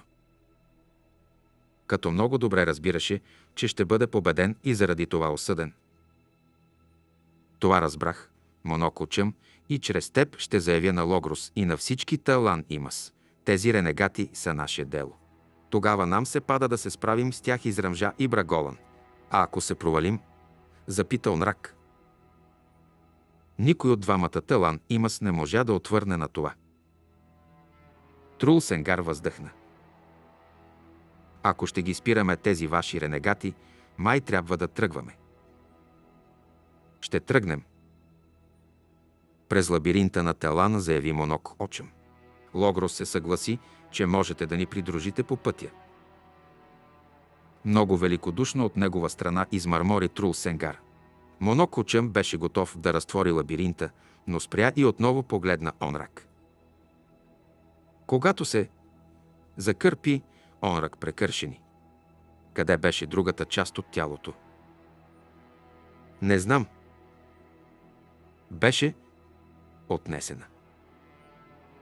И от кого? Обезпокоителен въпрос. Наистина, не зная, монокучам. Но има още една подробност, която ме притеснява. И тя е... Ренегатът беше посечен на две с един удар. Лъкатушещата пътека повела ги нагоре по каменистия склон и беше твърде позната и лостара Юил се намръщи. Перла вървеше на няколко крачки зад нея и мърмореше всеки път. Щом бутушите й откъртеха камък и той се търкуваше надолу. Чу го как изруга, когато един камък изтрещя по край пищяла му и мръщането й преля в зла усмивка. Гланцът на кучия син се пропукваше и разкриваше грозни страни, в които тя намираше повод и за насмешка, и за странно, смътно привличане. Вече бе твърде възрастна, за да мечтае за съвършенство, вместо него бе открила някаква изкусителност в недостатъците, а Перла ги притежаваше в изобилие. Най-много го дразнаше това, че бе отстъпил водачеството, но този терен бе на Лостара, на спомените й. Подът на древния, открит под небето храм лежеше точно отпред мястото, където беше забила стрела в челото на Ша Ик. И ако не бяха онези двама нейни телохранители, особено онзи Тоблакай, този ден щеше да завърши с още по-голям триумф, щом червените мечове се върнаха в Г. Данисбън с главата на Ша Ик, набучена на пика. С това бунтът щеше да приключи, преди да е започнал.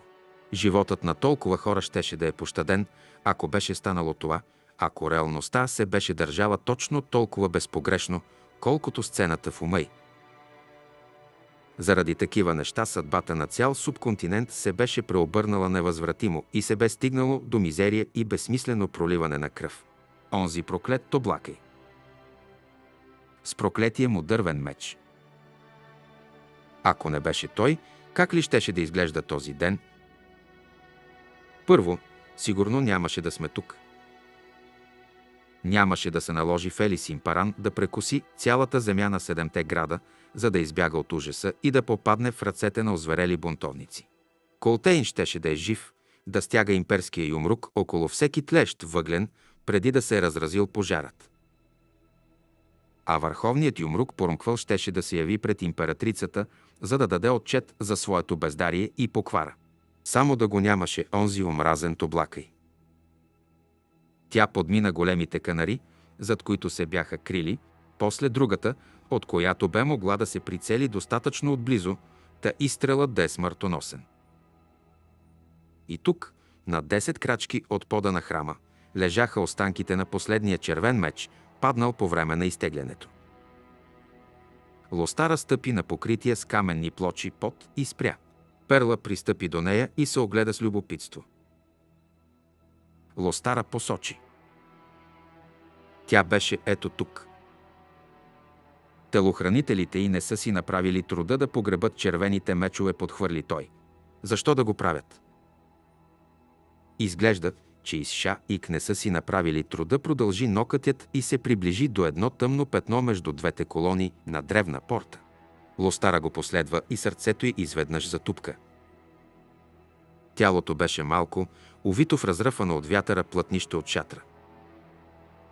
Черната коса беше расла дълго, дълго след смъртта и ефектът след като перла се наведе, дръпна плътнището и откри със сухреното лице и черепа бе ужасяващ. Дупката, пробита от стрелата в челото й, откриваше череп, пълен с навят от вятъра пясък. Още ситен пясък беше запълнил очните кухини на трупа, ноздрите и зейналата уста. Рарако си взима своето промълви перла. А сигурна ли си, че това е Ша Ик, скъпа? Тя кимна. Книгата на Дрижна й беше предадена, както обясних. Връчиха я в ръцете й. От което, според пророчеството, трябваше да стане прераждане, а то на свой ред да предизвика вихара апокалипсиса. Бунта. Опиши ми още веднъж телохранителите й. Един тоблакай и онзи, когато знаят като Леоман от Флейлс. Най-личните телохранители на Ша-Ик. И все пак, изглежда, бунтът не е имал нужда от Ша-Ик, нито от вихара. Той вече е бил в ход, когато Фелисин е пристигнала тук. Следователно, какво е станало в този момент? Да не би да намекваш, че тези телохранители просто са. Чекали. Тук. Какво са чакали? Лостара свира мене. Прераждането може би. Красотата на пророчествата е в това, че са отворени за безброй реинтерпретации според случая. Глупаците просто са чакали и чекали. Намръщен, Перла се изправи и се огледа. Но прераждането все пак се случи. Вихърът се вдигна, за да даде фокус да осигури яростното сърце на бунта. Всичко стана точно така, както беше предречено. Чудя се. Лостара го изгледа изпод спуснатите си клепачи. Призна, че в жестовете му има някакво изящество. Елегантност, която можеше да мине за женствена, стига да не беше толкова смъртно опасен мъж. Като кобра, спокоен и издържан.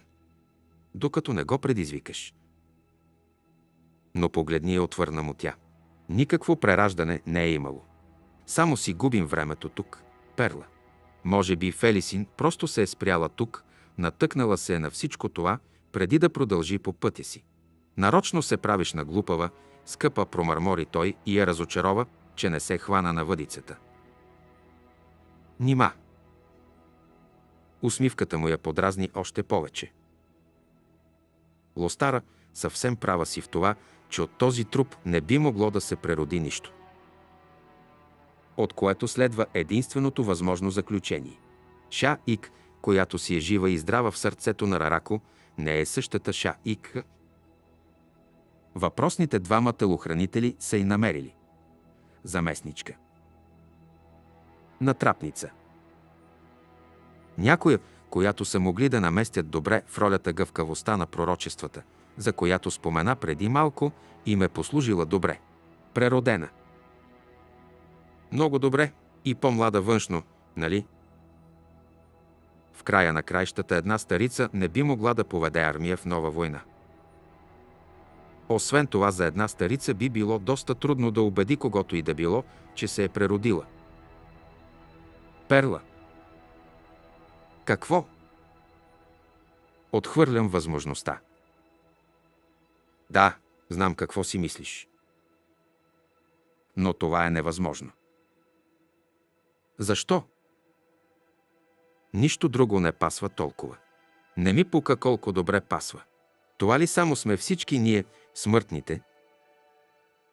Жертви на извратена ирония, предизвикващи на смешливия грак на безумни богове. Грак на врани, грак на богове, образът ми харесва, мила. Колкото до извратената ирония, по-скоро изтънчена ирония. Не допускаш ли, че Фелисин би се вкопчила в такава възможност да се окаже прекият инструмент за отмъщение срещу сестра си? Срещу империята, която е изпрати на каторга. Съдбата може да ти се предложи сама, но все пак всяка възможност трябва да се прегърне съзнателно и жадно. Съвпаденията във всичко това не са били толкова въпрос на случайност, по-скоро на временно съчетание на желания и нужди. Трябва да се върнем при адюнктата, заявило Стара. Уви, вихърът е между нас и нея. В тази сфера на сила не мога да използвам лабиринти, за да ускоря пътуването ни. А твърде много време ще загубим, ако я заобиколим. Не се бой, ще успеем да стигнем на време до Тавори с ужасното си разкритие. Но ще трябва да минем през вихара, през самата Рарако. При това кротичко, внимателно. Ако ни разкрият, ще е фатално. Доволен си от това, нали? Очите му се разшириха изражение, което твърде много бе започнало да й допада, осъзна тя с раздразнение. Не е честно, скъпа моя лостара Юил. Доволен съм, че загадката бе разгадана, че задачата ни да разберем каква съдба е сполетяла Фелисин е изпълнена. Доколкото можем да съдим до тук, разбира се. А намерението ти да издириш водача на ястребовия нокът. О, мисля, че и в тази област скоро ще получа удовлетворение. Всъщност, нещата започват да се съчетават чудесно – Видя ли? Знаех си, че си доволен. Той разпери ръце. Е какво сега? Да изтързая плата си със самобичуване ли искаш? Тя вдигна вежда, при което очите му подозрително се присвиха за миг, след което той продължи. С тази мисия почти приключихме, момичето ми. И много скоро ще можем двамата да си седнем в някоя прохладна шетричка – с бокалите и студено вино в ръце и блажено да си разсъждаваме над безбройните открития, които сме направили. Търпение нямам сухо измърмори тя и скръсти ръце. Той се извърна към вихара. Бесният ураган стигаше до небесата, въртеше с грохот нагоре безкраен порой от прах. Разбира се, най-напред ще трябва да преодолеем защитите на богинята, незабелязано. Твоята кръв е пардю, на теб тя няма да обърне внимание. Аз, от друга страна, съм четвърт тайст Андии. Лостара се сепна. Нима. Изненадан, той я погледна през рамо. Не знаеш ли? Майка ми от Дрейв Авалии, белокоса красавица, така поне са ми разправили, защото нямам преки спомени, оставили са ме с баща ми веднага, щом са ме отбили. Въображението й оформи картинка с перла, сучещ от майчина гръд и я досмеша. Значи си се родило живичко. И се усмихна на обиденото му мълчание. Поеха надолу към падината. Свирепата буря на вихара ревеше несекващо, издигаше се като безкрайна кула пред тях. Свечеряваше се. Храната им бе привършила, но запасите им вода бяха предостатъчно, след като ги попълниха от извора близо до рухналия храм. Ботушите на лостара се бяха пробили, а мокасините на перла вече приличаха на дрипи. Шевовете на дрехите им се бяха раздрали под неумолимия зной на слънцето. Кожата се беше напукала, желязото бе ръждясало след мъчителния им преход през лабиринта Тирлан. Чувстваше се изтощена и съсухрена. Знаеше, че изглежда поне с 10 години по-стара. Поредната причина да изпитва ту гняв, ту отчаяние, щом погледнеше здравото, гладко лице на перла и странно дръпнатите му очи, толкова светли и бистри. Толкова леко стъпваше, че и се искаше да го удари по главата. Как смяташ да избегнеш вниманието на вихара, перла? Попита тя, докато приближаваха пясъчния вал. Той свира мене. Имам си план. Може да подейства, може и да не подейства. Като повечето ти планове. Кажи ми тогава каква рискована роля си предвидил за мен. Рашан, Тири Минас, отвърна той. Вечната война. Този фрагмент от лабиринт пред нас не е напълно разбран от самата богиня. Нищо изненадващо едва ли е била нещо повече от леко полъхващо духче. Аз обаче го разбирам. Във всеки случай по-добре от нея. Можеш ли поне веднъж да отговориш точно? Боли ли те? О, лабиринтите мокра, рашаниум толс фелак, от които идват всички болешки под коляното. Е, добре. Добре. Смятам да се крия в сянката ти. Хеме, вече съм свикнала с това. Перла. Но съм длъжна да отбележа, че тази стена на виха разкрива напълно светлината на залеза. Вярно, но тя все пак съществува. Просто ще трябва да стъпвам внимателно. Стига, разбира се, да не правиш никакви резки, неочаквани движения. Такава мисъл още не ми е хрумвала в компанията ти, Перла. А, това е добре. Аз обаче, от своя страна, се чувствам длъжен да изтъкна, че непрекъснато се мъчиш да разпалваш известно напрежение между двама ни. Твърде «а», непрофесионално. Странното е, че като че ли това се усилва с всяка обида, която ми нанасиш. Странна форма на флирт. Флирт. Проклет глупак. Много по-щастлива ще съм да видя как оная проклета богиня ще те напердаши хубаво, поне заради удовлетворението, което ще получа. Точно за това говорех, скъпа.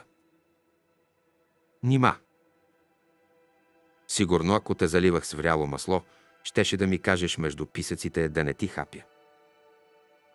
Млъкна и зъбите изкръцнаха. Перла благоразумно си замълча. Да, ще го фрасна. Искам да те убия, Перла. Знам. Но за сега ще се задоволя с това, че ще си в сянката ми. Благодаря. А сега просто продължи напред, лекичко и ситно. Право през стената от пясък. А, и не забравяй да примижиш хубаво, не бих искал тези прелесни прозорчета от пламък да пострадат. Беше очаквала да срещне отпор, но проникна без никаква съпротива. Шест стъпки в непрогледан охрен свят, после навън, в опърлената от зноя равнина на Рарако и тя примига в мъгливата светлина на привечерта. Още четири крачки и стъпи на нагорещена скала. Обърна се. Усмихнат, Перла вдигна ръце с дланите нагоре. Бе на крачка зад нея. Тя пристъпи към него, едната й ръка в стоманена ръкавица се пресегна и го хвана за тила, другата се спусна много по-низко, докато устата й се притискаше в неговата. След няколко мига си разкъсваха дрехите. Без никаква съпротива. На по-малко от 4 левги на югоисток вече се здрачаваше Калам Мекхар, изведнъж се събуди, плувнал в пот. Тързанието на сънищата все още отекваше в душата му, макар съдържанието им да му обягваше. Пак онази песен. Струва ми се. Извиси се до рев, стиснал все едно гърлото на света. Той бавно се надигна и примижа от болешките в схванатите мускули и стави. Това, че се беше сврял в тясната сенчеста цепнатина, не му донесе облегчителен сън. А и гласовете в песента, чужди и същевременно познати. Като на приятели, които и една дума не са изпели в живота си. Нищо, което да утеши душата, не, в тези гласове имаше зов за война. Вземеха и пи, за да отмие от устата си вкуса на прах, после провери оръжията и снаряжението си. Когато свърши, сърцето му се беше успокоило и ръцете му бяха престанали да треперят. Не допускаше, че богинята на вихара ще засече присъствието му, след като при всяка възможност бе продължавал по пътя през сенките. А и знаеше, че в известен смисъл самата нощ не е нищо друго, освен сянка. Стига да успееше да се крие добре денем. Очакваше да стигне до стана на ша ик незабелязан. Нарами турбата и тръгна. Звездите едва се виждаха в небето през гъстата прах. Рарако, колкото дива и пуста да изглеждаше на пръв поглед, беше прорязана от безброй пътеки.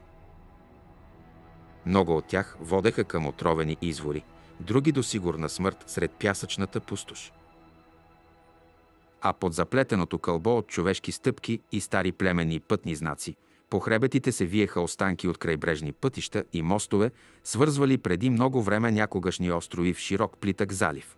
Калам продължи в лек бяг през осеяната с камъни падина, където няколко кораба дървото се бе вкаменило и те наподобяваха скелети във вечерния сумрак, бяха разпръснали отломките си по спечената глина. Вихърът беше вдигнал покривалото на пясъците и бе оголил праисторията на Рарако, отдавна изгубените цивилизации, преживели хилядолетен мрак. Гледката внушаваше смътно безпокойство и сякаш отново нашепваше за кошмарите, обсебили съня му. И проклетата песен под краката му пръщяха кости на морски същества. Вятър нямаше и въздухът беше свръхестествено стихнал. Стотина крачки напред земята отново се издигаше към разнебитен древен път. Калам погледна към хребета, замръзна за миг, после бързо се хвърли на земята, стиснал дългите ножове. По стария път крачеше войнишка колона. Бойците вървяха с наведени глави и носеха ранените си другари, пиките им се поклащаха над тях и остриетата проблясваха в полумрака. Бяха около 600 души. На една трета от челото на колоната се издигаше штандарт скелет от гръден кош, закрепен на върха на дълъг прът. Ребрата бяха свързани с ремъци, а вътре имаше два човешки черепа. Надолу по дръжката се спускаха дълги рога, чак до стискащите я бели ръце на знаменосеца. Войниците крачеха безмълвно. Дъх на гуглата. Това са призраци. Убиецът бавно се изправи. Изкачи се безшумно по склона и застана край пътя като човек, привлечен от гледката на маршируваща войска, а войниците се заточиха покрай него, тези от към неговата страна бяха толкова близо, че можеше да се пресегне и да ги пипне, стига да бяха от плът и кръв. От морето излезе. Калам се сепна. Езикът бе съвсем непознат, ала все пак го разбра. Погледна през рамо. Прекосената току-що от него падина беше пълна с блещукаща под звездната светлина вода. Сред вълните, на стотина разтега от брега, имаше пет кораба. Три бяха обгърнати от пламъци и разсеха пепел и отломки. От другите два единият потъваше бързо, а последният изглеждаше безжизнен, труповете бяха разхвърлени по палубата и висяха от такелажа. Войник. Убиец. Много призраци по този път, приятели. Не ни ли преследваха достатъчно? Да, Десимбелакис хвърля по нас безброй легиони и колкото и да избием, първият император намира все нови и нови. Не е тъй, Кулсан. Петима от седемте регенти вече ги няма. Това нищо ли не означава? И шестият едва ли ще се съвземе, след като прогонихме черния звяр.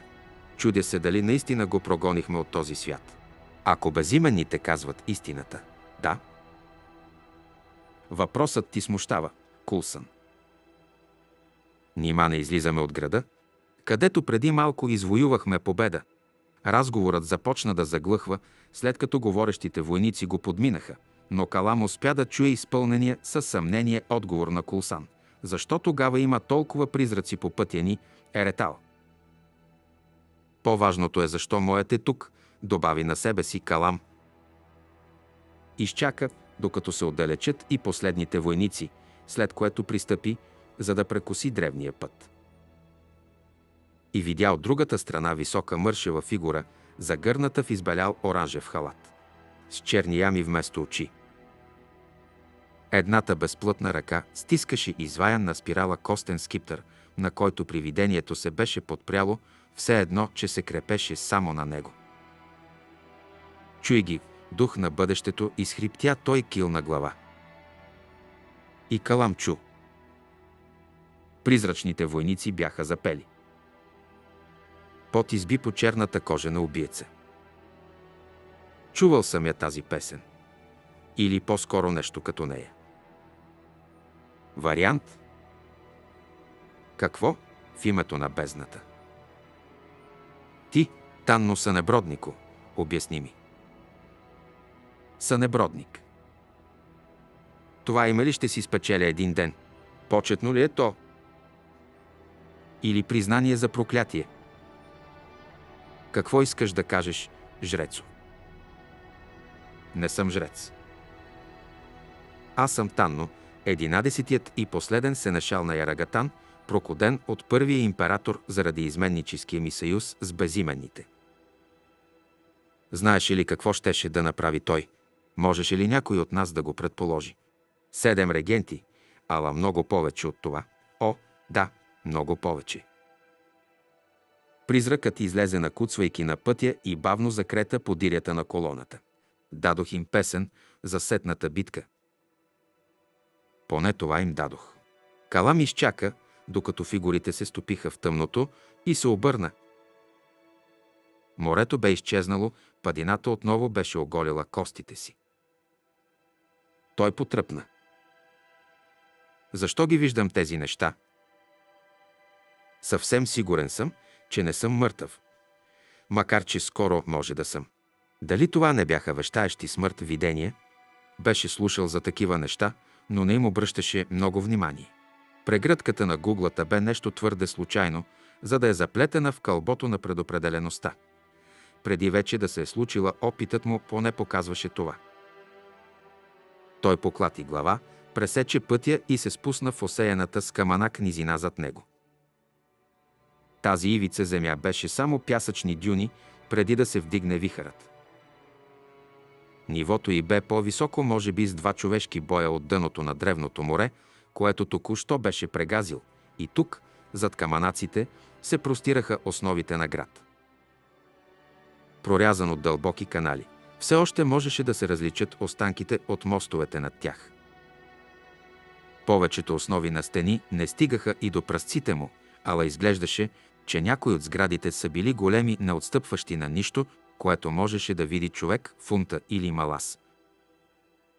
От древните щерни бяха останали дълбоки ями. В тях се беше събирала водата от другата страна на крайбрежния път, обезсолена в съседните солници. Останките от изкуствени тераси говореха за някогашни градини. Калам тръгна между развалините и скоро се озова на някогашна главна улица, изпъната на север и юг. Теренът под краката му беше застлан дебело с глинени чирепи, остъргани и огладени от пясък и сол. И сега самият аз съм като призрак, последният, който върви по тези улици. И всички стени са прозрачни и всяка тайна оголена. В този миг чу конете. Затича към най-близкото укритие, стълбище, водещо към някогашния подземен етаж на масивна сграда. Тропотът на копитата се усили, първият ездач се появи пред очите му и убиецът залегна. Пардио! Дръпна юздите и огледа предпазливо с готови за бой оръжия. Последва жест. Появиха се още четирима пустинни войни. След тях още един пардио, явно шаман, заключи калам по дългата му рошева коса, фетишите и опърпаното на метало от козя кожа. Очите му светеха диво, сякаш с някакъв вътрешен огън. Шаманът извади изпод на металото си дълга кост, размаха я в кръг над главата си, после подуши въздуха. Калам бавно измъкна двата си дълги ножа от каниите. Шаманът изръмжа нещо, завъртя се на високото седло и се смъкна тежко на земята. Май си изкълчи глезена и в следващите няколко мига коцукаше в кръг и сипеше проклятия и слюнка. Войните му скочиха от конете си с лекота и Калам успя да види, че един от тях се хили. Шаманът все така тъпчеше в кръг, замърмори нещо, от време на време подръпваше чорлавата си коса. И в тези му движения Калам видя началото на ритуал. Нещо му подсказа, че тези мъже не са от армията на апокалипсиса на Ша Ик. Много по-прикрити и коварни му се сториха. Бавно прибра дългия от атаралски нож в канията и се отпусна в дълбоката сянка зад стълбите, за да изчака. И да види. Марморенето на шамана преля в тих монотонен ритъм. Той бръкна в кожената турбичка на колана си, извади някакви малки неща и започна да ги пръска, докато обикаляше в безкрайния си кръг. Черни и лъскави, нещата запръщяха и заподскачаха по земята като разпръснати от огнище въглени. От ритуалния кръг лъхна пърлива миризма. Калам така и не разбра дали случилото се след това бе преднамерено. Но краят му със сигурност бе неочакван. Тежко надвисналият над улицата мрак сякаш се загърчи и избухна. И писъци раздраха въздуха. Два огромни звяра връхлетяха върху войните. Сякаш се беше въплатил самият мрак, само лъскавината на гладките им кожи издаваше присъствието им. Зверовете се движеха мълниеносно сред швирналата кръв и пръщящите кости. Единият скочи срещу шамана и той изкрещя. Огромната черна глава се люшна настрани и главата на шамана потъна в зейналата и паст. Челюстите се затвориха с влажно пръщене. Хрътката беше точно това, осъзна Калам разтърси глава и обезглавеното тяло на шамана тупна на земята. Другата хрътка ръфаше труповете на войните. Чуваше се пръщене на чупещи се кости. Че бяха хрътки, спор нямаше. Но не бяха хрътките на сянка, разбра Калам. Най-малкото бяха по-големи повече мечки, отколкото кучета. При все това, докато пълнеха коремите си с суровата човешка плът, движенията им бяха гъвкави и изпълнени с първично, гибелно изящество. Не изпитваха никакъв страх и бяха свръхуверени, сякаш това чуждо място, където бяха дошли, им беше толкова познато, колкото родните ловни полета. Той настръхна. Лежеше съвсем неподвижен, затаил дъх, сърцето му биеше съвсем бавно. Нищо друго не му оставаше, поне докато чудовищата не се махнаха. Но те сякаш не бързаха и двете почнаха да цепят с зъби дългите кокали и да смучат костния мозък. Гладни са проклетниците. Интересно откъде дойдоха. И какво ще правят сега? После едната хрътка вдигна глава и подуши. Изръмжа дълбоко и се надигна. Другата продължи да чупи с зъби едно коляно, безразлична като че ли към онова, което бе разтревожило първата. Дори когато звярат се обърна и се вторачи право натам, където се беше присвил Калам. Изкочи. Калам побягна и хвърли зад себе си шепа опушени диаманти от личния си запас, не на изкарал пъст. Дългите ногти задращиха зад него и той се хвърли на земята, претърколи се и хрътката профуча над мястото, където беше само допреди миг. Другият звяр все така безразлично чупеше коляното. Калам лапна свирката и пръсна последните диаманти между себе си и нападащата го хрътка. И свири, колкото можеше по-силно. От камъните изникнаха пет демона. Азалани. Нямаше нито миг на объркване, трима моментално се хвърлиха срещу нападащия звяр, а другите двама закрачиха сред мъгла от бясно движещи се крайници към хрътката, останала на улицата. И тя най-сетне вдигна глава. Колкото и любопитен да беше предстоящият сблъсък, Калам реши да не губи време. Прескочи основите на стената, заобиколи ямите с черни дена и хукна към по-високия терен на 1500 крачки пред него. Ръмженето, воят, трясъкът и стърженето на камък му подсказаха мащаба на битката, развихрила се на улицата зад него. Моите извинения, Сенко Трон. Но се надявам, че поне един от демоните ти ще доживее достатъчно дълго, за да се измъкне.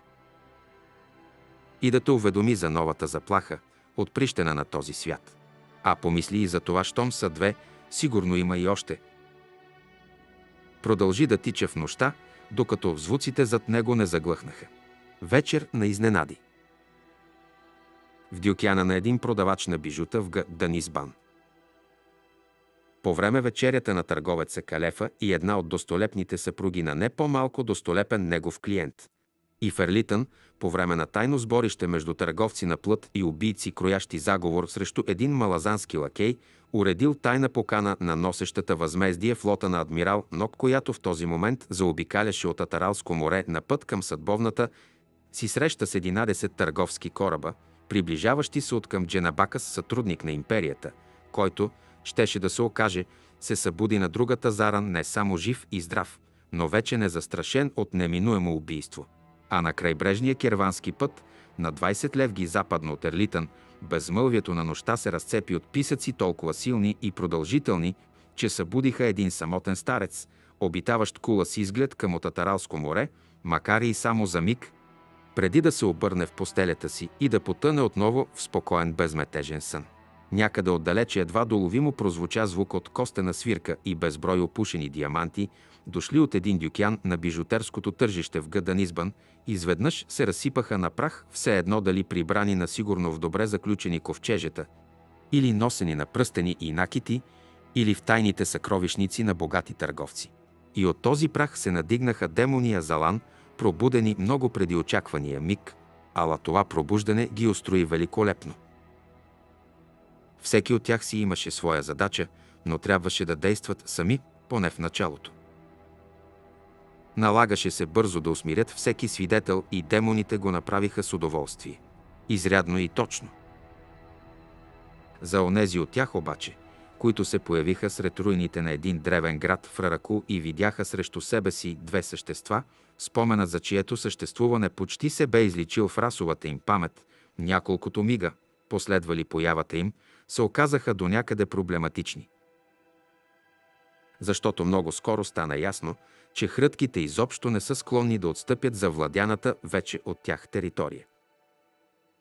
Битката беше свирепа и свърши незадоволително за петимата Азалан. Те бяха отблъснати и плувнали в кръв. Хукнаха да подирят най-дълбоките сенки, в които да се скрият от настъпващия ден. Да се скрият и да ближат раните си. А вселението, известно като сянка, един бог седеше вцепенен на своя ефимерен трон. Вече се бе съвзел от стъписването и умът му препускаше бясно. Бясно. Трясък на разцепено дърво, счупена мачта, повлякла със себе си въжета и платно, сблъсък, който разтърси целия съд, след което звук от плискаща се вода по каменен пот. Кътари стена и смъка се изправи. Апсалар? Тук съм. Гласовете им екнеха.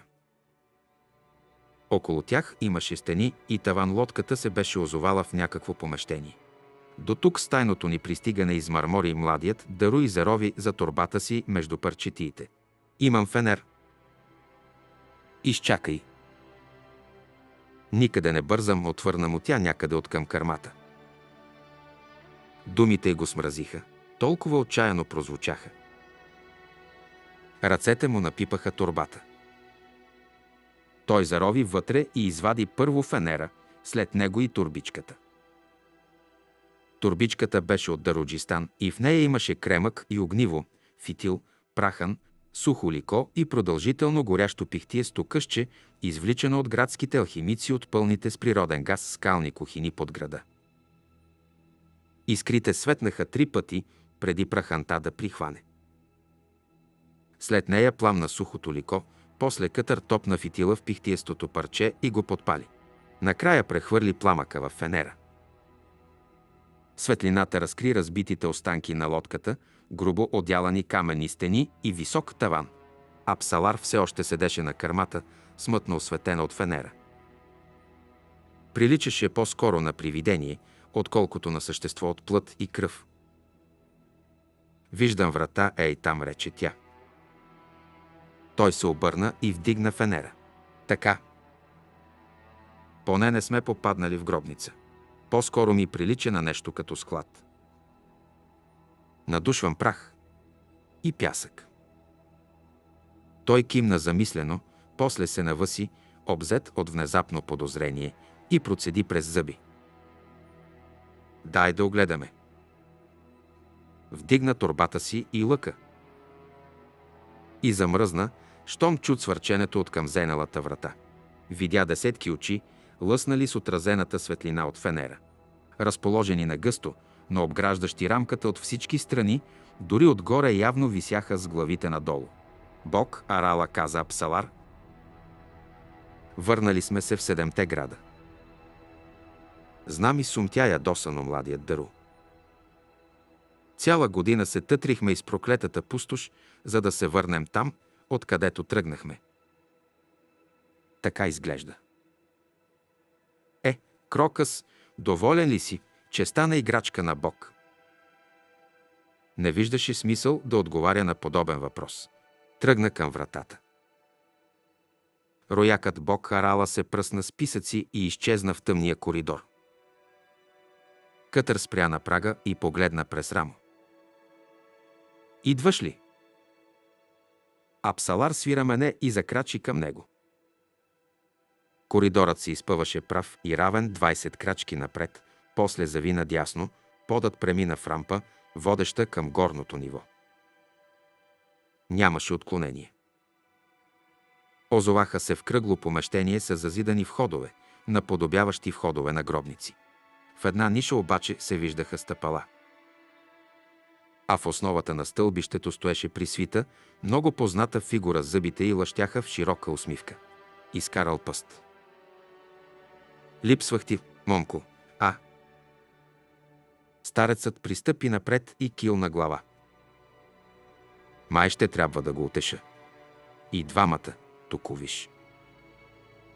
Да. Радушни словца, топла преградчица, стари приятели, мада, събрани отново за кауза велика.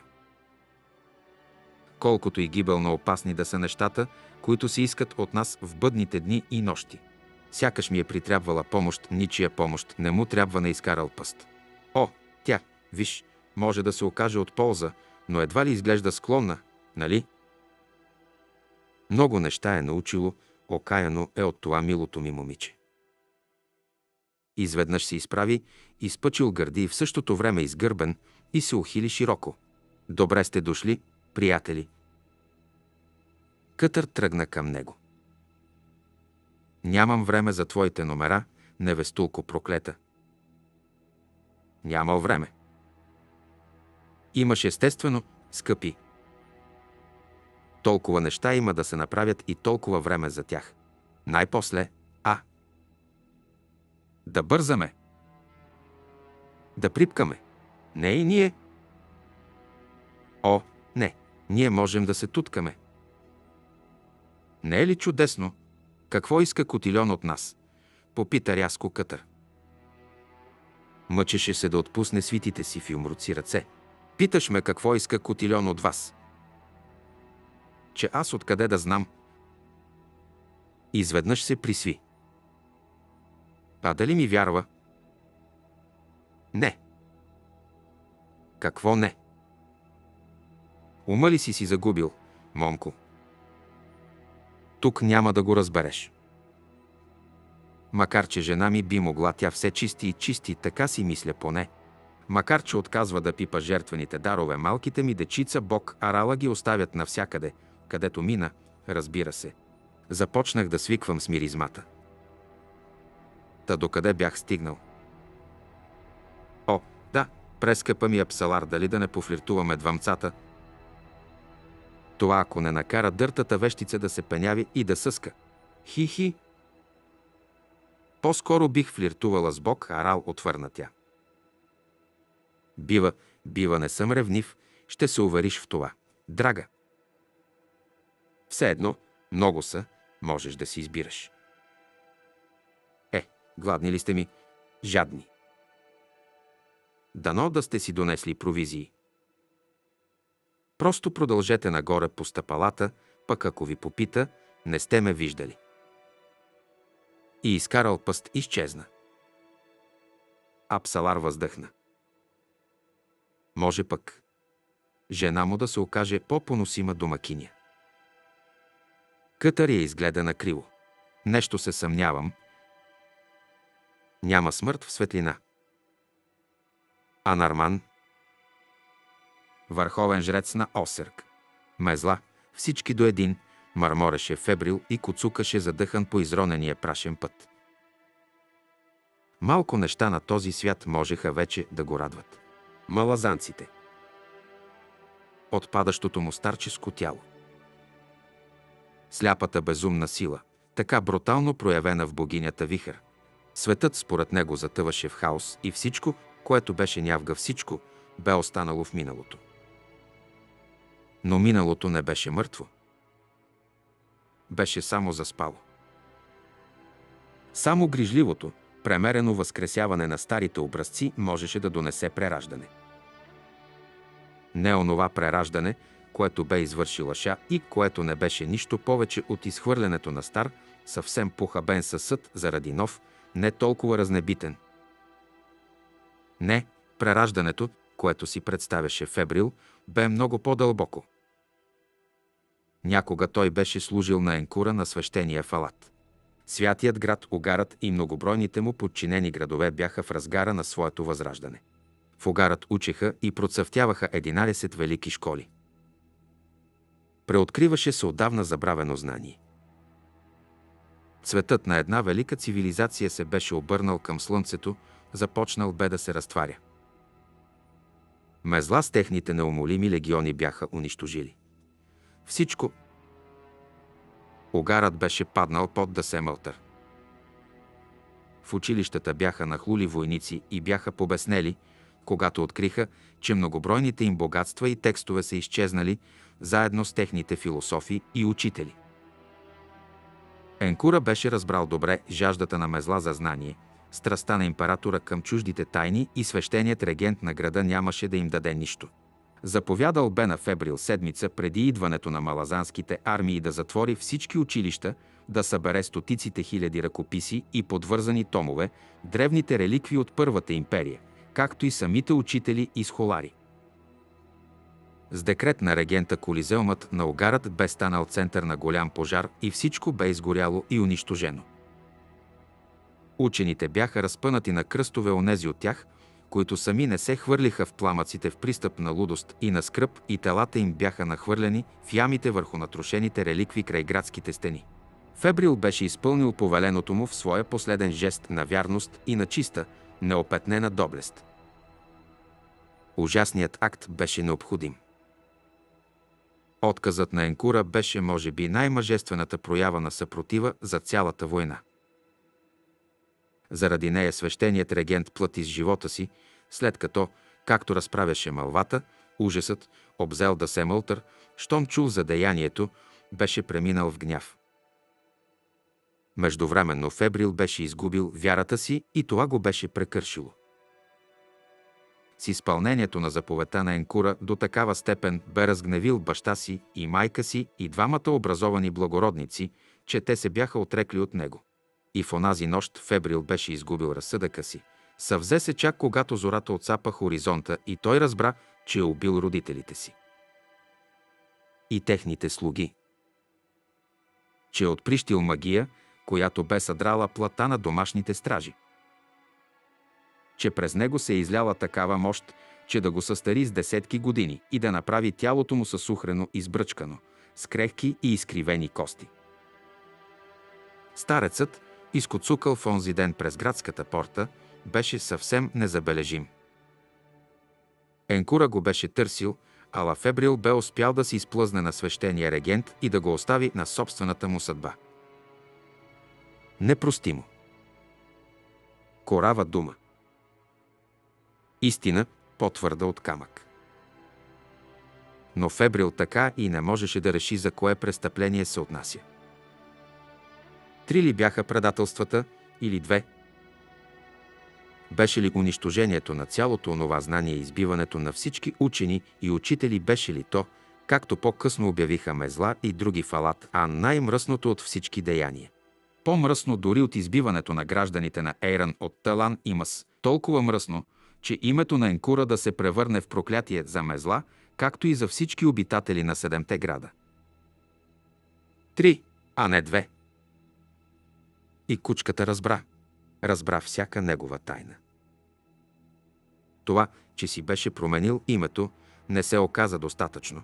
Не беше достатъчна и старческата му външност, докато върховен мак Илтара, най-верният слуга на Енкура, беше млад, висок и възжелаван страстно и от мъже, и от жени.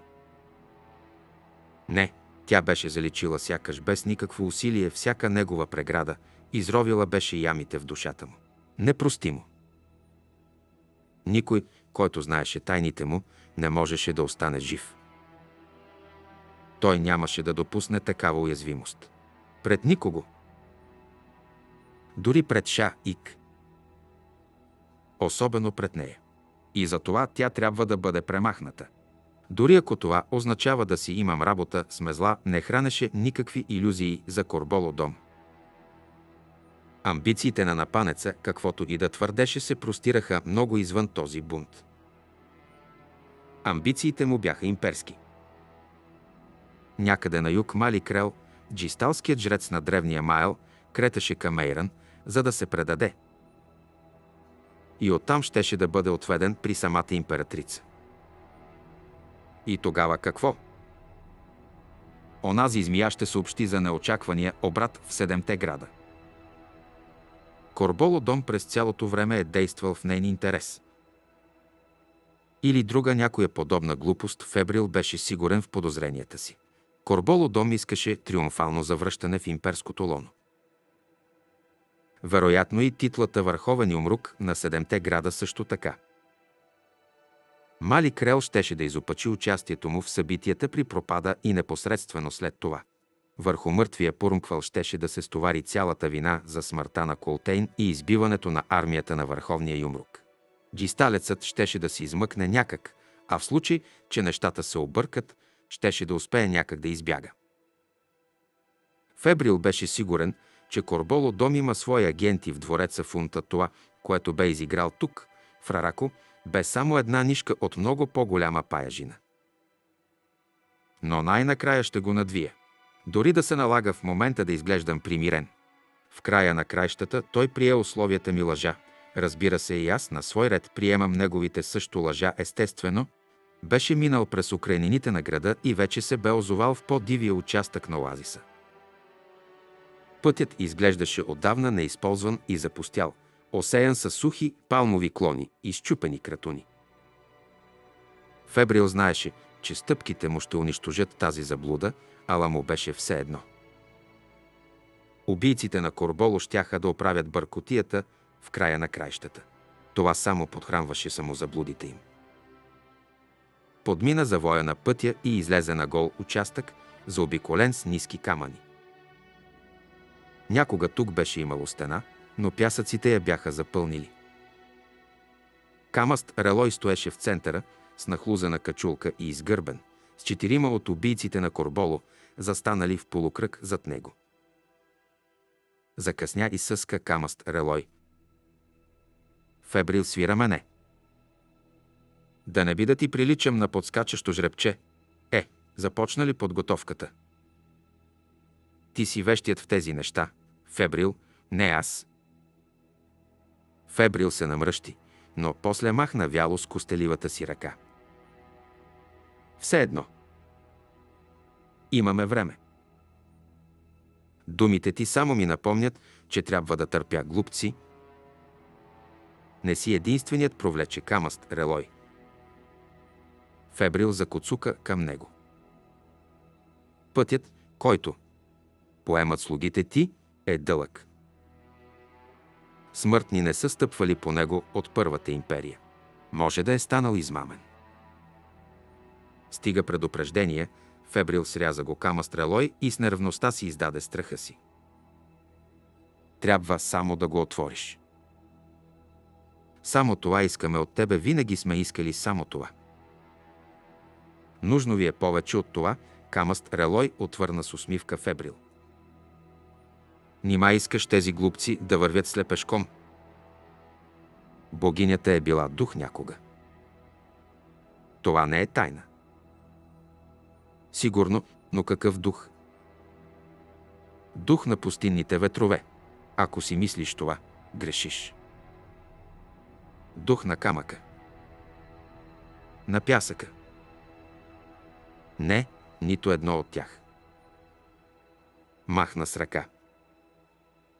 Погледни наоколо. Рарако пази костите на безброй цивилизации, отвеждащи назад чак до Първата империя, империята на Десимбелакис. И още по-назад, да, повечето следи от това са заличени, но някои все пак си остават. Стига човек да има очи да ги види. И разбере.